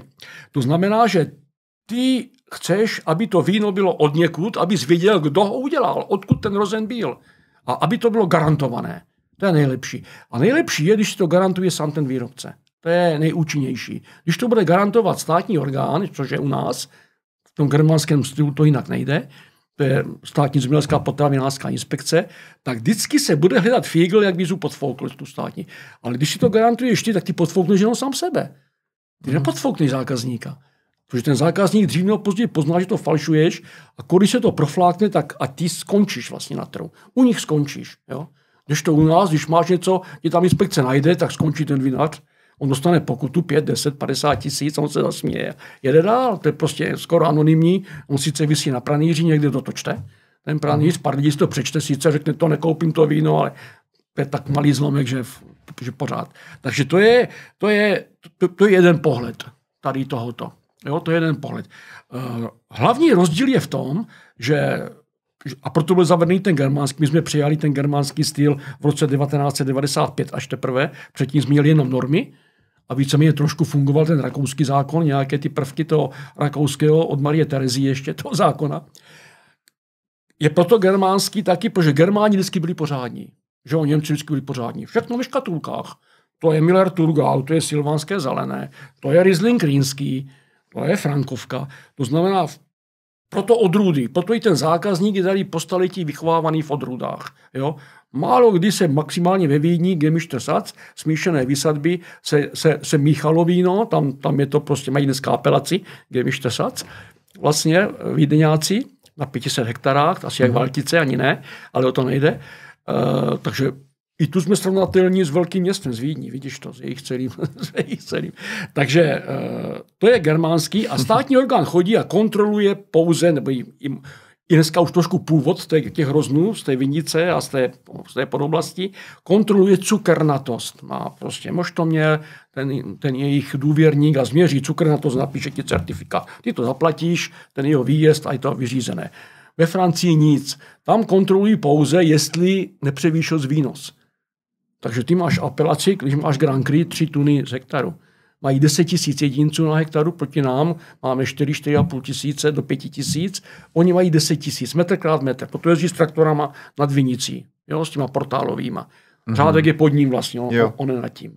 Jezdí a 3 tuny po hektáru, to znamená 30 deka z, jedné, z jednoho keřu. To je jeden rozen maximálně dva menší. Když máš víc, tak to stříhají na zem, aby nepřevýšil výnos, aby dosáhl na tu, jinak on nedostane glej, když má, když má víc jak tři tuny, tak on, on nedošáhne na to Grand Prix. A proč by to dělal? Najednou by, by, by nemohl vyrobit víno v Granky. Uh, takže to je proto, aby, ta, aby ten hrozen byl kvalitnější? Aby byl hrozen kvalitnější. Takže ty vlastně odstřiháváš, jakoby, to znamená, že ty hrozny jdou více do cukru, mají prostě jsou více vyda, jako no, vydatné. cukru jich nebo... ani tak cukr nezajímá, protože oni cukr jo. mají vždycky, ale on, do, on dostane mnohem víc těch, těch látek, jakoby, jak bych to, já tomu říkám robustní, to je ta robustní chuť, délka chuti, chuťový zážitek. A tyto látky se tam dostanou, ty extraktivní látky, pouze tím, že to skoncentruješ. To je jasné, to je koncentrát. Jo? Takže ta celá rostlina tahne do jednoho rozínku, jak je to ohromný kořenový systém, kolik listů a všechno, fotosyntézy a valí do jednoho. Když je tam je hroznů 20, no, tak to je do 20 hroznů. To jsou jednoduché počty. Proto Miloš Michlovský, to jméno ti říká něco, Jasně. že? Pan docent Michlovský, eh, tak ten je i výborný ekonom, nemluví o tom, že je výborný technolog a, a šlechtitel a pedagog, že učí na vysoké, je v Senátu v Lednici, tak ten mě jednou říká, Milan, máš chvíli čas? Já říkám, jo, Milošu, já ti zavezu do Vinohradu. Říkám, jo. Já říkám, jak, no, půl hodinky, no tak čtyři hodiny, ale to je jedno. Tak jsme jezdili čtyři hodiny po Vinohradech a tenkrát mi poprvé ukázal, to je x roku, ale mám tam fotku, uh, u jeho hesla Miloš Michlovský na internetu, je tam i u toho kamenu vyfocený, jestli máme tam no, Miloš Michlovský, tak on tam má vinohrad po francouzském vzoru, on si koupil ten traktor tam a má už asi 30 hektarů nebo 40 u nás dneska má, když zajedeme níže, ještě ani níže, tam mm-hmm. budou fotky dole někde, tady, tak to je ten vinohrad metr krát metr. To je ten kamen, 49. latitude, myšlená rovnoběžka, kam sahá réva a tady jsou ty vinohrady metr krát metr, takto vysoké, metr vysoké a metr mm-hmm. a mezi hlavama je metr krát metr. 10 tisíc jedinců a on mi říká, tak to jsem to udělal, dokonce staré vysázel do meziřadí a já říkám, proč to dělal? To je tak pracné, ty ženské se musí zohýbat. Traktor, musíš tady, tak mu říká, víš co, já to beru takto.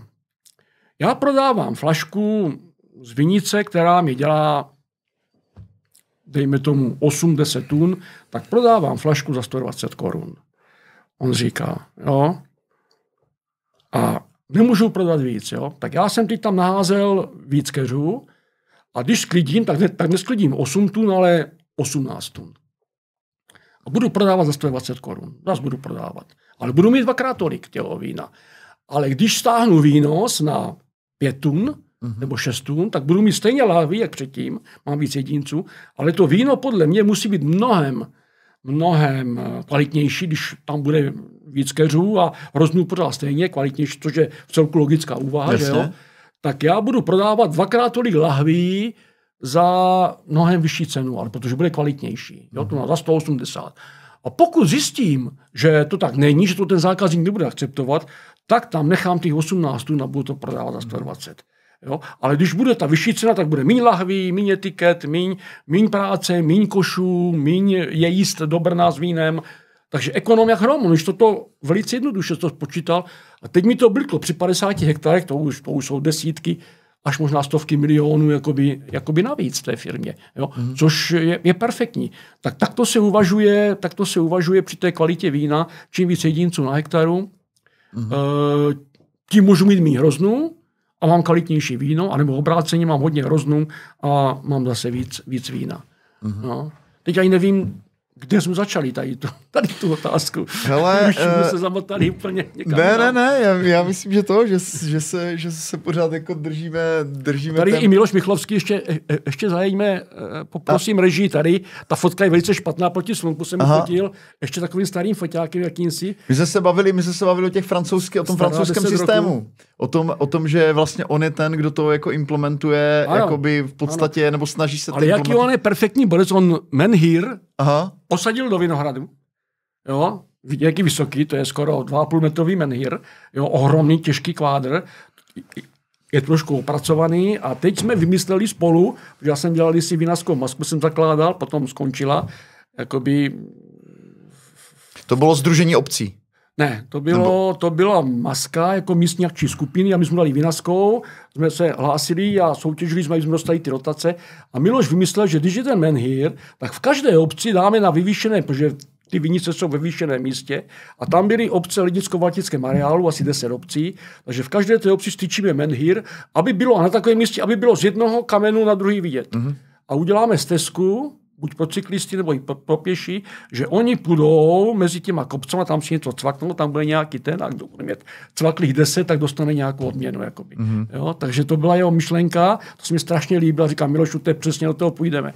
Pak to skončilo, ta maska úplně z jiného důvodu, ze závisti víceméně. Jo? Ale on má také to myšlenky, on je neskutečný, neskutečně kreativní člověk, jako Miloš. Aha. Chtěl jsem vzít jeho víno, hlavně to nealko jeho a to teraso, ale už jsem se k tomu nedostal, abych ho, to by bylo tady 30 vín, ale...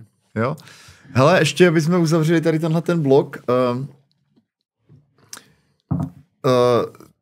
mně přijde, že pro tebe je víno jako úplně životní styl. Vlastně. Já jsem to tady říkal trošku v úvodu, že to je jako fakt no. hodně, hodně centrální téma pro tebe. Jaké to je mít živo, víno jako životní styl? Je to velice příjemné. Je to velice příjemné, samozřejmě je to náročné a každý jiný obor.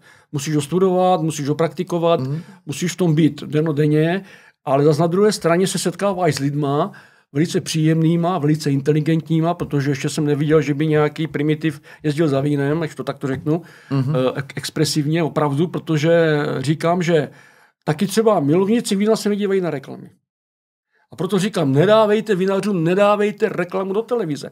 To je nesmysl protože to za jedno nikdo neuvidí z těch milovníků, takže to, to, to vlastně hážete hrak na stěnu. A když to náhodou uvidí, tak si tu flašku nekoupí, protože řekne, ježiš, víno v reklamě, to musí být nějaký šmejt, protože je inteligentní ten milovník vína. Takže to není prací prášek, že? To se chová úplně jinak. To je jediný, to je jako z, z marketingového hlediska je víno se chová úplně odlišně než cokoliv jiné. To je zajímavý efekt. Byly jenom dvě kampaně, právě v té jedné se svezl Miloš Michlovský, v celku nechtěně, byl král Vinohradu, to ten Klačtok financoval, ale 2 miliony lávy si nechala vyrobit ve čtyřech partích po 500 tisících v 90. letech. Šlo to na nově měsíční kampaň a bylo to kvalitní, opravdu v špičkové jakostní kvalitní víno. Tenkrát ho prodávali asi za 120 korun, což bylo relativně dost v 90. letech. A končilo to výprodejem po 40 korunách po třech letech v těch regálech. To prostě zaprášené, jak to šlo v televizi, to prostě ti lidi nekoupili ani boha. Koupili si cokoliv jiného s jakýmkoliv šohajem, ale toto nekoupili. Aha. Takže tam se spletli a Vinium Velké Pavlovice, taky v 90. letech na české televizi, nebo obráceně, to je jedno. No a samozřejmě sekt, že má jako... Sekt se chovají, to, to je jednorázová akce na Silvestra, ale, no. ale v Vinium Pavlovice to udělali tenkrát, dali několika milionů. Máme na mysli tiché víno, zkrátka. Tiché, masivní reklamu a od té doby ta firma je v kolenách, ona se ještě nespamatovala. Už má asi osmého majitele a ne, a ne se dostat pořádně kam na trh, jo. Takže to je smrťák, jakoby víno. Jak říkám. Takže jak se teda jakoby dělá marketing vinařský? Kromě teda toho, že si postavíš penzion. Nejlépe osobně. Můžu říct jednu historku? No jasně. Marketingovou. No, to, to říkám vždycky, když školím prostě buď someliéry nebo koukli, protože tam to povídání o víně rozhodují toho someliéra. To je u toho stolu, když umí povídat someliér, tak prodá cokoliv za jakoukoliv cenu fakticky. A já someliéry vypravit. A svezou se tam ostraváci, to příběhu mém, a, sve, a svezou se tam vinaři, svezou se tam marketéři, protože já říkám, když prodáváte lokomotivu, teď to řeknu, teď to přeženu, nebo kalhotky dámské, tak bude ten marketing stejný. To, to říkají učebnice marketingové. Ale když budu prodávat víno, tak se musím chovat úplně jinak.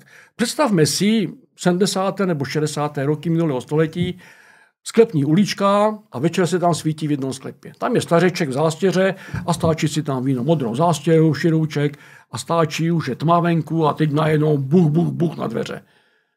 A stavičer říká, no tam je. A tam se ozve, to jsme my. A co chcete?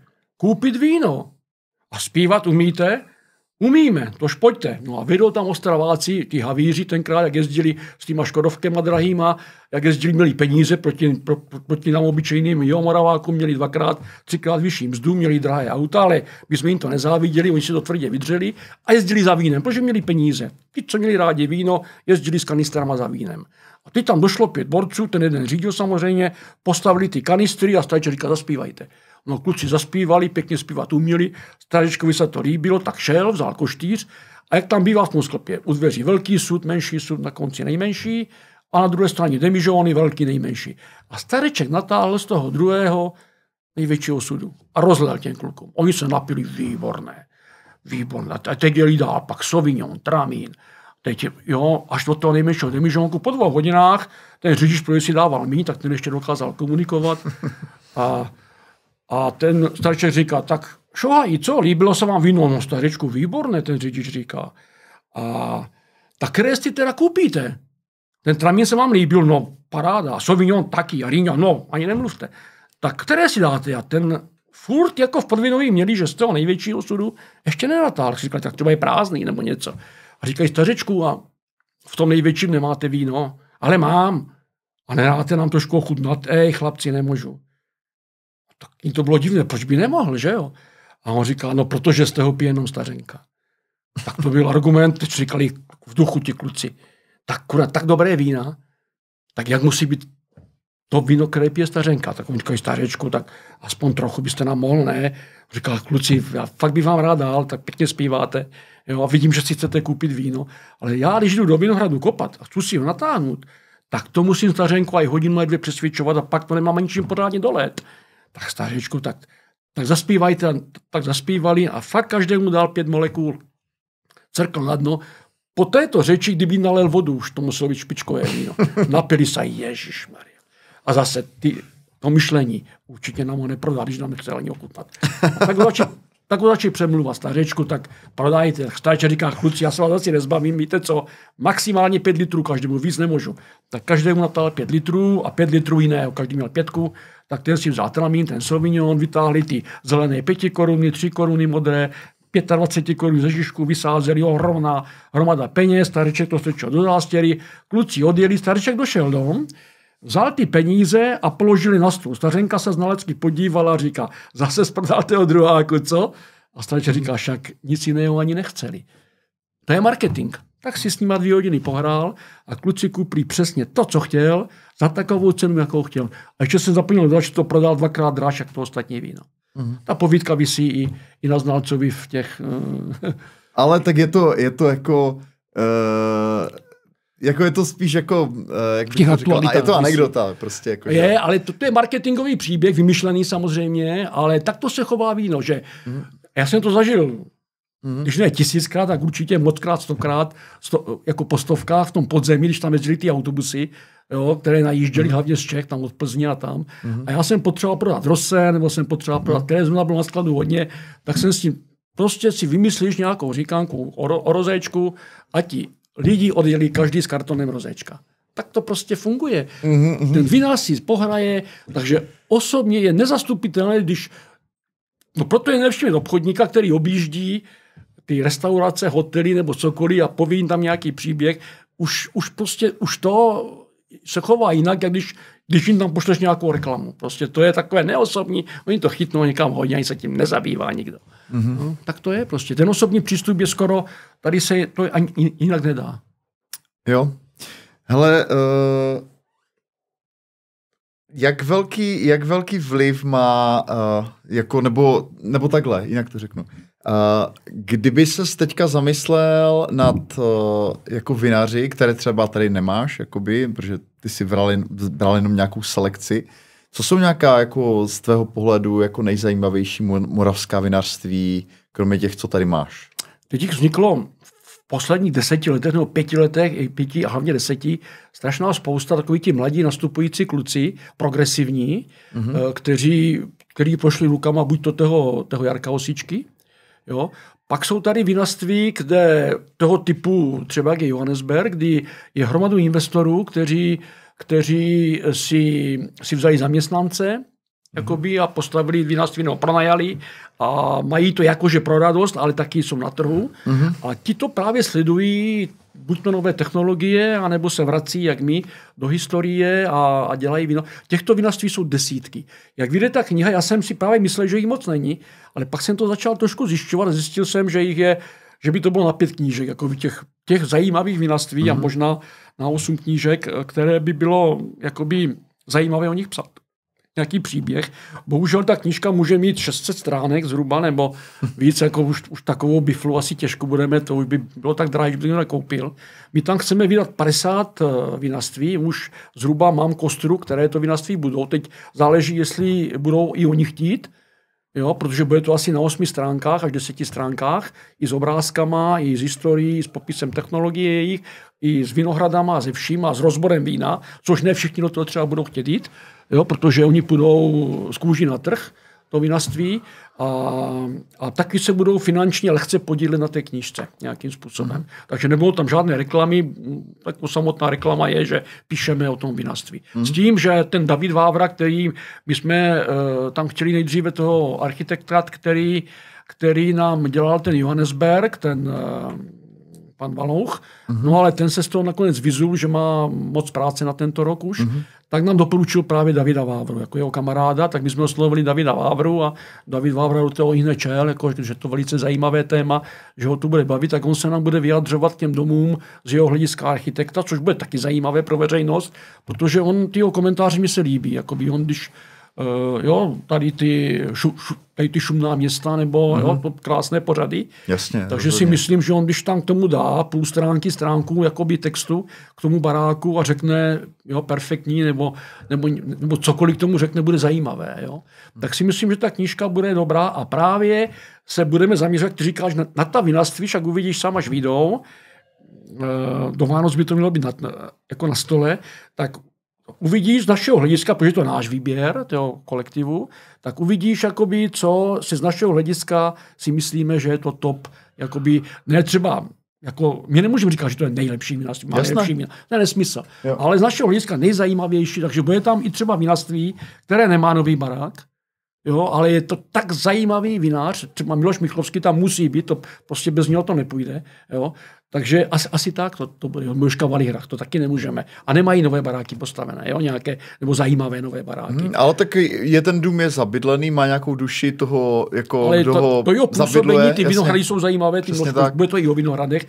Doma takové vinohrady úzké, jak má Miloš Michlovský a kolik. Jo? Hmm. Možná i doma třeba 20 árů, ale určitě ne tolik. Jo? Takže toto jsou hodně, hodně zajímavé věci, které teď chystáme. No, bude to dost práce, ale nás taky zase dostali na to. Tak jo, tak jdeme na ty vína. Uděláme pauzu a nachystáme to. Ještě jsem no, zapomněli takovou vsuvku úplně mimo. No, povídej, povídej. Mluvili v té první knize to víno v proudu času, protože je to hlavně o historii od 6 tisíci roků až po dnešek, až po to rakouskou Uherskou a, a první republiku. A je tam ale lékař. Proč tam bereme vždycky lékaře? Lékař v té druhé knize nám bude dělat tady, tady ty komentáře k těm, těm látkám zdraví prospěšným podle toho chemického rozboru z univerzity, perfektní rozbory.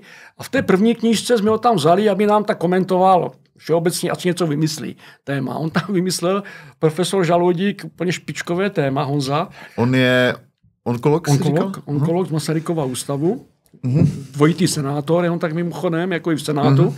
ČR. A on tam má, hned to začíná ta kniha jeho úvahou, že víno polištilo opici. Víno polištilo opici a začíná to tím, že Bedřich Engels se mýlil, když to zkrátím, protože Bedřich Engels napsal jako velké pojednání filozofické o tom, že práce poličtila opici. No a já jsem zase přemýšlel jak o tom, i, i, i tím mojím myšleným, říkám, to je perfektně trefený hřebík na hlavičku, jakoby přeci práce, ať mi někdo řekne, že ta práce sdělala tu opici z toho stromu. Jakoby, proč by ona slézala kvůli práci? To je přeci opice od přírody lína, co si budeme povídat, že jo? Ale alkohol, to je jiné kafe. A on to zdůvodnil tím, že ty plody, když vysí na stromě, tak tam alkohol není, ale když spadnou na zem, tak se uderí a začne tam kvasit. Jakmile ten strom nemá styk s tou rostlinou, tak, tak začne ten cukr kvasit, že to tak je. A ty opice zbíhaly dolů pod ten strom a ty plody jedly zase zpátky, aby je ti dravci tam jakoby neuškrtili nějakým způsobem. Jo. Samozřejmě, když už byla tak ovíněná tím vínem z toho ovoce, že už nedokázala vylezat, tak si lehla pod ten strom a tlapou a zůstala pod stromem a to je to polištění té opice, že už nedokázala vlezat ten strom. Hele Milane, já doufám, já doufám že, že, že my že, po těch 22 vzorcích nedopadneme stejně. Snad ne. Hele, jdem na to. Zkušení degustátoři. A myslím si, že, že Dan nám pomůže samozřejmě a mm, tak prostě budeme degustovat zlehka. A doufám, že budeme u toho povídat. Tak jdem to nachystat. Pauza. Tak, jsme zpátky po pauze, máme to tu nachystané, včetně občerstvení, které Milan uh, laskavě dovezl, protože uh, přece jenom zdegustovat 22, 22 vzorků, uh, nepamatuju si, když jsem absolvoval takovou dlouhou degustaci naposledy. Ale budu se snažit uh, tak jenom jemně a hlavně doufám, že kolem toho bude spousta zajímavého povídání v tom smyslu, že uh, uh, ta vína, která budeme degustovat, se dají koupit, takže Uh, Milan, Milan všechno představí a je to spíš takové, aby to bylo pro vás uh, zábavné, pro ty, co nás posloucháte. Uh, pro ty, kteří se díváte, tak uvidíte samozřejmě i ty lahve. Uh, myslím, že těch témat kolem toho ještě bude spousta. Takže Milané, uh, je to na tobě. Poděkujem, poděkujem asi vinařům. Začneme tím, ano, ne? Začneme poděkováním samozřejmě, protože já jsem pozbíral asi v pěti nebo z šesti vinařství vína, která mi dávali mnohem víc, ale já jsem víc nemohl vzít. Takže každém případě tady bude vinařství Johannesberg, eh, bude tady vinařství Sedlecká vína, eh, bude tady vinařství Ipsmiller Schrattenberg Rakousko, bude tady vinařství Vyčické vinařství Mikuláš, Mikulášci a bude tady vinařství Jirka Salaj z Velkých Bílovic a jeho brácha, teď se zapomněli jeho jméno, a, to, a ještě tady bude z novín, z Nojmo jeden vzorek jsem vzal, který mm-hmm. jsem měl doma ještě z té jejich speciální edice 30-letého výročí společnosti. Doufám, že jsem na někoho nezapomněl a pokud ano, tak, tak se k tomu dostaneme. Tak, tak mu poděkujeme v průběhu pochutnávky. My začneme něčím jednoduchým, eh, bych řekl, nenáročným na zavínění skleníček a zavínění dutiny ústní a je to frizante. Frizante White, sedlecká vína, je to Muškát Moravský a Miller Turgau, ročník 2022, alkohol 12, relativně vysoký alkohol na tento typ vín, ale... Frizante mám rád. Proč ne? Je to letní víno teda? Více, Robert, ty víš, co frizante? No, jakoby, uh, že to jakoby bubla? Bubla? Bublavé? nevím, ne, fakt nevím, opravdu nevím. Víme, že, v, že v poslední době zavládla, uh, že, že v poslední době zavládla velká jakoby... Dané, měl by si zdát eh, přijít pro zavíňovací vzorek. Jako. Velká, velká obublinky, že... Hmm, a ono je krásné ve vůni tohle. Eh, Vinařský fond chtěl zaregistrovat uh, brand Bublina, ale bohužel, nebo uh, z jakého důvodu už je zaregistrovaný uh, a Vinařský fond, který do toho věnoval relativně dost peněz, tak tu bublinu nezaregistroval. Frizante jsou, dejme tomu, bublinky.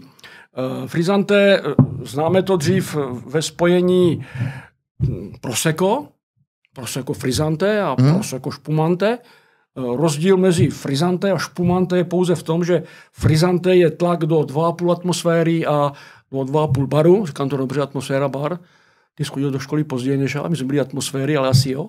A Spumante je nad 3,5 atmosféry. Mm-hmm. Je to celní, celní víceméně terminus technicus. U nás frizante většinou je plněno oxidem uhličitým, eh, Samozřejmě Prosecco je značka jako šampaňské, tak tam je to všechno kvašeno v tanku šarmatem metodou. Takže pojďme na to víno. Hele, otázka.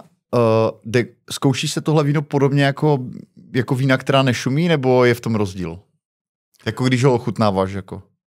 Toto víno perlivé, vlastně my jsme to řekli perlivé správně, jako by česky perlivé mm. a šumivé, tak eh, tady ty perlivky se nějak moc neposuzují, to perlení, tyto věci, pouze je to víno netiché, když tomu čichne, uh, dáme ucho, tak je to Slyšíš, netiché. Jasný. Tak je to netiché. Máme skleničky, z kterých můžeme degustovat i, i, i šumivé, i třeba šampaňské. Jsou to univerzální skleničky, jenom mimochodem i podle zvuku mm. je slyšet, že je to pořádné křišťálové sklo.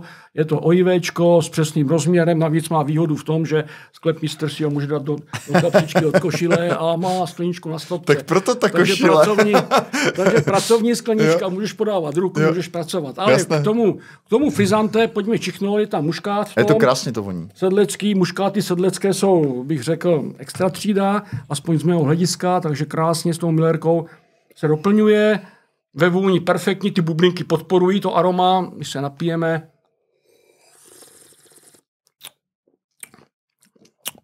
Krásná, ničím nerušená chuť. Na můj vkus trošku sladší víno možná, jo, hmm. ač je to, ač je to Ať je tam cukr napsaný nebo není, myslím, hmm. že mhm. není. A je cítit, že je silné. To jako... Ten alkohol tam hmm. je. No. Jako, a... Tento typ vín se používá prostě na takové ty letní slavnosti nebo v tomto smyslu. Není Hodně odvázaná na letní slavnost. no, s tímto Hele, vínem určitě. Ten ale... alkohol se pohybuje 5, 6, 8. Jakoby. Jo, hele, tohle, uh, tohle víno, které bych klidně mohl pít celý večer, je to fakt jako ano, dobré, výborné. Hmm, okay. Je Vzhledem k tomu, jak je silné, tak já radši teda odleju. Je možná sladší, než jsem si myslel, ale to nevadí, my to, my to zvládneme. Takže odlejeme, zavřeme. A zároveň se omlouvám, jestli tady budu občas trošku mlasknu, protože máme tady jídlo a je třeba to zajídat trochu. A já to dám sem. Nebude to něčemu zavaze, doufám zatím. A pojďme teda na další víno. Pojďme... Na kameru. Pojďme na vinařství Ipsmiller z Rakouska. Toto vinařství, toto vinařství je už osmou generací Petra, Petra Ipsmillerová, která pokračuje po úmrtí jejího otce Kurta v loňském roce. Mladá, mla, vlastně mladá kočka pokračuje ve vinařství asi na 70 hektarech, což není vůbec málo a ještě budeme ochutnávat také červená vína, Merlot a Cabernet Sauvignon na konci a jsou v salonu rakouských vín, takže bych řekl, takto v bloku, dejme tomu mezi stovkou jakoby nejlepších rakouských červených vín. Tam se dostat, to není žádná švanda. Ta mhm. vína z Burgenlandu jsou tam velice. Toto víno je DAC Weinviertel. Říká ti to něco? To je jakoby nějaká oblast, kde se vyrábí, nebo jakože to je apelace nějaká místní? Je to jakoby svým no. způsobem apelace, protože Rakousko dneska, nebo v uplynulých deseti letech, přešlo úplně na románský mm-hmm. způsob zatříďování vín. Dejme tomu Ale jak to probíhá taková změna velká? No, prostě to musí zákonem. Takže prostě z roku na rok? No, oni, oni musí, oni sice vydají zákon, že to lze, jak u nás, u nás mm. je VOC, ale u nás to neprobíhá nějak masově, to je, mm. oni na to přišli s výjimkou dvou nějakých malých podoblastí, úplně celé Rakousko dneska, 99% vín se může zatříďovat pod VOC. Samozřejmě platí ještě ten, ten starý, eh, její germánský zákon, takže vinaři sami si určí, mm. jak chtějí prodávat víno, ale většina už přechází na ty DACčka, Burgenland, Weinviertel, Vídeň je Gemischter Satz, DAC mm-hmm. a tak dále, smíšené vysadby. A Weinviertel je víceméně dolní Rakousko. Aby oni to dostali, tak musí vysadit do drudu nebo vysadit ne. víno, které charakter. Můžou tam pestovat, co řeknu, chcou. Já řeknu příklad na tomto víně. To bylo první DACčko, už asi 10-12 hmm. roků je v provozu, možná víc. A oni měli přetlak veltlínského zeleného Rakousko. Rakousko veltlínské zelené z těch 50 hektarů měli tenkrát v tu dobu skoro 25 tisíc hektarů. Absolutní přetlak veltlínského zeleného na trhu a lidé ho přestali kupovat. Takže oni přešli, zkusili to, to byla první vlaštovka, udělali DAC Weinviertel, nazvali to a prodávají víno pod vinařem. Takže už prodávají Ipsmillera, vodičku, a nevím, na koho si teď vzpomenu. Takže eh, zákazník kupuje Ipsmillera, on nekupuje veltlín, zelené. Tady je napsané pouze DAC Weinviertel Ipsmiller. Takže on kupuje víno od někud s nějakou zárukou nějakého vinaře. Že je to veltlínské, už mu to nevadí. Takže najednou se zjistilo, že prodávají to veltlínské úplně bez problému, jenom tím, že změnili vlastně nálepku nějakým mm-hmm. způsobem. Jo? Takže ochutnáme, jsou to... Ale to je docela významná jako ta marketingová jako stránka věci. Proto jsem říkal, že v tom románském způsobu se prodávají vína mnohem lépe, než v tom našem germánském, protože oni, když získají důvěru k tomu vinařovi, ty lidé, tak potom od něho kupují a nepátrají potom, co to je za odrůd. Oni kupují víno. Víno, které jim chutná. Takže veltlínské zelené DAC, rakouské, rakouské veltlíny jsou takové, jsou kořenitější než ty naše, je tam zelený peps trošku, jejich klony jsou trošku jiné než naše moravské. Mm-hmm. A Zelený pepř. Krásné, krásné, bych hmm. řekl, když si nevíš rady, tak vždycky řekni krásné vinné tóny. Hmm. No, když si to tlačí, no jo, vinné tóny, jasně, že to není mléko, tak co tam cítíš? No primární vůně. Primární vůně hroznu. Krásné ovo. Toto je přesně víno typu friš, Rakušáci říkají friš, frucht, etiketu. friš, frucht a leicht, lehké, svižné, čerstvé. Toto víno není určené k archivaci ani náhodou. Hmm, to je vidět i podle toho, že nemá zátku, je tak, to prostě zá, je to závitový alkohol, uzávěr. hliníkový uzávěr, to, to, to vypadá, že to je víno prostě k rychlému konzumu do maximálně do dvou roku. Dal to doma nedržet radši rok a nebo pokud možno vypít.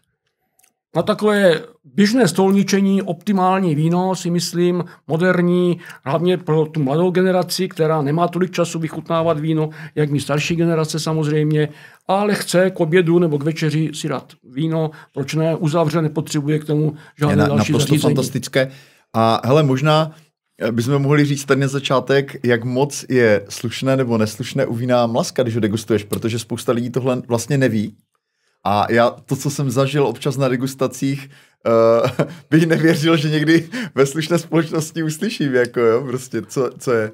Degustátorka, krásná a, dáma, aha. v krásné robě, aha. si většinou nese to, to rezové plivátko a dokonce do toho plive a když se degustují špumanta, šampaňská vína nebo šumivá vína, tak ten projev toho plivání je velice zajímavý to bych si řekl, taková krásná dáma a takové projevy, ale u, toho degu, u těch profesionálních degustátorek to je úplně normální. Běžné, no. U chlapů také. Ve sklepě se dokonce plive, tam je to samozřejmě na nějakou hliněnou podlahu nebo nějakou hmm. cihlovou.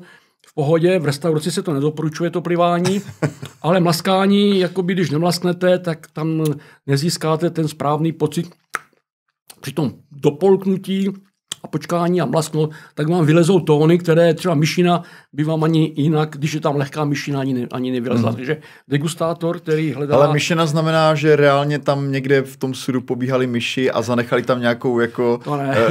Eh, nebo co to, jako, jak ne, to vzniká? To je, to je prostě mikrobiologická záležitost, kdy to víno je napadené Jo, takže to jenom to a prostě připomíná to jenom jako Aha. myší vůně a chuť taková lehká hořčinka, takové myší, takže když nemlastnete tak tu, a nepočkáte chvilku, tak tu myšinu ani mm. nezjistíte. Když je lehká, když je silná, už poznáte, že otevřete špunt. Že jo. Výborné víno. Takže to bylo DAC Weinviertel.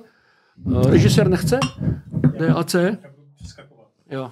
On, on, si, on podle toho vždycky jo, popisku... Až, až to řekneme. až to řekneme. Hele, ještě mě zajíma, zaujalo tady, oni, uh, Rakušáci, a to teda ukážu i na kameru, oni mají docela standardně tady tyhle ty uzávěry vlastně s rakouskou vlajkou. A to je nějaký...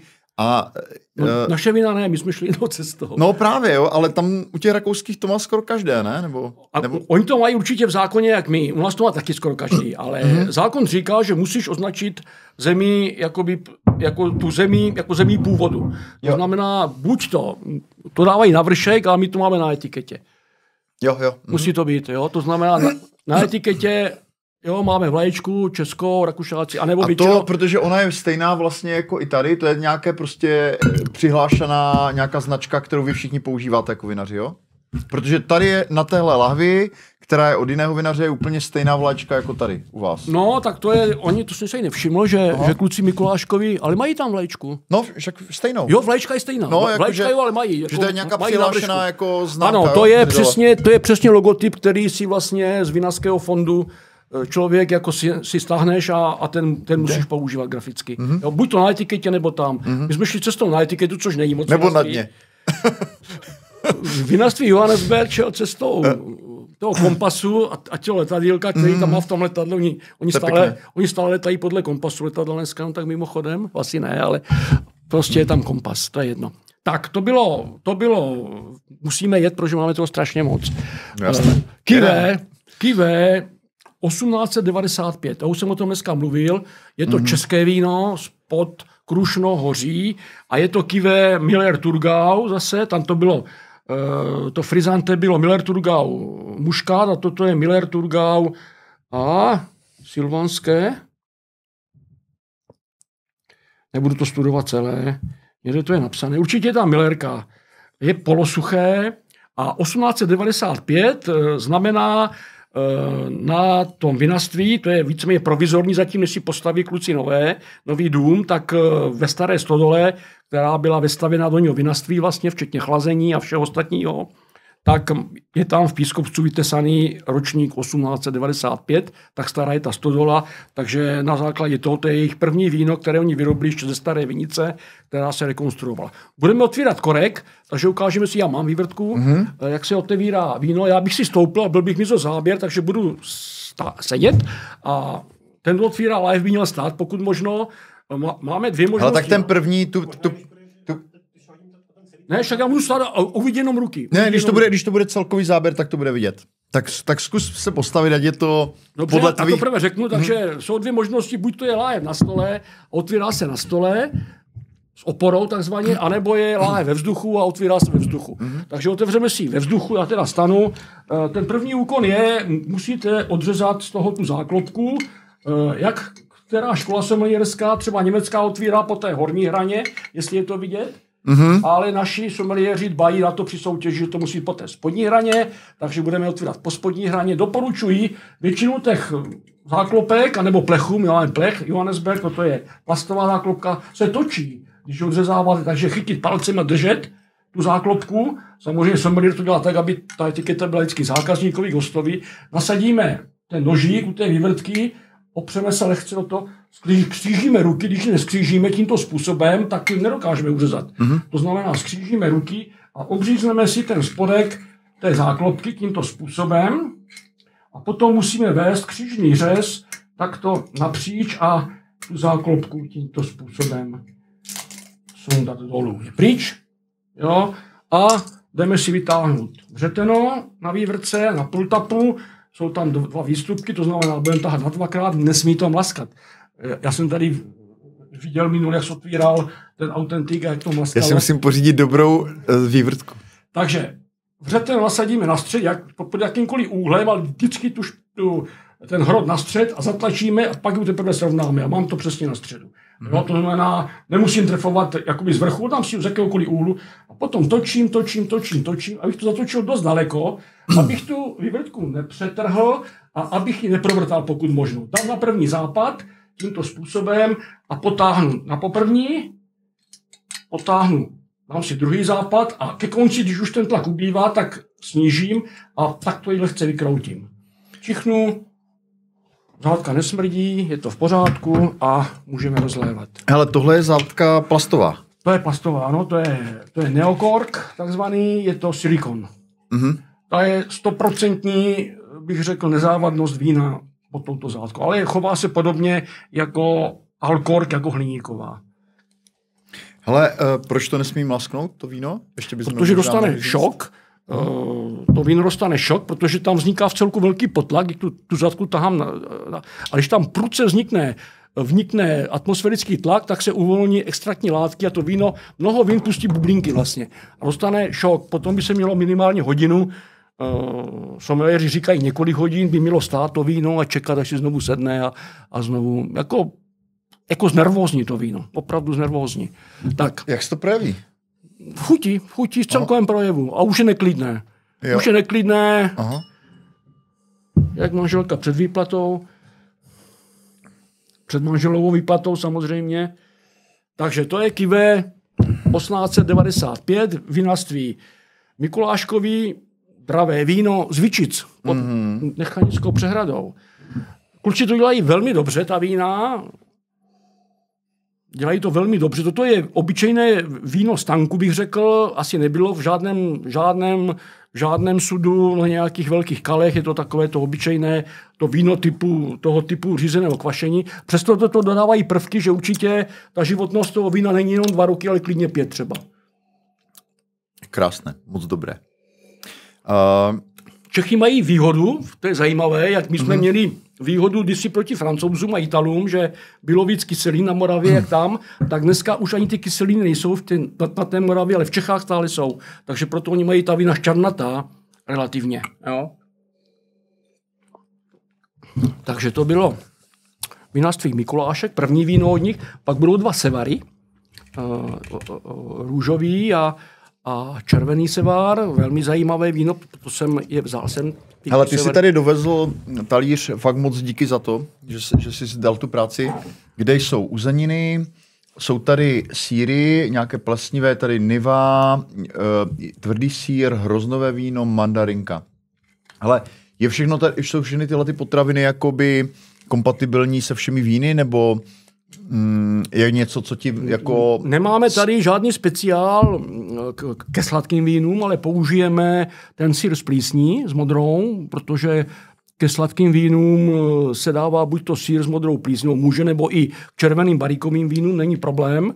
Ale nejlepší samozřejmě k těm sladkým vínům je to sladké, jo, což tady manželka žádnou buchtu neupekla nám. Na, na, na cestu máme jenom uzené domácí, které jsem udil já tam špek a jo, je výborné. a, a, a Jdu potom jak krkovička, normální krkovička. Maso je z farmy, není z obchodu, takže Aha. opravdu vypěstované jako domácí maso.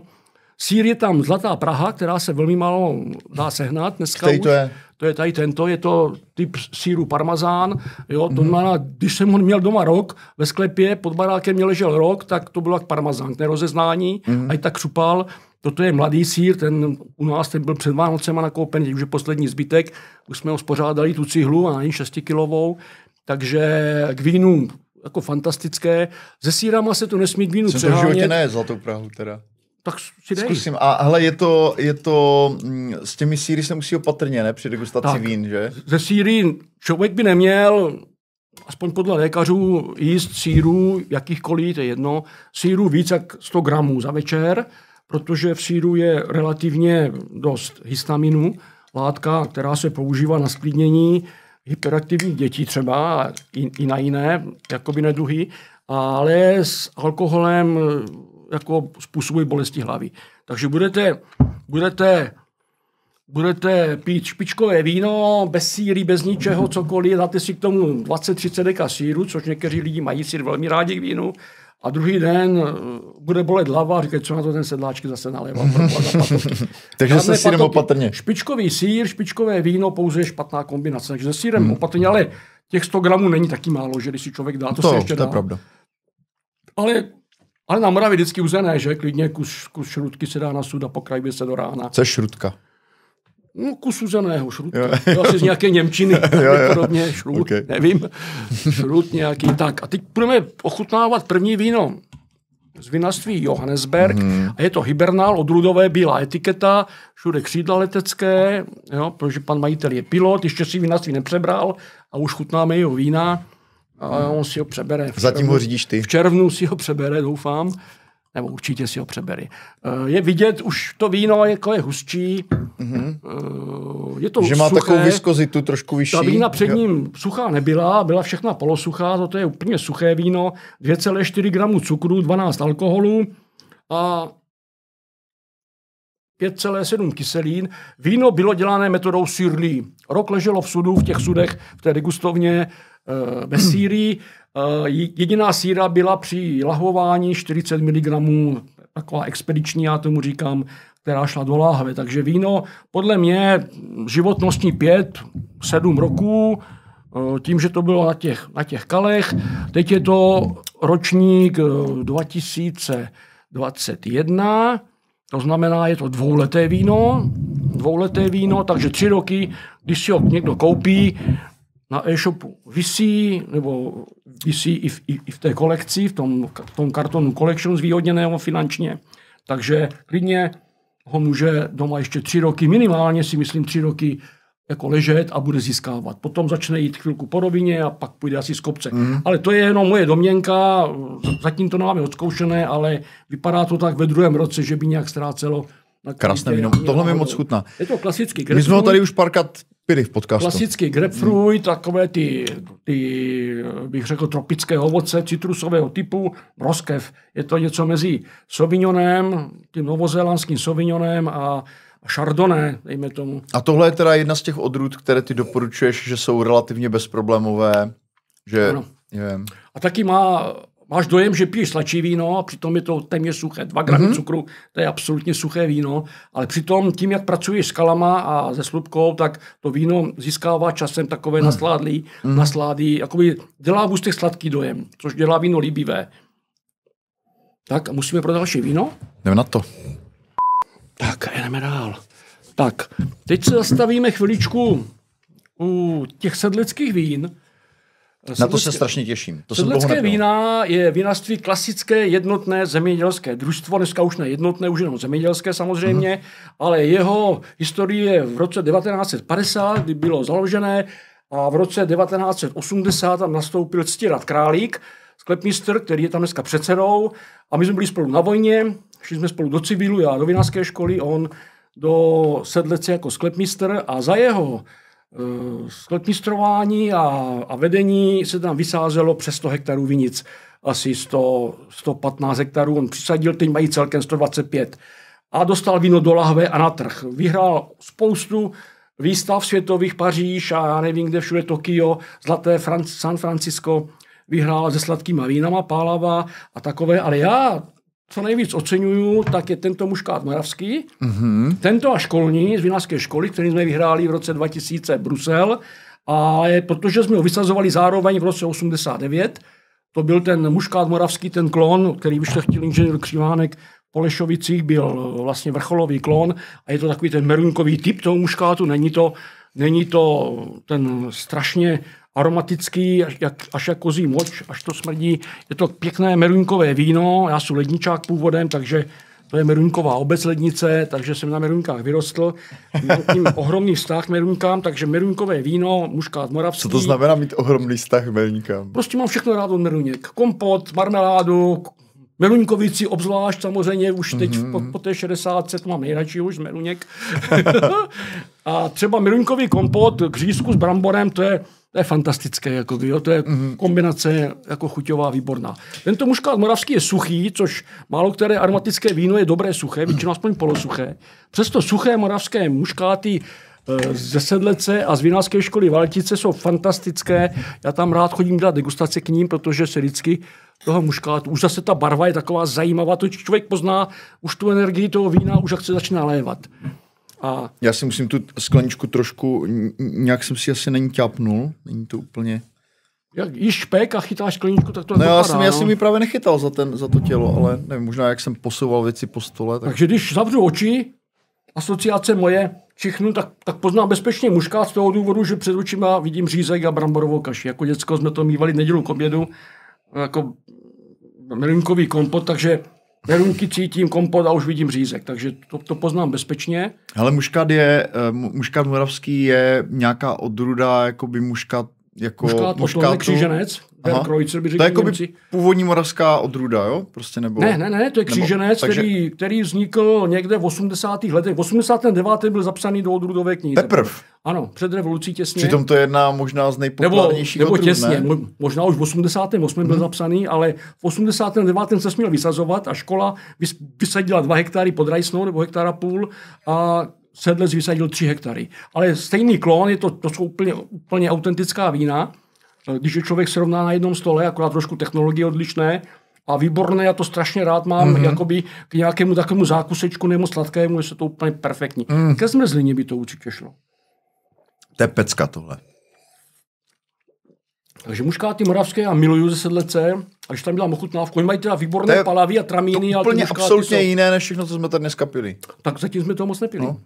Je to prostě aromatická odrůda, Dobré. ale, ale co, co, na, co na nose to na jazyku, což je málo kdy, uh-huh. protože člověk si to dokáže srovnat s tím meruňkovým kompotem nebo marmeládou a ví, jak voní marmeláda, jak chutná. Když to nám to víno, taky. Tramin nějak voní, ale člověk neví, jak chutná, chutná úplně odlišně od té vůně. To je zajímavý efekt. Nebo cokoliv jiného. Když to tento muškát, tyto dva muškáty z těchto dvou vinařství, prostě to je meruňka, to se nedá diskutovat. Ale ne? dost často se stane, že eh, člověk eh, přičichne nějakému vínu a je úplně okouzlen, pak ta vůně je vlastně, ta vůně je jako strašně dominantní, ale ta chuť je třeba relativně plochá, nebo naopak, jo. Je to považované za jako nedostatek vína, když jako je v disbalanci jako vůně a chuť? Není tam harmonie. Vždycky, jo, tam musí, vždycky být... musí být, správně musí být harmonie, tak, tak to říká se, že čím je víno aromatičtější, tím je slabší v chuti. Nebo to tak většinou bývá. Když je, to, když je ten muškát, když je ten klon, také malé bobulky, ty muškáty jsou opravdu tak aromatické, že to člověk dá na 15 cm a už to prostě nedá se dá tomu blíž čichat.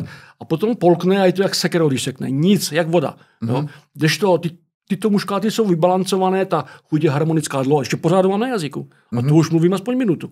Jo? Krásně dlouhá, harmonická, je to chuťový zážitek. To je strašně důležitý pojem, ten si zapamatuj, že když chutnáš víno a máš chuťový zážitek, tak to víno je výborné. Jo, že prostě řekneš, že to bylo, to je chuťový zážitek, to je perfektní. Ale když, když polkneš víno a nic, tak řekneš, co s takým vínem? Mm. Jako ten zážitek není. Jako, jako nejsme tak mladí ještě, aby jsme si mohli dovolit mrhat takto časem a pít víno, které, ne, které není zážitkové. Jo? Asi mm-hmm. tak to je. Jo, ještě musím otevřít. Teď mám v ruce z novým znojmo. Z novým znojmo tuto lájev jsem dostal Ale... od nového ředitele Zdenka Matuli. Eh, ten je tam teprve rok po Pavlovi Vajčnerovi, který z novin vlastně vytáhl od založení 30 roků, a nevím, takže řekneme 23, 93 byl založený akciová společnost Novin Znojmo se sídlem v Šatově a a vydali šest lahví špičkových víných nejlepších, co, co mohli sehnat asi. Já jsem zachránil pouze z těch šesti veltlín, tak se s vámi o něho podělím. Že jako by šest tu, odrůdových, jako šest odrůd... Šest odrůdových hmm. vín dali do kartonu hmm. a dali tomu nálepku, jako ta edice ještě oh. mají na skladě 30 roků a toto je víno polosuché, 2021. A to je zrovna výrobce, který je vlastně velmi známý z Novým Znojmo, že to je možná jeden z největších v Česku, že jo? Jeden z největších, no. Mm-hmm. A 13 alkohol, což je na polosuché víno relativně dost. Ty hrozny museli být, vyzrát to výběr z hroznů, vyzráte na ohromný, ohromný stupeň, takže uvidíme, jak se s tím vypořádali sklepmistři z Nojemští. Už jsi opil? Ne, ne, ne. Mm-hmm to, ten, tento veltlín ne. Znojmo se navíc má veltlínské zelené v tom jejich VOC, víno originální certifikace. Toto tam samozřejmě nemá šanci. S takovým alkoholem se dostat do toho VOCčka, ale... To VOC má podmínky jako... Oni si většinou jako interně stanovují, že alkohol bude do 12,5, že bude suché nebo nějaké. Každý má své. A takže to není i v tom Rakousku, taky musíš splnit taky, nějaké taky teda. Musí splňovat, jo, že, jo, jo, jo, jo. Tak, no. takže, takže může to být jakákoliv odrůda, ale... Ne, ne, ne, ta nebo... odrůda je, je, je daná těma to jejich preambulí nějakou. Aha, jakoby, jasně. Takže oni řeknou DAC Weinviertel pouze veltlínské zelené. Mm-hmm. DAC Burgenland pouze Frankovka. A tak dále. Pouze mm-hmm. Vídeň si tam může dát, co chceš, smíšené výsadby, jo. takže tam může dát cokoliv. Výborný. Takže, Ale uh, děkuju. Polosuchý uh, z novín, Veltlínské. Ale já, si, já jsem si vzpomněl, když jsem se připravoval tady na tuhle epizodu, jak ty, jak ty jsi mi kdysi povídal, jak vlastně se používá, používají všechny smysly při uh, ochutnávání vína. A zrovna jsem si na tebe vzpomněl, protože jsem nedávno uh, četl takovou jako nějakou novinku, uh, že o nějakém výzkumu, kde lidi poznali, jestli se do skleničky nalívá teplá nebo studená voda. Kvůli, protože mají jinou viskozitu ano. při té teplotě. Tak dobrý sluch asi, vycvičený. No. no ale že to zřejmě poznali asi, asi jako větší množství lidí, že to nebyl jenom nějaký jako jo, člověk, jo, jo, který jo, na to byl trénovaný, jo? že prostě, se to že tam... dýmilo, ne, teple. A prosím? Že se z toho dýmilo. Ne, ne, ne, ale jakože, že zkrátka jakoby poznáš jakoby tu teplotu částečně podle, i podle sluchu, to což mi teda přijde zkoušet, no. úplně kuriozní, no. Takže k tomuto veltlínu, k tomuto veltlínu. Takže všechny smysly. Dělá, ano, všechny smysly, jako Ono i posluchu, samozřejmě slepci by toho poznali mnohem více, jak my. I posluchu, já jsem už, jak jsem naléval třeba ten muškát, a, nebo ten hibernát, tak už jsem řekl, podívej se, jak to víno, jak se chová v barvě. Bylo úplně takové robustní. No to je normálně na zelenalý veltlín, veltlínské zelené, vždycky ten odstín musí být zelený, stejně jako silvánské. Mm-hmm. A ta vůně je krásná, veltlínová, zelené jablíčko zase. takový ten golden, ne žlutý, ale takový jakoby středně zralý žostru. Hrozný byly hodně přezráté, přesto je tam zelený odstín. Ale možná bys Drží mohl se- ještě říct, ty, ty jsi tady dělal takový, já to možná popíšu pro lidi, kteří to poslouchají, takový zvláštní grif, že ty si dal ruku, dláň ze zhora na tu skleničku a tak si s tím zavýchal. Proč to děláš? Tak, sklenička je nahoře zúžená, tady tyto ojivečka jsou trochu vyšší než, no, než normální skleničky gastro, aby se tam soustředovala ta vůně.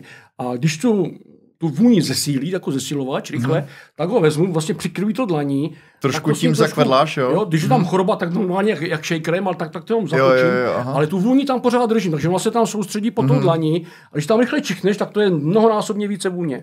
Jo, počkej, tak to zkusím. To je úplně, jak nevím, tři, pětinásobně víc té vůně je tam. Jo? Uhum, uhum, já A to- když tím zatřepu takto, tak to je ještě víc a navíc vylezou choroby, pokud tam jsou. Když cítím náznak choroby při degustaci, tak vezmu a zašejkruju s tím, oliznu si dláň, abych nekapal a, a Hmm. ochutnám, jo, nebo čichnu. Takže veltlínské krásné, veltlínské strašně vyzráté, bych řekl, na můj Mhm. vkus až hodně zralé, ale prostě proč ne? Působí- vín, Působí velmi luxusně. Komplexní víno. To, Mhm. to je, toho cukru je tam možná trošku víc, možná bych ho trošku, zase by byl vyšší alkohol, byl 13,5, ale to už ten technolog prostě to tak zvládl. A zase je to víno do gastronomie, Mhm. Ale je vyvážené moc pěkně. vyvážené je teda fantasticky. To je- A taky už je vyležené, to je, to je 21, takže dvouleté, taky jak ten hibernál, Mhm. stáří, takže už pěkně je vidět, že to víno by se taky v láhvi klidně pět roků ještě udrželo. Dá jo? se ještě koupit? Jo, mají Jo? ho. Mhm. No. Krásné víno.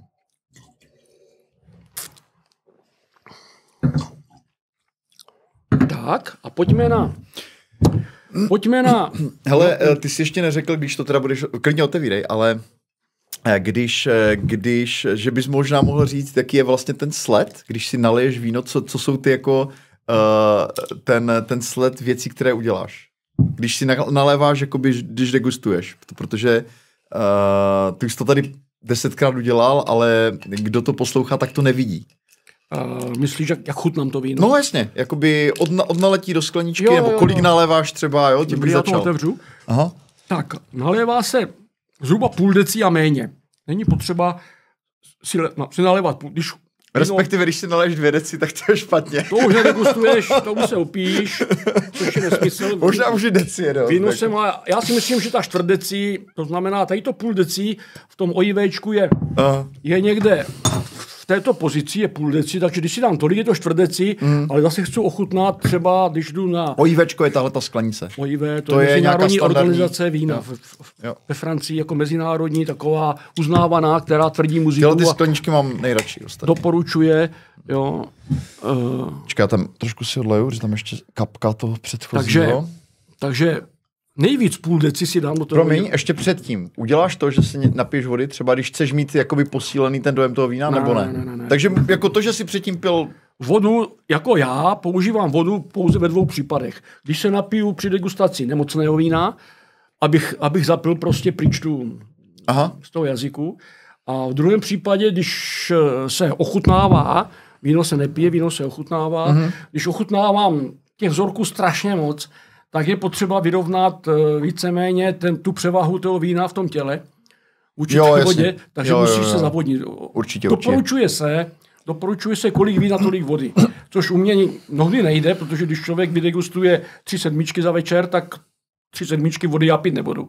Takže třeba tři ku jedné, takže aspoň tu jednu sedmičku vody si dám, až litr uh, si dám, Mhm. mm-hmm. uh, protože pokud bych to neudělal, tak by mě stejně druhý den bolela hlava, mohl by pít sebe lepší víno. Jo. Protože alkohol přeci to množství ze tři sedmiček je tak velké, že stejně ta hlava bolí už potom. Jo. To, To rozhodně, to, by no. ti, to by ti vysvětlil určitě to jsem v životě nevypil, člověče. ty biochemické pochody v těle, co, co dělá alkohol s tou bolestí hlavy.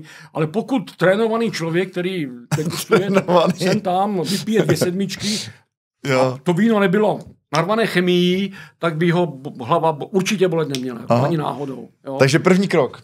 Takže máš Tak, nalito. první kluk mám nalété, takže první se podívám vlastně, to už se dívám, když ho nalévám. Mhm. Mm-hmm. Optimum je proti bílému pozadí, Je dobré tohle světlo? Toto je Na dobré, studiu? to je bílé světlo, jako výborné.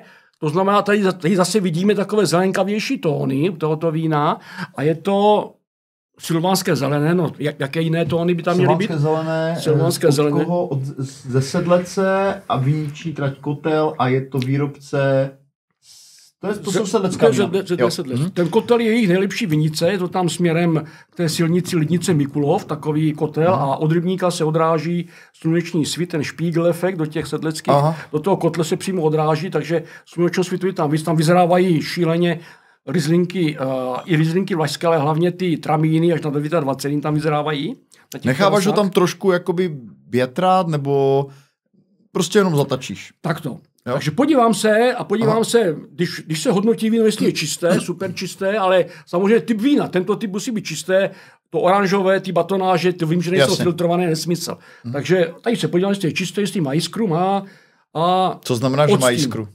Že ti proti jako prudké, když tady byla svíčka, to zajiskří v ním, ale i proti tomu to lehce, to, to pozná, že to jiskří, jako by to víno. Mm-hmm. To je, že to jako zesiluje.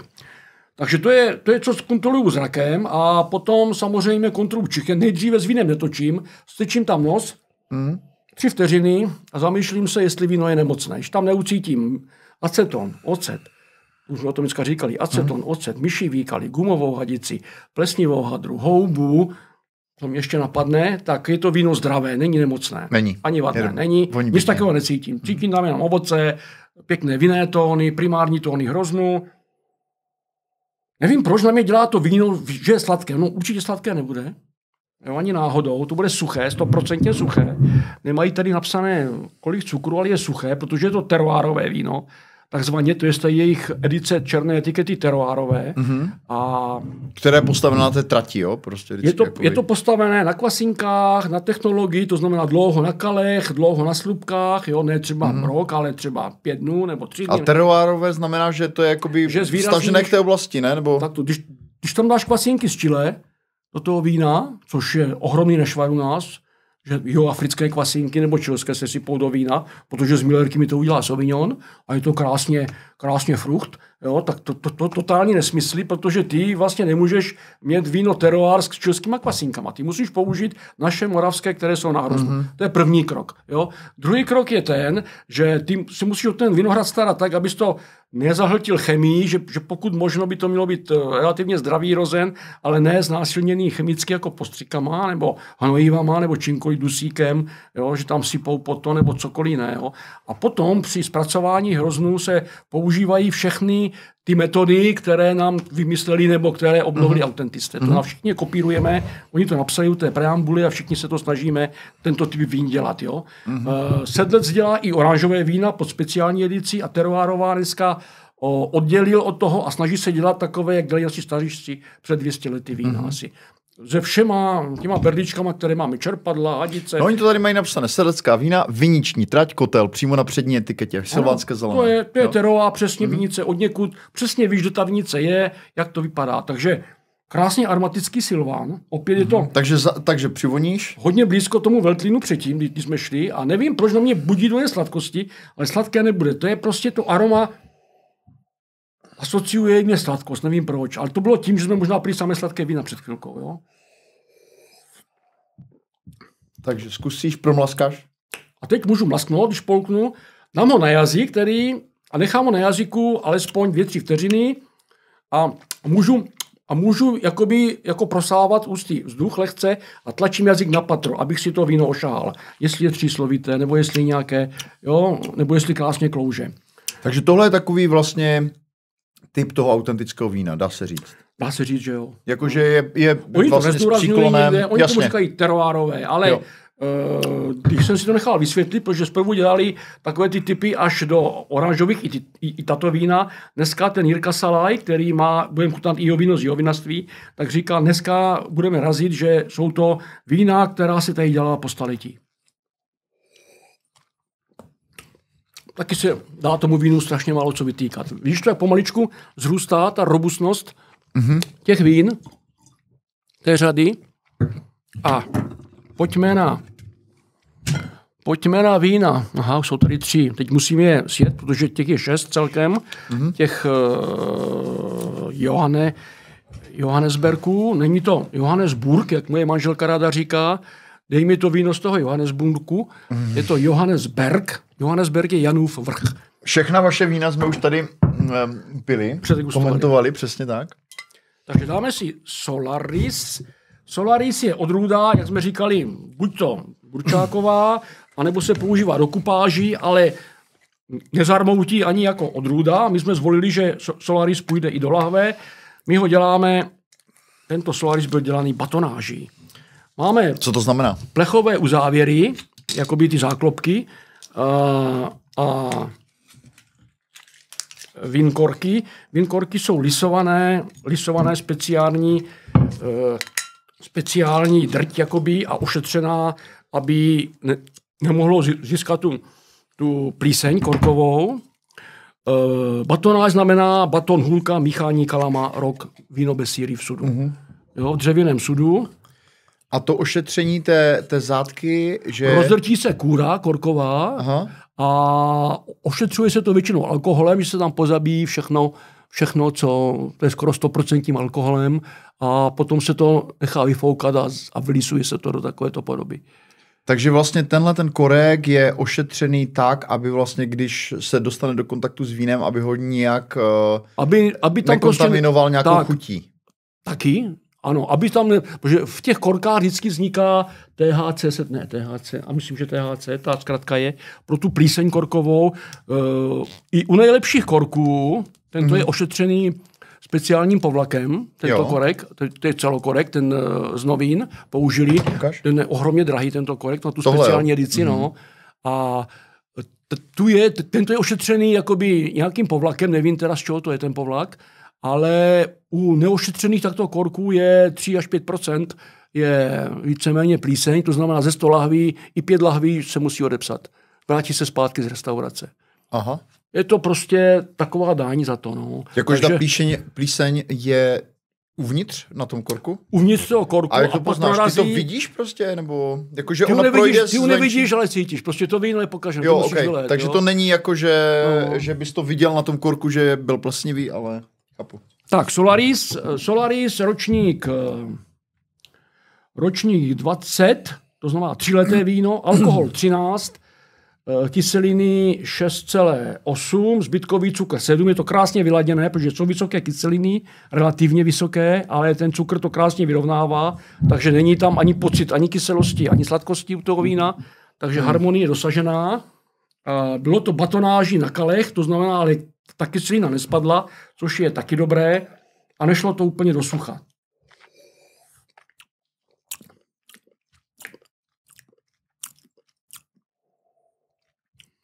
Solaris je takové lehčí víno, ta odrůda nedává úplně nějaké tělnaté víno, Eh, ale myslím si, že ve třetím roce víno ani mm-hmm. náznak po nějakém stárnutí nebo po čemkoliv jiném na takovou běžnou konzumaci, jako si myslím, eh, k jídlu v pohodě.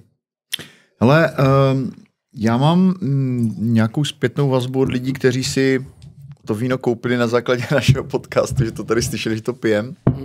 A strašně chválili to, jak ta vína jsou jako uh, příjemně pitelná a uh, neokázala. Víš, že to je prostě jako víno, které prostě fakt jakoby máš, přijde ti, přijde ti doma tři kartony a za měsíc zjistíš, že je prostě nemáš. Jasné, protože to víno je dělané tím starým způsobem Mhm. a ten starý způsob vlastně to byla potravina. To je strašně důležité si uvědomit, že dříve se nedělalo víno jako společenský nápoj, nebo málo kdy Mhm. byl použit. Byla to prostě potravina, protože ta voda nebyla úplně, ty vodovody nebyly nejkvalitnější, No tak normální sedláci měl každý vinohrad a on s tím nekšeftoval s tím vínem, on to vypil. On to vypil, takže on vypil denně 2 litry vína, protože měli ty máznice, dvoulitrové láhve, když šel na pole.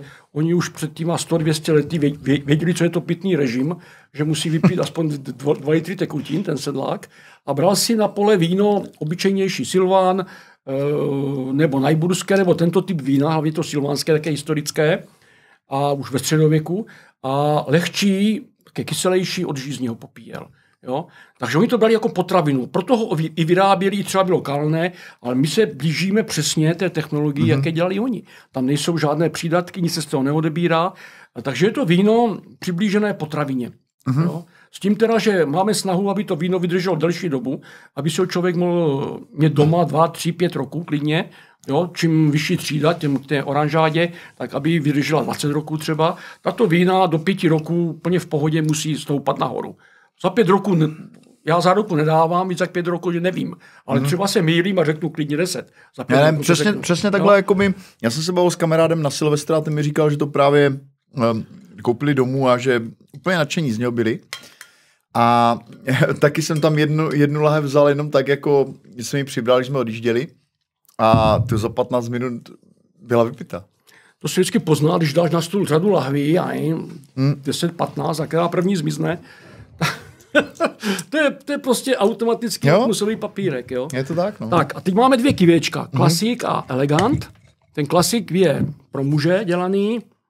Co to znamená? Jako, že má víc alkoholu. 14 alkohol. Mm-hmm. Takže není to plně pro ženy. A je to kivé, kivé uh, Sauvignon Gris a Solaris. Mm-hmm.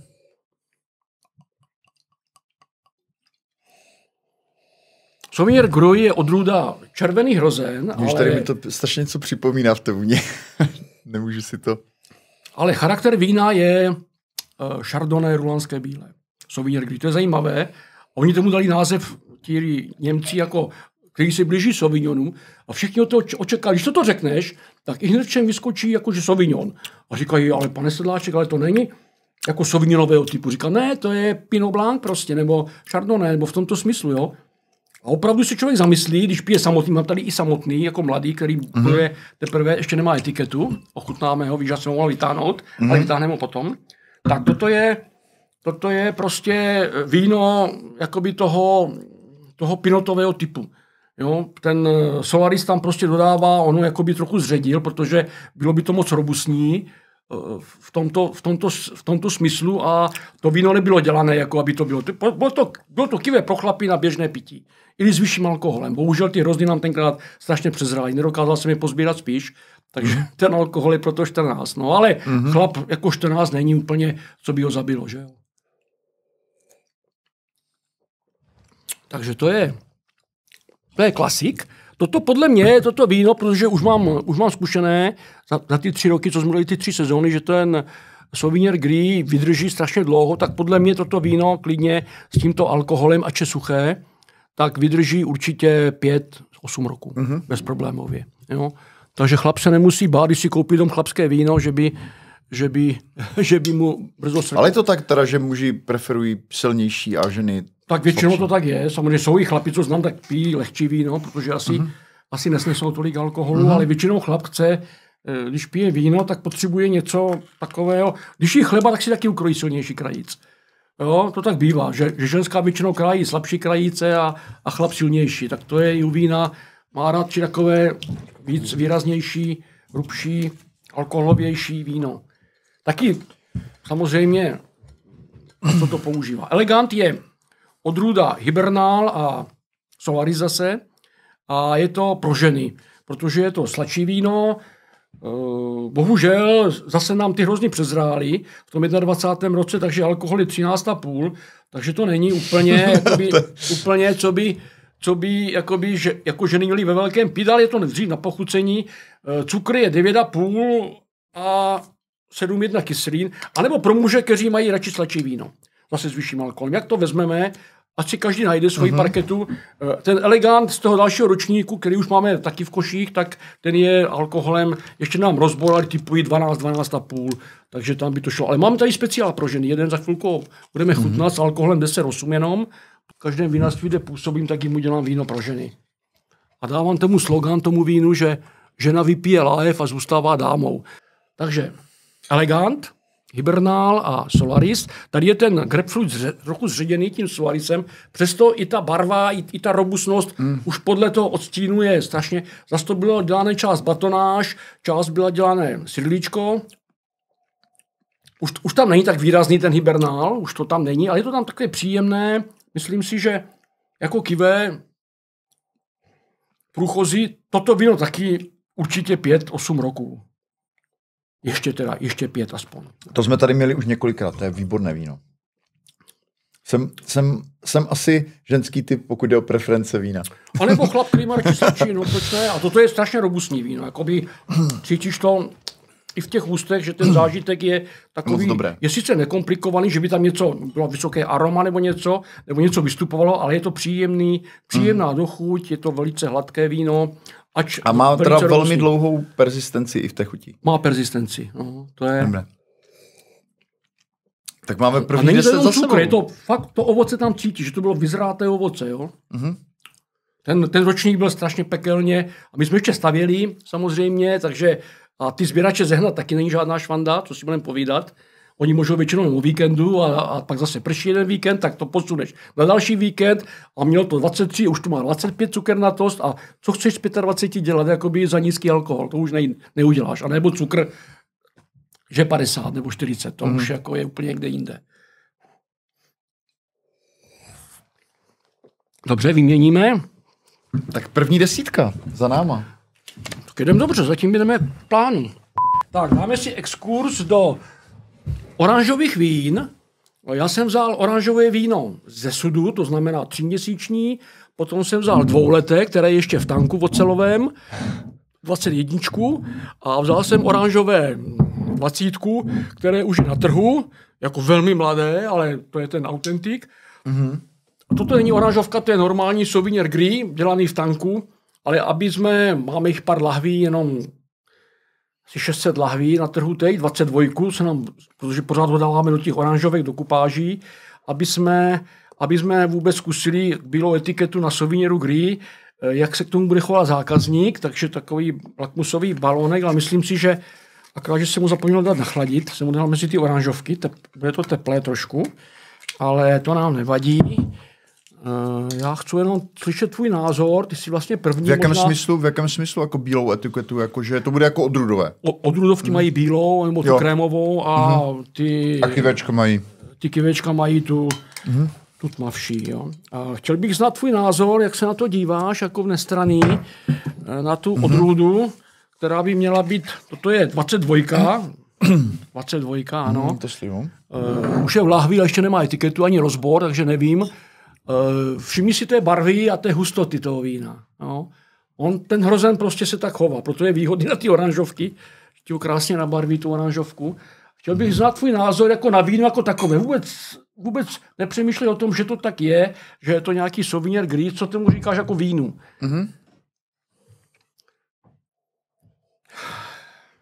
No to, že je rok staré fakticky, rok a tři měsíce. Můj odhad je alkohol 12,5, 13, mm-hmm. si myslím, nevím to. A podle té cukernatosti suché, no téměř suché, dejme tomu 2 gramy cukru by tam mohlo být. A nižší kyseliny, asi 5,5, mm-hmm. 5-8 kyselin. Takže To je první, co mi takové- napadlo, že to je je to takové nekomplikované zase, také vyladěné víno z hodně vyzrátých hroznů, nebo z dost vyzrátých. Ta vůně, zatím by to chtělo ještě podle mě ležet. Ještě taková nevycválaná. nevycválené. Ještě, ještě to chce trošku lehnout, aby se tam projevila taková ta, ta zralost těch pinotů, jakoby. Mm-hmm. To je víno pinotového typu, ať je to, ať je to interspecifický kři- kříženec nějaký z Geisenheimu z Německa. Já jsem s ním spokojený. Já myslím, Je že teplejší tím, jak je přesně, že to je teplejší trošku, takže, to, takže to vlastně se to... Ale Špatně té se jsou ale- hrom. Ale jako chutná dobře. Já, já myslím, že to, že tam je trošku slabší ta kyselinka, je hodně cítit. Že to je vlastně taková, jako že není tam takový ten spike, víš, jako by co je u těch ostatních. Ne, není to frýš, no jasně. Mm. Není to frýš, je to víno prostě vyladěné tímto stylem. E, To znamená, je to Mhm. dřív, e, dřív chce ještě poležet rok v lahvi teď, aby, si, aby se to prostě uleželo, jak má. A myslím si, že po těch dvou letech to dostane úplně jinou dimenzi. Tak pojďme na ty oranžovky. Mhm. Mm-hmm. Pojďme na tu nejmladší, Orange 23. Toto je z, z velkého sudu, z 12 stovky. To je na tom obrázku, jak jsme to míchali z hora tím mestovadlem, mm-hmm. to byly zrovna z tohoto vína. A je to pálava. Pálava, kterou jsme vyčenčovali e, s vinařstvím Herůfek zaječí za Solaris. Víš to, jak to ještě žije, jak to vystřelilo? Mm-hmm. To mě to střelilo, tam je ještě oxid pořád v víně. Ale. No, A nebylo to slyšet To vůbec. dýmilo. Jo, úplně to, úplně to, úplně to, úplně to zadýmilo. A ta pálava je jediná, a tramín ještě, který se vyrovná, já jsem tady mluvil o primárních a sekundárních tónech ve víně, ještě vidíš to víno. jo. tak A- to je teda úplně A ta palava je jiného. jediná a tramín je jediný, nebo Já to aspoň tak možná popíšu tady pro nás, co to poslouchají. Tohle je víno, které je silně oranžové a má takový jako zákal. taky opál, dejme tomu. Takový jako opál, mlhu, jo, jo. No, jasně, Mhm. protože to víno ještě kvasí, jasně. Ještě No to je- je vidět, asi, asi, asi moc ne na té kameře. Možná takhle to ukážu. Ještě rozkvašuje a když tomu čichneš, tak jsou tam strašné kořenité, Oh, kořenité, úplně koření, jakoby vánoční, takové to koření, jako je skořice, hřebíček, badián, všechny ty, ty, eh, ty vánoční, které já mám rád v tom cukroví, ne ve svařeném víně, bacha, tam je to, tam je to expresivní, ale v cukroví třeba, možná i trochu zázvoru bych tam, tam našel v té vůni. A v každém případě, což i tramín, i palava má tyto tóny, plus tam mají ty divoké růže, které v tuto chvilku už jsou pryč, ale, ale oni tam znovu vystoupí, ty růže divoké, Ježišmarja. A toto je to je alkohol, překvapivé. alkohol bude zase kolem 14 typuju, nebude úplně přes 15 nebo no, do 14 dřív, protože ta vyzrátost hroznu nebyla úplně vysoká. Ale, ale tohle není jakoby ještě úplně jako ve stavu, kdyby se to pilo, ne? To je víno, které teprve... Tři měsíce, to bude které- rok které- ležet na slupkách. Jo, jo, jo. Po roce to půjde ze slupek dolů, půjde Aha. do tanku, rok bude v tanku a teprve ve třetím roce se začne lahovat Takže tohle je v podstatě jakoby polotovar. No, to ještě není Aha. ani, ani dokvašené. Mhm. Ale už se to dá pít. A ty, uh, ty to v téhleté fázi degustuješ jako z toho důvodu, abys viděl, jak se to vyvíjí? Ano, jak, teď ti říkám, máš exkluz, Aha, aha, jo, jo. ještě tam hodně Strašně třísel. zajímavé. A oni budou ještě mnohem nastupovat ta třísla, protože eh, ty, ty semínka tam jsou pořád v tom víně. Mhm. Mm. Takže za rok to bude tříslovité, to bude protivné jak sodovka, ještě protivnější možná. A nebude Mhm. to skoro pitelné po roce. Ale další rok se to vyleží v tanku, už to bude bez, bez těch slupek a bez těch semínek. A ta třísla se pomaličku začnou měnit Jo. jakoby na sladké taniny. A ve třetím roce to půjde do lahve a po třech letech to půjde na trh a už to víno bude pěkně takové sle- slehlejší. No. Hodně zajímavé. Takže pálava, to je hodně kořenité, Ale proč je pán Palava tak populární odrůda? je aromatická a dělá se většinou ve sladkém provedení, ale zase nám ji závidí celý svět, to je pravda. To je jediná odrůda, bych řekl, moravská, speciál. Ten muškát nám tak, taky nám trošku závidí. Třeba Italové, když dojeli do vinařské školy a dali jsme jim ochutnat z italské vinařské školy, mm-hmm. a dali jsme jim ochutnat uh, toho muškátu, co nám vyhrál v tom Bruselu, tak jim zacvakali nůžky v kapse a už se ptali, kde, kde, kde máme kde, máme očka, že si budou nastříhat, jo? Mm-hmm. To bylo v zimě. A tak jsme jim ukázali, tak si pak si o tepku nastříhali. Zacvakali A nůžky v kapse. to. No, měli sebou nůžky v- po kapsách a, a hned prostě stříhali očka ti Italové. Jo? Jako ten muškát zatím z toho, co jsme pili, byl eh, podle mě mm, jako takový nejvýraznější jako Aromatiku, jo, v aromatice určitě. va- No. v- ve vůni, no. Tak, toto je ta oranžovka dvouletá, která byla v novém sudu Hm, jo, jo. a je, je tam trošku té, Čili tohle je víno, které těsně předtím, než ještě před lahováním. před lahováním. Teď půjde asi, co máme, teď máme. A pořád je tam únor, ještě vlastně ve vůni je vlastně A v dubnu cítit do lahve. dozvuk vlastně toho, co je v tom prvním, v tom tříměsíčním, to znamená, že on to jako poznáš, že to je jako stejná je- technologie trošku. Jako. To je, o, to je o dva roky starší to víno. To jo, ale poznáš, že to je jakoby, má to něco společného docela ve vůni. No má, jako, jako celkový koncept je samozřejmě, jako míříme vždycky k stejnému cíli, k těm Mhm. vínům. Je to o dva roky starší. Takže a, je, a z jiné odrůdy. je zkušenější a je z jiné odrůdy. Toto je převaha, převaha Sauvignon Gris a asi 15-20% je tam ještě hibernalu. Dneska už hibernal nedáváme vůbec do, do oranžovky, teď jsme dali, tak tu je trošku ještě Sauvignon Gris v tom. Hele, člověče, mi tam něco plave. To je asi kousek šťopky normálně. Jo, je to možné. No, to bylo stánku napuštěné, to tam plave. Jo, jo, to tam bude i v té lahvě. Aha, no. jo, jo, aha. To prostě tak je, to jsou přírodní Mhm. mm. vína, které ten tank začnu lahovat, takže to první víno bude takové, to si pak v té lah... A ten spodek už bude fakt vyložený kál, takže ty s tím kalem jsou nejdražší potom. Tak tohle už je mnohem pitelnější. No to už je... To To už už je prakticky jako, ale, ale víš co, jako zajímavé, že pořád to má vlastně, pořád to má ten opálový nádech. Jako, Trošku jo. jo. Trošku je, to, jo. je, to, je to strašně zajímavé víno tohle. toto jsou Mimochodem, vína, ten autentik jako... Cítíš tam ten ze dub? vš- Na jazyku ten dub cítíš tam? ten sud? Dub, no, ten sud. To dubové, pořád je tam cítit ještě on Tak počkej, tak to vystupuje- mi nalí ještě jednou, to On musím ta, ještě se musíš ho trošku zaměřit. tím, tím jazykem pohonit po patře, mm-hmm. trošku si mlastnout Okay. na konci a, a po chvilce ti vyleze, po chvilce ti vyleze ten dub, jakoby na tom patře ti vyleze. No. To mě trošku mrzí, protože ten dub tam úplně jakoby, to je taková novodobá moda, když tam je, tak prostě musíš ten dub, ten nový sud někdy zavínit, že? Já, já jsem v něm udělal po první grapu, jako na vypálení a po druhé mm. šlo, šlo udělat s ním víno. Jo, jako taková dřevěná... Ano. Takový dřevěný dozvuk, jo, trošku jo. Mhm. Tak a teď už pojďme na to, na, na to finální oranžové víno, Authentic, eh, vinařství Johannesberg Authentic 2020, to znamená, teď už je to, teď máme kolik ročí, 24, mm-hmm. takže tříleté víno a teprve teď, teď je vlastně jakoby tam, kde by, kde by jsme ho měli mít a samozřejmě rok od roku, ještě minimálně pět roků by mělo získávat to víno a potom buď půjde po rovině, nebo půjde ještě do kopce, nevím, nedokážu to. To jsem, to jsem chtěl říct, že posoudit. to je ze všech těch vašich vín pro mě nejvíc jako zajímavé a nejvíc originální víno a nejvíc mi chutnalo. A všimni si, že jsou teplé ta vína, že nejsou, že se hmm. podávají, hmm. tato vína se nechladí nějak, jo, ne třeba úplně pokojovou teplotu, hmm. ale těch 15-16 je tak to optimum i pro tento typ vín. Hmm. Asi jak pro, jako je, pro červená ne? starší vína. No. Hmm. Mladá vína se můžou ještě víc vychladit.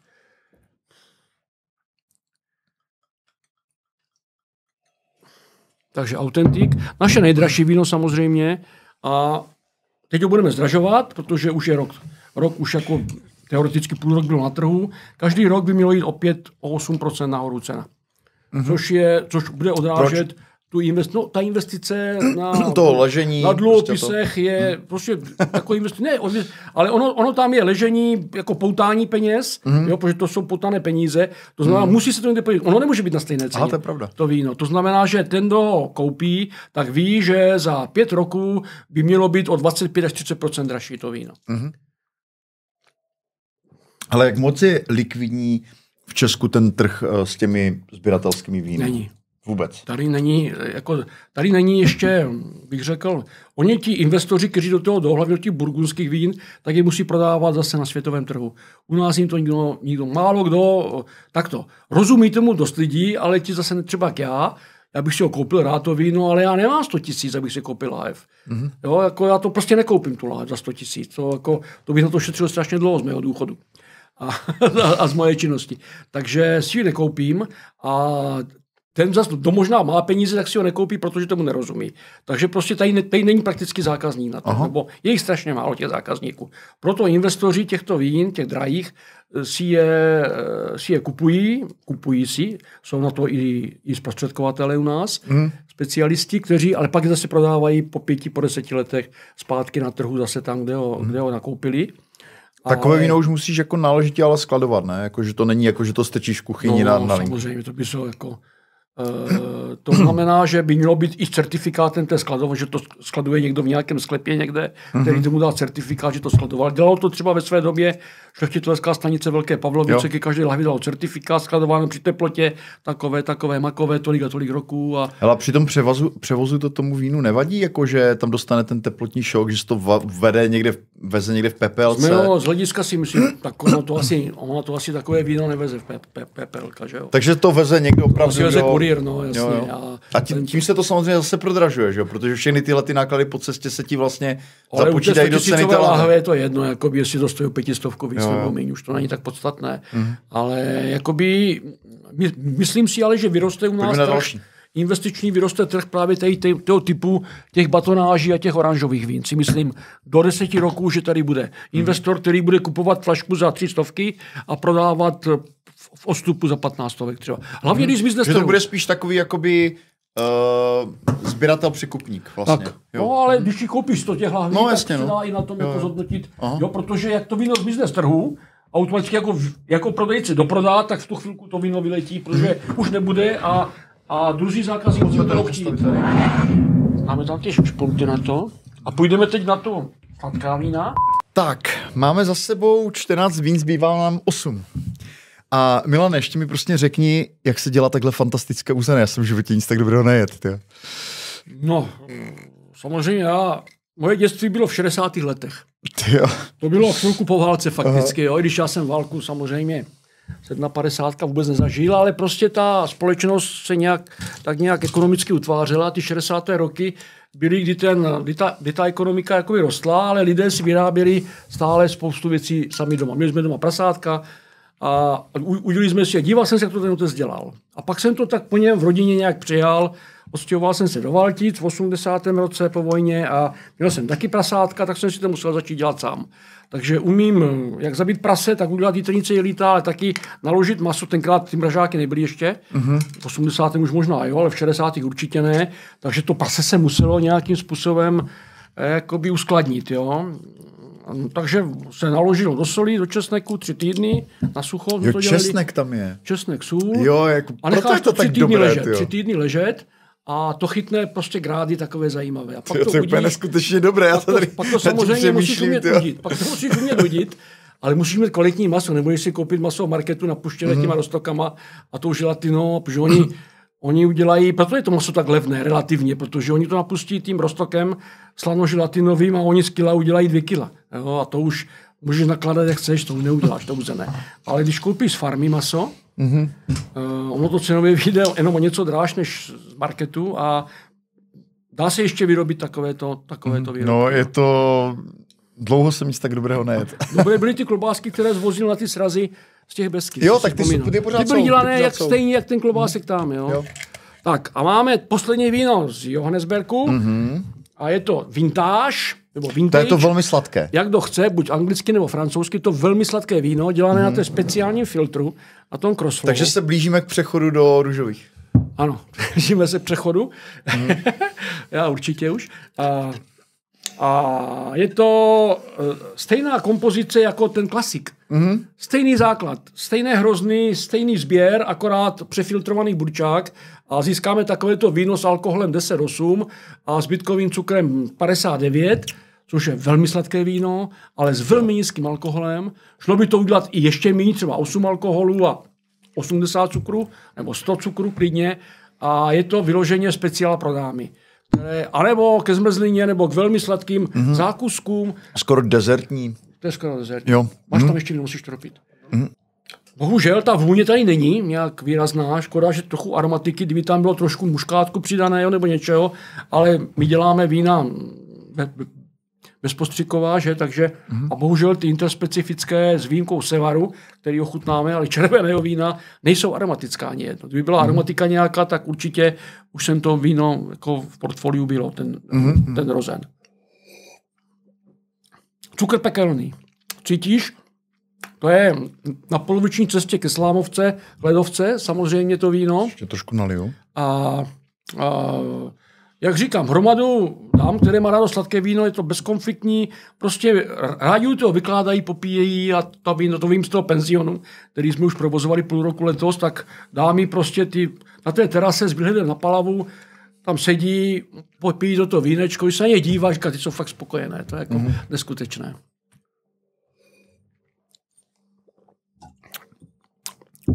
Takže Výborné. Vintage, vintage. A Takže pojďme... vlastně ještě možná dodám, že my jsme vlastně teďka projeli od úplně lehounkých vín až po ty nejsladší, po suchých, po, ty, po to nejsladší. A teďka přecházíme na co? Ještě sladké budou. Ještě, ještě sladké, no to je sice okay. polosladké, ale já jsem ho dal mm. až po něm, protože je to palava. Mm-hmm. A je to Salaj Vinery, jak jsem mluvil o tom technologii uh, ze sedlických vín, tak Jirka Salaj, toto jsou jedny jejich z prvních vín, Eh, protože před, eh, v roce 2000 vlastně spustili mm. vinařství se svým bratrem, jestli jmenuje Petr nebo tak nějak. Takže a... docela už mají nějakou tradici, to je do, dost let. No ne, pět roku. 2000 jsi říkal. A pardon, 2020. A, dobře. Tak, 2020, mm-hmm. takže je jejich první vína, ale všimni si na tu grafiku. To je jaká Nový Zéland, Austrálie, super. prostě super strašně moderní. Se, strašně je to strašně líbí, takový to design, no. ale pěkné, Aha. vyladili to. Po, popíšu pro ty, kteří poslouchají jenom... To je ta nižší řada, ta vyšší je tady ta, ta, ta zlatá, tam přidali zlato do toho, salaj, hmm. salaj vinery. Oranž, lahev, která má oranžovou etiketu, oranžovou záklopku. To, to kdyby bylo oranžové Aha. víno, tak to nemá chybu, ale jo. to je palava, jako jo, jo. polosladká, Aha. ale je to to klasické zase dámské víno, akorát teda akorát ten alkohol je 12, takže Furt je to lepší jak 13 samozřejmě, ale pořád je to dobrý, jako pro dámy. A předpokládám, piju poprvní víno vůbec jejich vinařství. Mm-hmm. A to, a to jsem dostal náhodou, ty flašky sebou, protože byl jsem vína ze ZD a on říkal, pan Sedláček, vy tam jíme, tak jsem mu je vzal. Mm-hmm. Proč ne? Jako kluk, jako jsou zvědavý. Všude má, mm-hmm. jo, je, je, je vidět, že to dotahuje, že to dotahuje. Branding. Že to dotahuje ten branding do důsledku, že je zkušený kluk už, ač je mladý, ale velmi, velmi jako ta vína... Co znamená, jako, že je mladý? 35 roků. Mm-hmm. To je na vinaře. Na vinaře mladý. Mladý, no. Tak to jsem zvědavý. Už, už ten korek voní. Počkej, přivoním. To teda jsou žádostivý teď. Hmm, jo, to, je, to je pravda. Husté. Aha. Lehce, jakoby, lehce se uvolňuje extrakční, jo? podívej, bublinky jdou. Ty jo, to je, je ale strašně zajímavé ta vůně. No tak palavá, no je to, mm. tady je ta divoká růže, ten květ divoké mm. růže, jako je ten tramínový typ. Ale je pravda, že spousta vína, které se prodává v Česku jako pálava, je nějaký dovoz od někud, co jsem tak jako zaslechl. Že no, to je prostě ve vinotékách, jako, to, to se čepuje stoprocentně. To je Iršaj a do toho dávají ti Maďaři tu odrůdu, oni mají hodně Iršajů, takže on je aromatický, mm-hmm. a do toho dávají ještě takovou množstevní jednu a to je aromatické a už jim to Takže to stáčené, když je to stáčená pálava. Stáčené, protože to nemá, tam to nemá jak dost kontrolovat, takže oni to, mm-hmm. i když oni to správně neměli označovat tak, ale kdo je těch inspektorů je tak málo, že nemají jo. šanci. Ale co je v lahvi pod přívlastkem hlavně, tak to je původ kontrolovaný, víno, všechno. Tak to Jirka teda se pochlapil. Mm-hmm. Není až tak sladké, jak jsem si myslel teda. To je Mohlo být víno. možná až víc, ale mm-hmm. je to pěkně, není to nějak... Ale je to teda úplně typická palava. Ne, ne, není jako protivní, aromatická, ní... je pěkně lehounká, jakoby, jako pěkně... Jako ne, neodchyluje se od toho stereotypu vůbec. Ne, ne, ne, ne, ale není, to fakt ne, jako úplně, není, tak, úplně není tak výrazná, je, je pojatá trošku technologicky jinak, myslím si velmi, mm-hmm. velmi čistotné, jako velmi čisté to víno, bez nějakých, jo, postra, jo. Bez nějakých postranních úmyslů. Ale je to Tohle trošku... je jedno z, jako z nejlepších, co jsme tu měli. Je, je dobré. Typnu si, že jak tady bude pak ta after degustace, takže to bude jedno z těch, které zmizí. Možná jo. Už teda proto, že to je páliva a Totiž má takovou on, krásnou lahev. On, on, dokáže, on, on, on, on dokáže skloubovat, ne, ne, on dokáže skloubovat ty, tu moderní technologii s tím teroárovým vínem a s tím, s tím požadavkem, podle mě to není víno na rok nebo na dva, že to víno klidně 3-5 roků vydrží v lahvi, bez problému si myslím, to cítím, ale uměl to skloubit, vlastně, aby to vyladil pravděpodobně mechanicky pomocí filtru, to vyladil tam, aby to chutnalo té mladé generaci. Jo, mm-hmm. to je ten styl té mladé generace. Ty ho nemá, že ne? Je to pěkně udělané víno, jsou spokojený. Jirko. Jirka je, oni měli Oni měli vinařskou laboratoř mm-hmm. v Milovicích soukromou, než udělali to pro Necho a ty ostatní, ta BSK, tam ty vin taky zlikvidovali jasně jakoby konkurenčně, ty velké firmy.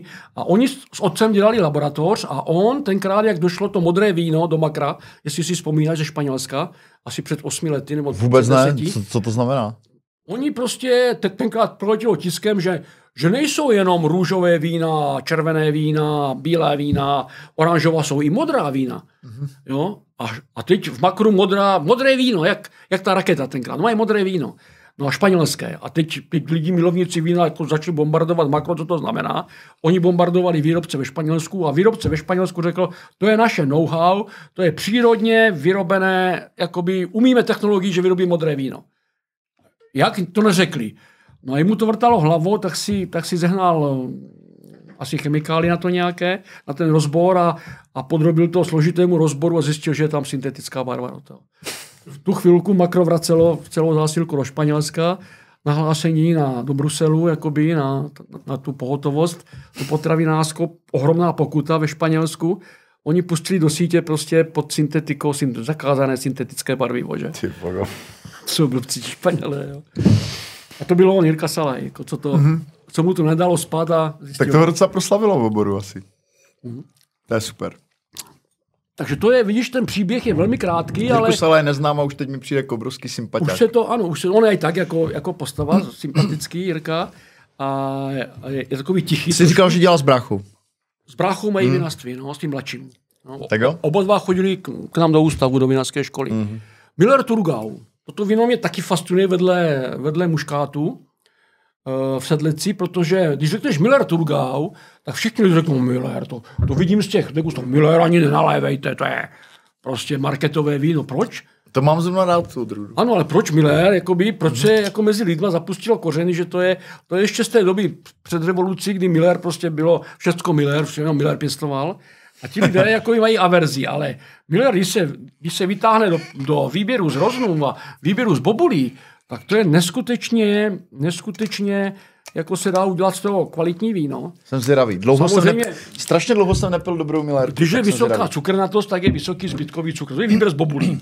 Výběr z bobulí je 27 a víc. Cukernatost je peklo vlastně, mm-hmm. takže z toho ani, ani polosuché, ani polosladké moc nevyrobíš. Jedině sladké, nebo teda ohromně vysoký alkohol.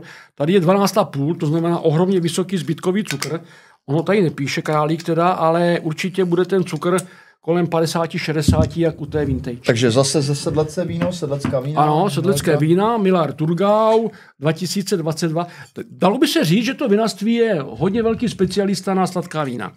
Jak na slámová, tak na ledová, tak na ostatní uh, botritické sběry Mhm. mm-hmm. a, a jiné sladké, sladké speciality. A toto je, toto mám strašně rád, když se to napije při té degustaci ten, ten turista, tak mu, tak mu vyletí oči z důlku. To není možné, takovou mlerku jsem v životě nepil. Ale tohle jsou úplně špičková Krásná eh, broskev moravská vína, co tady pijeme. Kolik tak stojí lahé?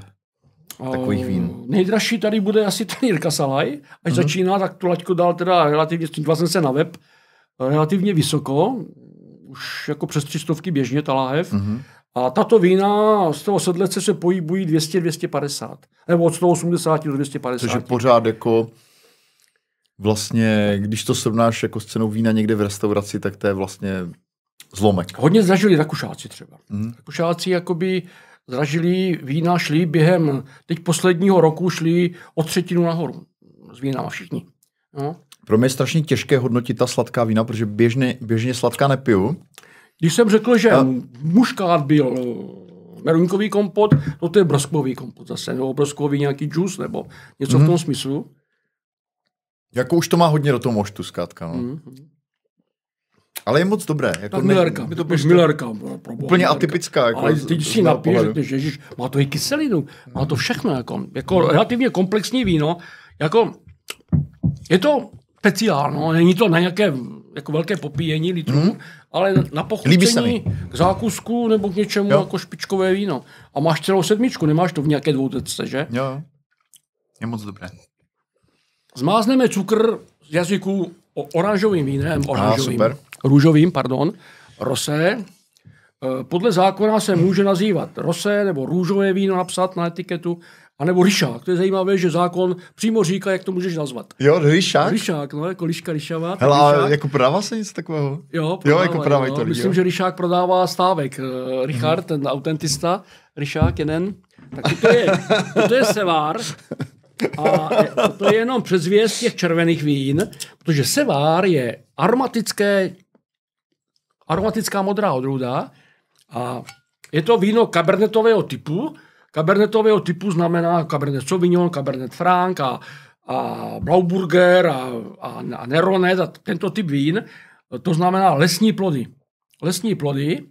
Já jsem ho z hodou okolností se k tomu dostal, když to šlo do finále na, na zapsání do odrůdové knihy, v Oxuzu ho zkoušel a Zdenek Abrovanský, kamarád, který ho dodělával po Křivánkovi v těch, eh, v těch eh, Polešovicích, tak jsme ho chodili chutnat do tanků, no tam měl pár hlav, ale chodili jsme ho chutnat a říkám, Zdenku, toto víno má ohromnou budoucnost. Trošku jsem se mýlil, myslel jsem, že bude rychlejší nástup, ale přesto podle Mikulášku, kteří vysázeli už tenkrát, když to bylo v plenkách, to odrůda vysázeli dva hektary, dneska mají ohromný náskok před ostatníma, než ti vysázejí a než si udělají, tak oni už to prodávají, že? Jako takovém to provedení, pěkná etiketa, všechno, jako růžovku.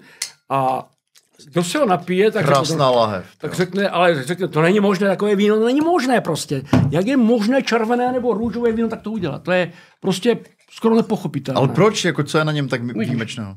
Tak, Nebo tak uvidíš, ukaž. neuvidíš, ale ucítíš. Dobře. Dan stal. Holky si to, mě, mě zrovna jsem to, protože to je strašně daleko, ty Krušné hory od nás, od, z Valtic, a já jsem mu to mu to napsal, ať mi pošle dvě láhve sevaru, protože už jsem vypil, co mě poslal před Vánocama.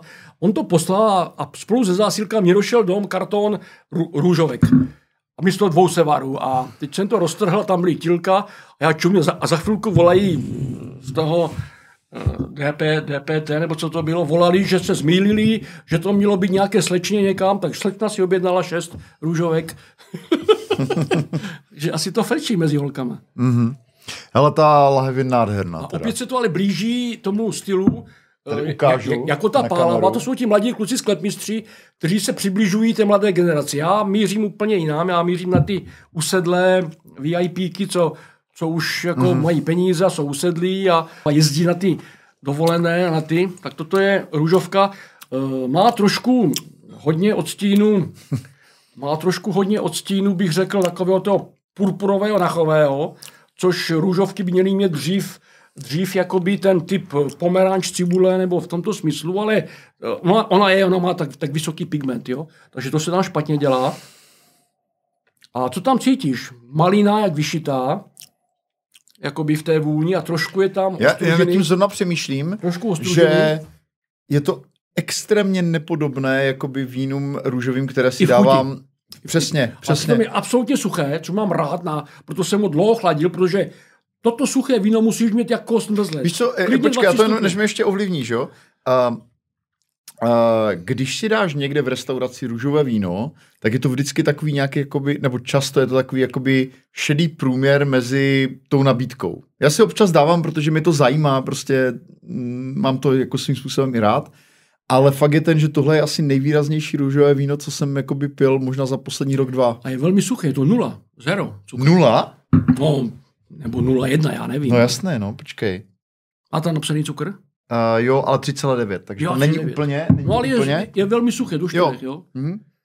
Toto je... A je velmi dobré. Prostě jako do 4 gramů nevnímáš ten cukr prakticky. Je to prostě, úplně se to vymyká všemu, všemu co člověk zná. S někým je to červené. Počkej, teď zkusíme A to červené. jsem pil teďka tady, v Ostrově jsme byli v nějakých restauracích a pil jsem nějaké francouzské zudolí Loary a tak a prostě fakticky to nebylo až tak zajímavé, jo? prostě bylo dobré, jako já, já to rád piju, protože to je víno, které tě jako nikam nevyšine a je to dobré k jídlu, ale eh, tohle je hodně autorské, tohle. Zajímavé. To je mladé, 20, jo. Mhm. Dvojka. Takže počkej, takže teďka jdeme na poslední, e, e, ještě musím říct teda tady na záznam, technická byla pauza, protože dole nás čekají lidi na navazující degustaci a museli jsme uh, teďka trošku uh, opečovat, takže, takže jsme jim poslali na začátek tři zavíňovací vzorky. Ale aby jsme si tady mohli dokončit celou degustaci. A zbývají nám poslední čtyři lahve? Poslední čtyři lahve, jo. poslední čtyři lahve červených vín. Jako první půjde Sevár, aby jsme měli návaznost na to růžové. Jo, jo, jo. To, růžové to, mě, to mě bylo, velice zajímá. To růžové bylo taky trošku handicapované. Hele, uh, budeš používat tohle? Tu dekantační nádobu? Ano, ano, a teď ne. Teď ne, protože to použijeme na ty, na ty tři. Dobře, Uh, takže Rose je odrůda Sejvilárka svatovavřinecké, je to mm-hmm. nová, nová moderní odrůda, podle oh, mě s ohromnou budoucností s ohromnou budoucností, protože z tohoto, a to, toto jsou jak, hrozný... Jak se to jmenuje pro mě ještě jednou? Sevár, Sevár, zkladka, Sejvilár krát Vavřinecké. Jo, ok. Jo, a protože toto víno je vypěstované pod Krušnýma horama, eh, to, tento hrozen, je jako jako to, je, to je neskutečné, že tam se dá udělat, jak jsem tam přijel před těma 12 rokama, tak ty vinaři z března tam přinesli vzorky a já jako mám rád kyselé vína, tvrdé chlapské vína ale prostě po pátém, šestém vzorku já jsem nedokázal to víno polknout, to bylo taky celé, jo. Prosím tě, co to znamená tvrdé chlapské víno? No prostě suché s vysokou kyselinou, jo, a s vysokým alkoholem. Aha, jo, jo. A teď, když mi tam donesli, a teď mě, abych to posuzoval, já jsem, a, kluci do, dokáží vyrábět i to červené tímto způsobem. Aha. Jak to dělají? to vůni. Jak to dělají, ty jo? Tak za jedno odrůda tomu přispívá hmm. a samozřejmě to, to Hele, co se ale to má úplně nádhernou barvu, jak nějaké okvětní lístky růže nebo něco, já nevím, čemu bys to přirovnal? Ta vůně? Ne, ne, ne, ta, ta, ta barva? Ta barva. No ta barva je, je klasická. Znáš, jak vypadá plášť římského císaře? Jakou barvu má odstín? Eh, no, karmínově červená? To je nach purpur. Nebo ne, nach, promiň, ne karmínově, nachová, nach, nachová, nachová, jo, jo. To je přesně nach, jo. Nach. A čím je víno nachovější, tím ten hrozen je vyzrátější, jakoby bych řekl, vždycky se dívej, jako jak má víno na, nachové barvy, tak je to samozřejmě odrůdově Pinot Noir má má vždycky snahu být jako cihlový. Jo? Ale, Ale tak tohle je jako zkušený hor, hor jako dobrý zkaz. Navíc to víno po půl roce chutná jak tři leté, už jako vyležené víno, to je zajímavý efekt. A přitom dlouho vydrží ještě, pořád je stejné, několik roků, to je neskutečné. To je, to je 21. Uh, tři leté. Uh, je, je pravda, že jako ve středověku nebo v těch starších obdobích byly ty vinice vlastně v místech jako Šumava a prostě tam, kde by ve 20. století prostě víno nikdy nerostlo. Jako. No, protože bylo teplej než je dneska. Jo, takže, takže do, bylo nějaké... Do 30 leté války bylo teplej než je dneska. Mm-hmm. Boom začal někde, nebo ten vrchol toho boomu teplého byl za Karla IV., proto mm-hmm. jsem mhm. tahal víno z Burgundska, mm-hmm. jo, když ono už tady bylo jako čistetiáci. Bylo tam ohromné ochlazení, stěhování národu, 5., 6., 7., 8. Mm-hmm. století, ale Hannibal 300 roků před letopočtem táhl Alpama se Slonama, velké oteplení. Ty periody do, prostě v celku se dala vysledovat krásně. A teď máme zase tu periodu toho typy. V roce 85 mm. vymrzly vinice na Moravě, všechny totálně se řezalo území. Jako k, uh, 1985? 85. Vymrzly, to bylo největší ochlazení, ta perioda se zhoupla v tom největším zlomu, od té doby se už jenom otepluje. Pořád se otepluje. Nevím jak dlouho, ale teď se dá vysazovat úplně všude. Všude mm. prostě pod krkonoší, kde chceš mm. vysadit. Minimálně 20 roků, 30. To bude Takže i na tu Šumavu dojde. No, určitě tam musází vinohrady. Tohle je krásné víno. Tak toto je, dobré. toto je sevár z píčeckého vinařství, takzvané dravé víno z Vyčic. Hele, ale oni jakoby mají dobrý tah na ten design. Oni mají dobrý tah. To je, to je, to je sítích, nádherná, nádherná lahev, podívejte I se na, na sítích sociální mají dobré úplně. tahy, jakoby teď, teď jsme fotili, Měroš mm. tatil ty tilka v tom balíku, tak jsme je fotili, ale já teď si je vzpomínám ten tilka? nápis. Tilka, ale tam mají napsané něco krabičák, ale bylo tam to anglické slovo beach nějak, beach, beach, beach jako vkomponované mm-hmm. a Charlotte se strašně smála, moje dcera, jo, že, to, že to prostě marketingově úplně špičkové, jako špičkový mm-hmm. tah, jo.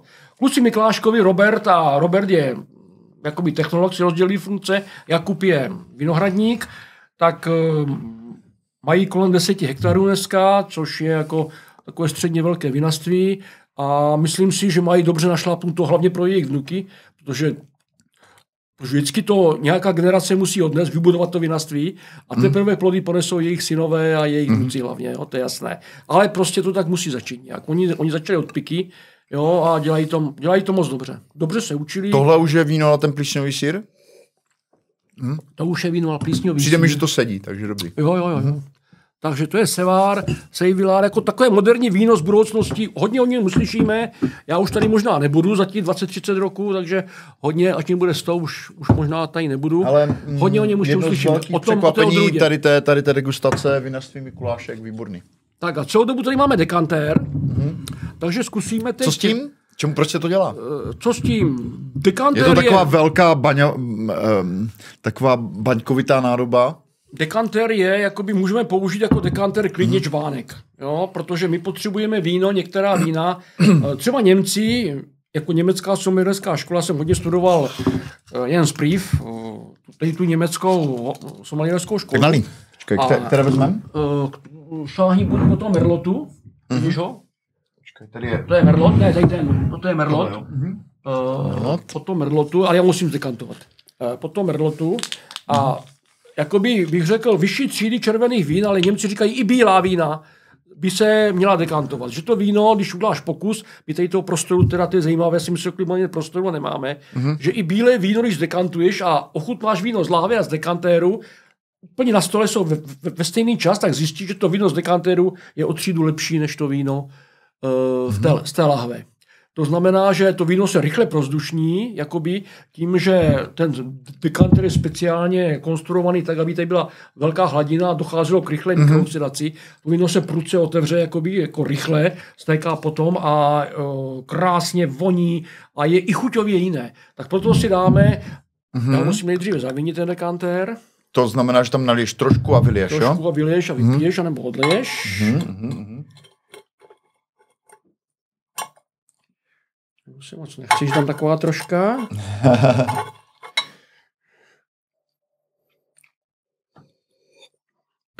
Merlot eh, z barikového sudu. Eh, tento merlot byl v sudu pět měsíců, 14,5 alkohol, to znamená, že to není žádný drobeček ročník 2020, mm. tříleté víno, samozřejmě... A výrobce? Taky, uh, Weingut Ipsmiller, to je ta osmá generace Petra Ipsmillerová mm. ze Schrattenbergu, je vesnice přes kopec od Valtic, na první vesnice, od nás je to na kole pět minut, dva kilometry mm. z Valtic, ale musíš, musíš vyšlapat rajstnu teda.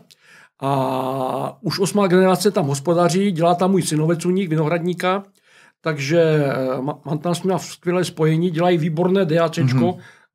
Veltlín, který jsme chutnali a mají, jsou v salonu vín mezi stovkou, nebo dejme tomu, asi jich tam bude víc jak u nás, víc jak stovka, ale jsou v té špičce rakouské, co se týká červených vín. Mm-hmm. Jo.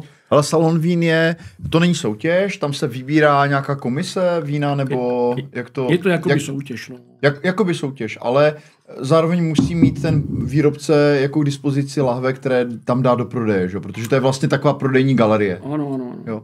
To je mimochodem ve Valticích, pokud to neznáte, tak na zámku je taková krásná uh, jako sklepní, krásné sklepní prostory, zrekonstruované a je tam vlastně nabídka, kolik je tam, stovka vín možná? Sto vín. Sto vín každý rok, Aha. jako probíhá Zážitek. zhruba ze 4,5 tisíce, myslím, přihlášených vzorků letos to bylo, tak v únoru se otvírá, myslím 15. února někde se otvírá ten salon, mm-hmm. tento ročník a bude. Takže Merlot je jedna z odrůd v kompozici do eh, do Bordeaux, do kompozice mm-hmm. Bordeaux, všechny vždycky Merlot, Cabernet a trošku Pinot Noir, většinou se tam dává 50% jako Pinotu, takže to je základní kompozice. Rakousko je furt jakoby v závleku toho germánského zákona, to znamená uh, Petra Ipsmillerová dělá kive, dělá kive Petra, se jmenuje, které stojí asi 30 euro na lahev, relativně drahé víno a určitě dělá kompozici, v té Petře je ta Cabernet a Merlot,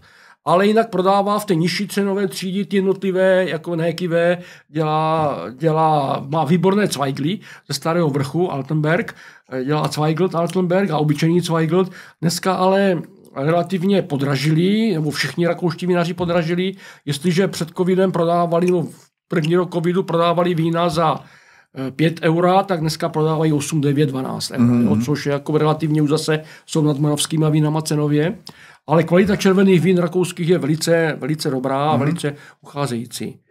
Velmi chutná tohle víno. Toto víno jako dělá mě dojem velmi mladého, ač je tříleté. Já mm-hmm. si myslím, že ještě rok, dva, tři v láhvi by mu velice prospělo. Mm-hmm.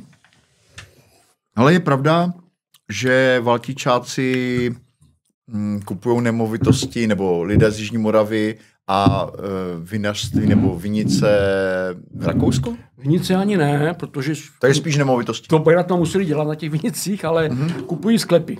Mm-hmm. Sklepy ve Schrattenbergu má hromadu valtičáků, činžáků, mm-hmm. sklepy, protože sklep ve Valticích pod půl milion ani náhodou, mm-hmm. dřív přes milion a víc. A v Rakousku se dá pořídit za 20, za 30, za 40 tisíc ten sklep. Jo. Tam jsou celé ulice prázdné sklepní. Prostě ta, ti, ti mladí se vystěhovali z, toho, mm-hmm. z té mhm. vesnice, to je, a to není Schrattenberg, to je tam jako celá lajnáš ke Znojmu, ty vesnice v tom pohraničí, šli do Vídně pracovat, protože mm-hmm. tam by dělali víceméně na pár hektarech by se tam, a oni šli za lehčí obživou a ti starostové jsou z toho tak nešťastní vlastně, že to nikdo neudržuje, dveře neopravuje, nenatírá, je to tam zdevastované mm-hmm. ty sklepy, tak oni to prodávají Čechům, kteří to uh, natřou, udrží, prostě aspoň zhledově to vypadá. Takže normálně přes realitky to jede. Ne, ty jdeš, ty jdeš prostě na radnici a řekneš, chci koupit sklep a starosta ti vezme dva auta, pojezdí s tebou. Ty mu řekneš, tento se mě líbí, tak pojď, napíšeme druhý den, si hmm. píšete smlouvu a on ti to s tou rodinou domluví a, a, a hotovo. Ale on ví, že ty, že, že ty dveře budou spravené, jo. protože on tě zajímají i přinutí, oni tam mají špagát. Já snad ještě koupím sklep. Oni tě tam přinutí to spravit, protože mají špagát. Na jo, jasně, jo. chápu, chápu. Tak, oni mají trošku jiné pravidla, ne? Tam si musíš najmout řemeslníka jejich a tak dále. No, už taky to není úplně pravda, už může dojet i náš, ale první fázi to tak bylo, že tam došli no. naši řemeslníci a dojela cizinecká policie a museli odjet. Museli si najmout místního jejich. No. Tak, to je Cabernet z vinařství Ipsmiller, zase jakoby to dělala žena, nebo to řídí žena, ta, to vinařství. Ročník 19, to znamená pětiletý Cabernet, 14 alkohol, troken samozřejmě, červené víno. Ale když jsem byl na té vinařské škole, tak eh, já bych skoro řekl, že polovina studentů byly holky, ženy, Ale tak jako to mluvíš, tak eh, spousta těch vinařů jsou prostě chlapy. Jako, jako děje se něco v tomhle, jako děje se nějaká změna v tom? Už je hromadu vinařek. Budeme psát i v té knize pravděpodobně mm-hmm. o těch významných vinařkách. Já bych řekl, že takový podíl mm-hmm. žen, co je dneska ve vinařství, v těch malých rodinných firmách, nikdy nebyl. Byli, byli vinařky... To je, to je ale skvělé. Dejme jako. tomu na, na každou třídu byla jedna, dvě holka vinařky, které fakt byly kdysi v 80. 90. Mm. letech, to si já vzpomínám. Ale, ale počkej, já ho zdekantuju. Jde o to jenom prostě, aby si to víno lehce vydechlo, stačí pár vteřin, 10, 15 vteřin, bohatě stačí. Samozřejmě, kdyby leželo hodinu, bylo by to lepší. Jo, trošku nalétého, tak by to šlo rychlejc, jako by, nebo rychlejc. Rychlejc by to šlo pořád stejně, ale bylo by to mnohem jakoby ten, ten efekt větší, ale i, i takový to pár vteřinový, i, i takový to pár vteřinový jako bohatě stačí. Cabernet Sauvignon mm-hmm. bude, uh, proto jsem říkal, Sevar je víno cabernetového typu. Opět by tam měla být ostružina, borůvka, takový to typ toho, toho lesního ovoce. Hoj. Teď jsem toho... Dobré, dobré, dobré. Počkej, já ti, já, ti, já ti to... Chtělo by to větší lahve samozřejmě, mm. z toho. My máme ty, ty malé degustační jenom a ten dekanter má široké hrdlo. Proto radši... A musel bys tam nalít i víc, aby to dobře nalívalo, proto, že? protože ty tam víc, dáváš vlastně maličko jenom kvůli nám, proto radši, zkoušeli. Proto radši dekantuju Witchbanku, jo, který má, hmm. jo, má, to, má to hodně podobný efekt, nalévá se mnohem lépe, ale chtěl jsem říct, jsem dekanter klasický, hmm. všechno má své pro i proti, takže toto je No, tady je relativně silný barík u toho vína, ještě by to chtělo... To je další její víno a je to Cabernet Sauvignon. Je to 19. ročník, 14 alkohol, Cabernet Sauvignon, baríkový, Petra Ipsmillerová majitelka, vinařství Ipsmiller, Schwartenberg. Tak ten barík to je tam teda hodně cítit. Barík je hodně cítit, hmm. tady si myslím, že to trošku, trošku, trošku s tím baríkem přehnalý na můj vkus, ale chce to ležet už jenom teď. Chce to jenom vyležet, hmm. klidně pět roků ještě v lavi a to víno se, si slehne. Jak ty, protože ten barík je vždycky takové ty drsné taniny, ale i aromatické, a které se potřebují skloubit s tím vínem a přetvoří se úplně něco jiného za pár roků. Mm. No to tak je. To je docela zajímavé. Já si vzpomínám, že když jsme jezdili do Valtit za tebou, Uh, tak ty si občas nás vzal na nějaké degustace. Podej ten jako, sevar, prosím tě. Uh, tohle? Ne, ten sevar. Tohle mm-hmm. na degustaci, degustaci nějakých opravdu starých uh, archivů což byly lahve, které tak byly z různých sklepů, často 20 let staré.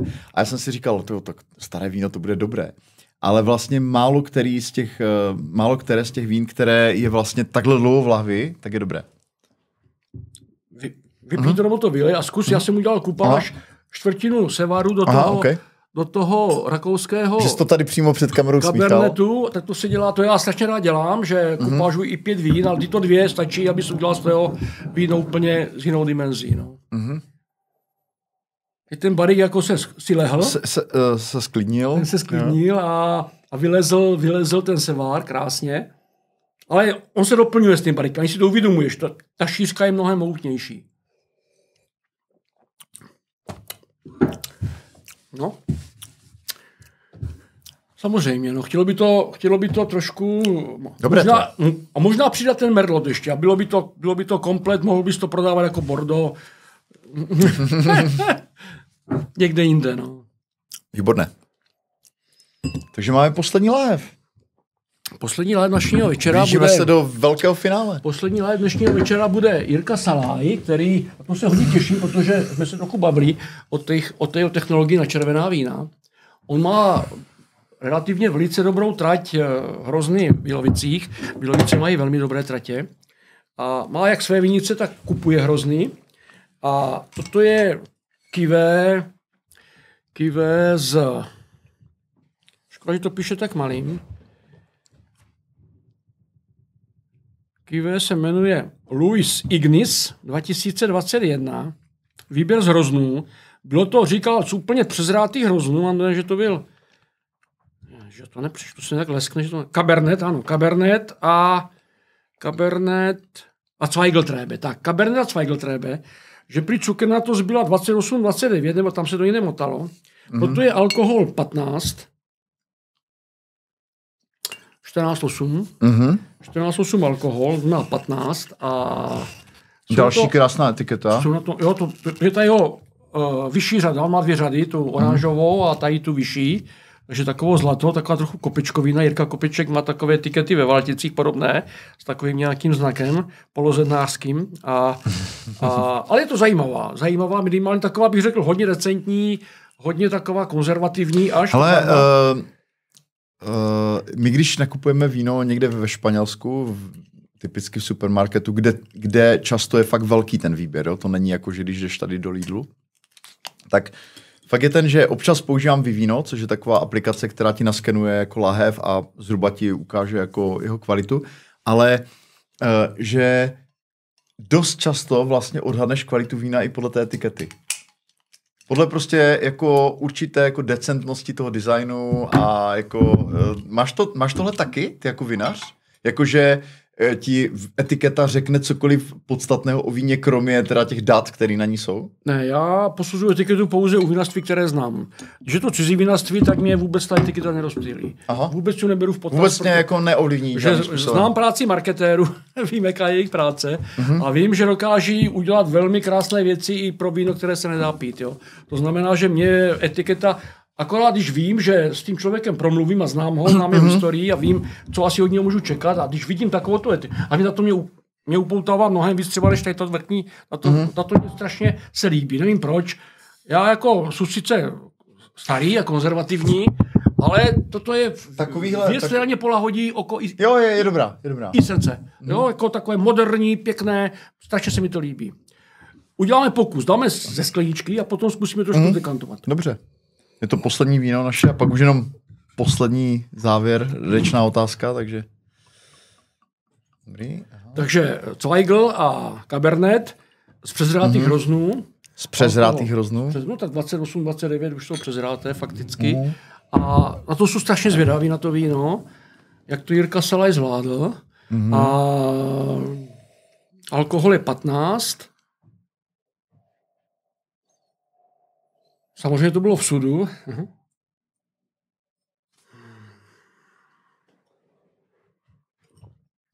Tady jsem udělal chybu, že já jsem ho strčil mezi ty bílé, když se vychladilo.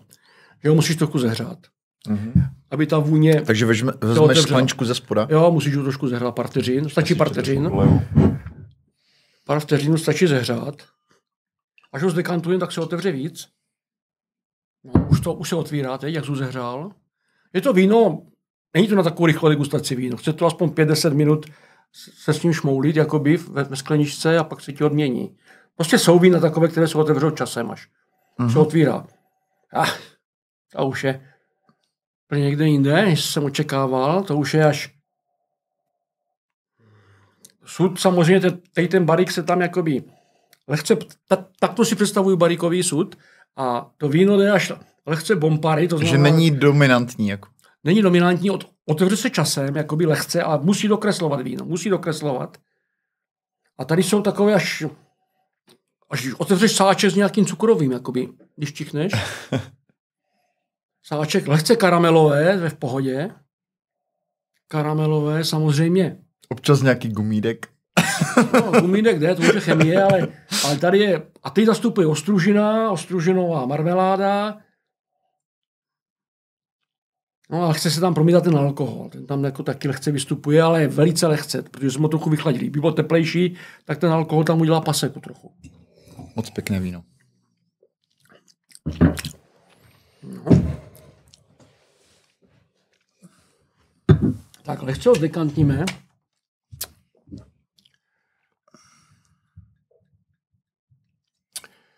Trošku pohoďme po tom dekantéru a uvidíš, že bude, ta vůně bude úplně jinde. Co mě trošku možná na něm, ale ono asi, ono asi 21, ještě mladé, uh, ještě tam trošku vystupuje kyselina z něho, což by neměla. U, u tohoto, ty všiml si u těch, u té Ipsmillerové Petri, ta vína jsou vyladěná, ta kyselina je vyladěná, že ho tam fakticky vůbec nevnímáš. Hmm. Což by, toto se stane, toto vypadá, že je mnohem mladší víno, ač, ač je toto dvacítka, Toto je 21, takže by měly být hodně podobné a tady ta kyselina ještě vystupuje. Pořád. To znamená, ještě chce ležet, ležet, ležet to víno. Tak děkuji. No, no podle mého názoru aspoň dva roky. mm-hmm. aspoň dva roky ještě ležet a potom teprve by mělo jít na trh. No ale Jirka si už ho potřebuje na trhu. Stačí. Tak, děkuji. Už ho asi potřebuje na trhu, takže už je na trhu, ale... A tohle teda zkusím s tím sírem opět. Ano, toto určitě se sírem. Ale mimochodem, co to je za plísňový sír? Ten je úplně skvělý. Já si myslím, že nějaká, nějaká niva. Hmm, ale dobrá. Určitě nemám žádného dílera na sír, vždycky Aha. jenom, vždycky jenom na tu zlatou prahu, protože tu nekoupíš na trhu. Mm-hmm. To jako, to musí, jako ona jako je všude v těch uh, jejich ceníkách, ale nikdy ho netrefíš. Buď to někdo vykupuje už přímo ze skladu tam v těch marketech, nebo já nevím, nebo v těch sírárnách, ale toto přímo vozí, oni to vyrábí tady u hlavy v té polné se to dělá. Přímo z polné dealer to vozí do Valtic vinařům, do vždycky zásobu a my to nakoupíme po bochníkách. Na degustace ve sklepě. No jasně, to tam mizne ve sklepích. No. Jo, jo, karamel, ostružina, lehce barik, čmoudy, dýmy, toast. Ale ležet, ležet, ležet, ležet, toto ještě velice mladé víno, velice mladé. Ale krásné. Tak je to nové vinařství mladé, tak, mu, tak musí nějak začít, že? Ono, ono, ono za deset roků určitě bude mít pětileté, osmileté vína, že? Tak ty budou jinde, no. Ale Milane, díky za famózní zážitek. Já úplně uh, jsem ohromen, teda uh, i tou degustací, i jako tím, kam ty se posunul. Za, za tu dobu, co jsme spolu nemluvili, teďka posledních pár let jsme byli tak sporadicky v kontaktu. Ale já dávám vždycky na závěr dvě otázky. Uh, první je, můžeš si vybrat nebo zodpovědět klidně, klidně obě. A uvědomuji si, že v kontextu uh, zase tohohle rozhovoru to bude mít úplně jiný význam asi pro tebe. Jedna je, uh, uh, čeho by se chtěl dožít ještě, jakkoliv, v jakémkoliv kontextu, anebo uh, čeho by si chtěl ještě dosáhnout. Mm-hmm. Já zodpovím obě dvě. Já bych se chtěl dožít, protože jsou strašně velký patriot a lehce nacionalista prosperity České republiky. To stačí, víc na to piva nebudu. Asi si můžeme představit o tom, teď jsme prostě hodně na hubě a mě to strašně mrzí. To znamená prosperity, aby jsme prostě prosperovali a ukázali těm ostatním národům, že na to máme. A uh-huh. ta mhm. druhá otázka byla, čeho bych chtěl já dosáhnout. Uh-huh. Já bych chtěl dosáhnout to už pouze spokojeného důchodu a dožití. Bohužel e, vypadá, že teď se rozjíždí, to je zajímavé, že je relativně krize jo, ve společnosti ekonomická, jakože je krize, uh-huh. a přesto teď, teď nastupuje strašně moc to vidím, jak to, jak to chodí ty požadavky na, na budování vinařství, hobby vinařství. Tento typ, o kterém hmm. jsme dneska hovořili, a to je vždycky na pět roku, ale nebo skoro hmm. na pět roku. Jo? I, když, I když tam ti lidé jsou v republice, že nejsou v Dubaji, což je výhoda, že na to mají svoje pracovníky a svoje síly, že já jenom, jenom budu ukazovat prstem, že už tam nebudu jako zhánět, zhánět brigádníky a tak dále. Takže o to, je to, o to je to lepší, ale vypadá to, že se roztrhl pytel a vyroste pár takových vinařství toho typu, které jsme tady, které jsme tady dneska nastínili. To znamená, že já bych chtěl pro sebe, abych ten život dožíval tak, že budu pořád ten kohoutek, který se začal utahovat pět roku před důchodem, utahoval tak dlouho, až utahnu úplně. Jak to bude dlouho trvat, nevím. Počkej, jak utahovat kohoutek? S tou prací, že budu... Jo, prostě, jasně, jasně. Ale budu, chtěl bych dělat třeba do, jako klidně do 90. Já ne, mm-hmm. asi jako jako bych neměl jako problém, že dělat nebudu. Já nejsem hmm. ten typ, který prostě bude ležet. To prostě mě nebaví. Takže, ale budu ten kohoutek utahovat a budu ho víc věnovat procházka s manželkou do lesa a víc četbě a víc tomu a víc tomu hmm. a méně běhání po vinohradech a potom. No, asi to, jo, to ti moc přeju. A hele, moc ti díky nejen za tuhle osvětu tady dneska, ale jako za těch 20, my se známe 4, 24 let možná, za vlastně všechno, co jsi mi naučil o víně. Jako je to fakt eh, úžasný, ta tvoje osvěta. Eh, lidem, kteří nás poslouchají, samozřejmě doporučuji podívat se na tvoje stránky znalecvín.cz. Případně pokud je tam někdo, kdo zvažuje, že by šel cestou hobby vinařství, tak se na tebe může obrátit. Myslím si, že nenajde lepšího průvodce tady v Česku. A děkuju. Díky za rozhovor. Taky děkuji moc, Roberte. Díky. Děláš to dobře, ty. Tady ty rozhovory jsou teda, dlo- měl jsem, měl jsem strach ze 4 hodin a teď to asi bude víc. A teďka zjišťujem, Teď že na nás čeká dole eh, 20 Teď lidí že klidně a že bychom se klidně mohli ještě hodinu... hodinku, dvě, tři, přesně tak. můžem povídat Hele, eh, berme to, že to je pozvánka na pokračování. No, asi jo, no, vypadá to, že jo. Super. Budu moc rád. Hromadu věcí nebylo vyřčený vůbec. Je to tak.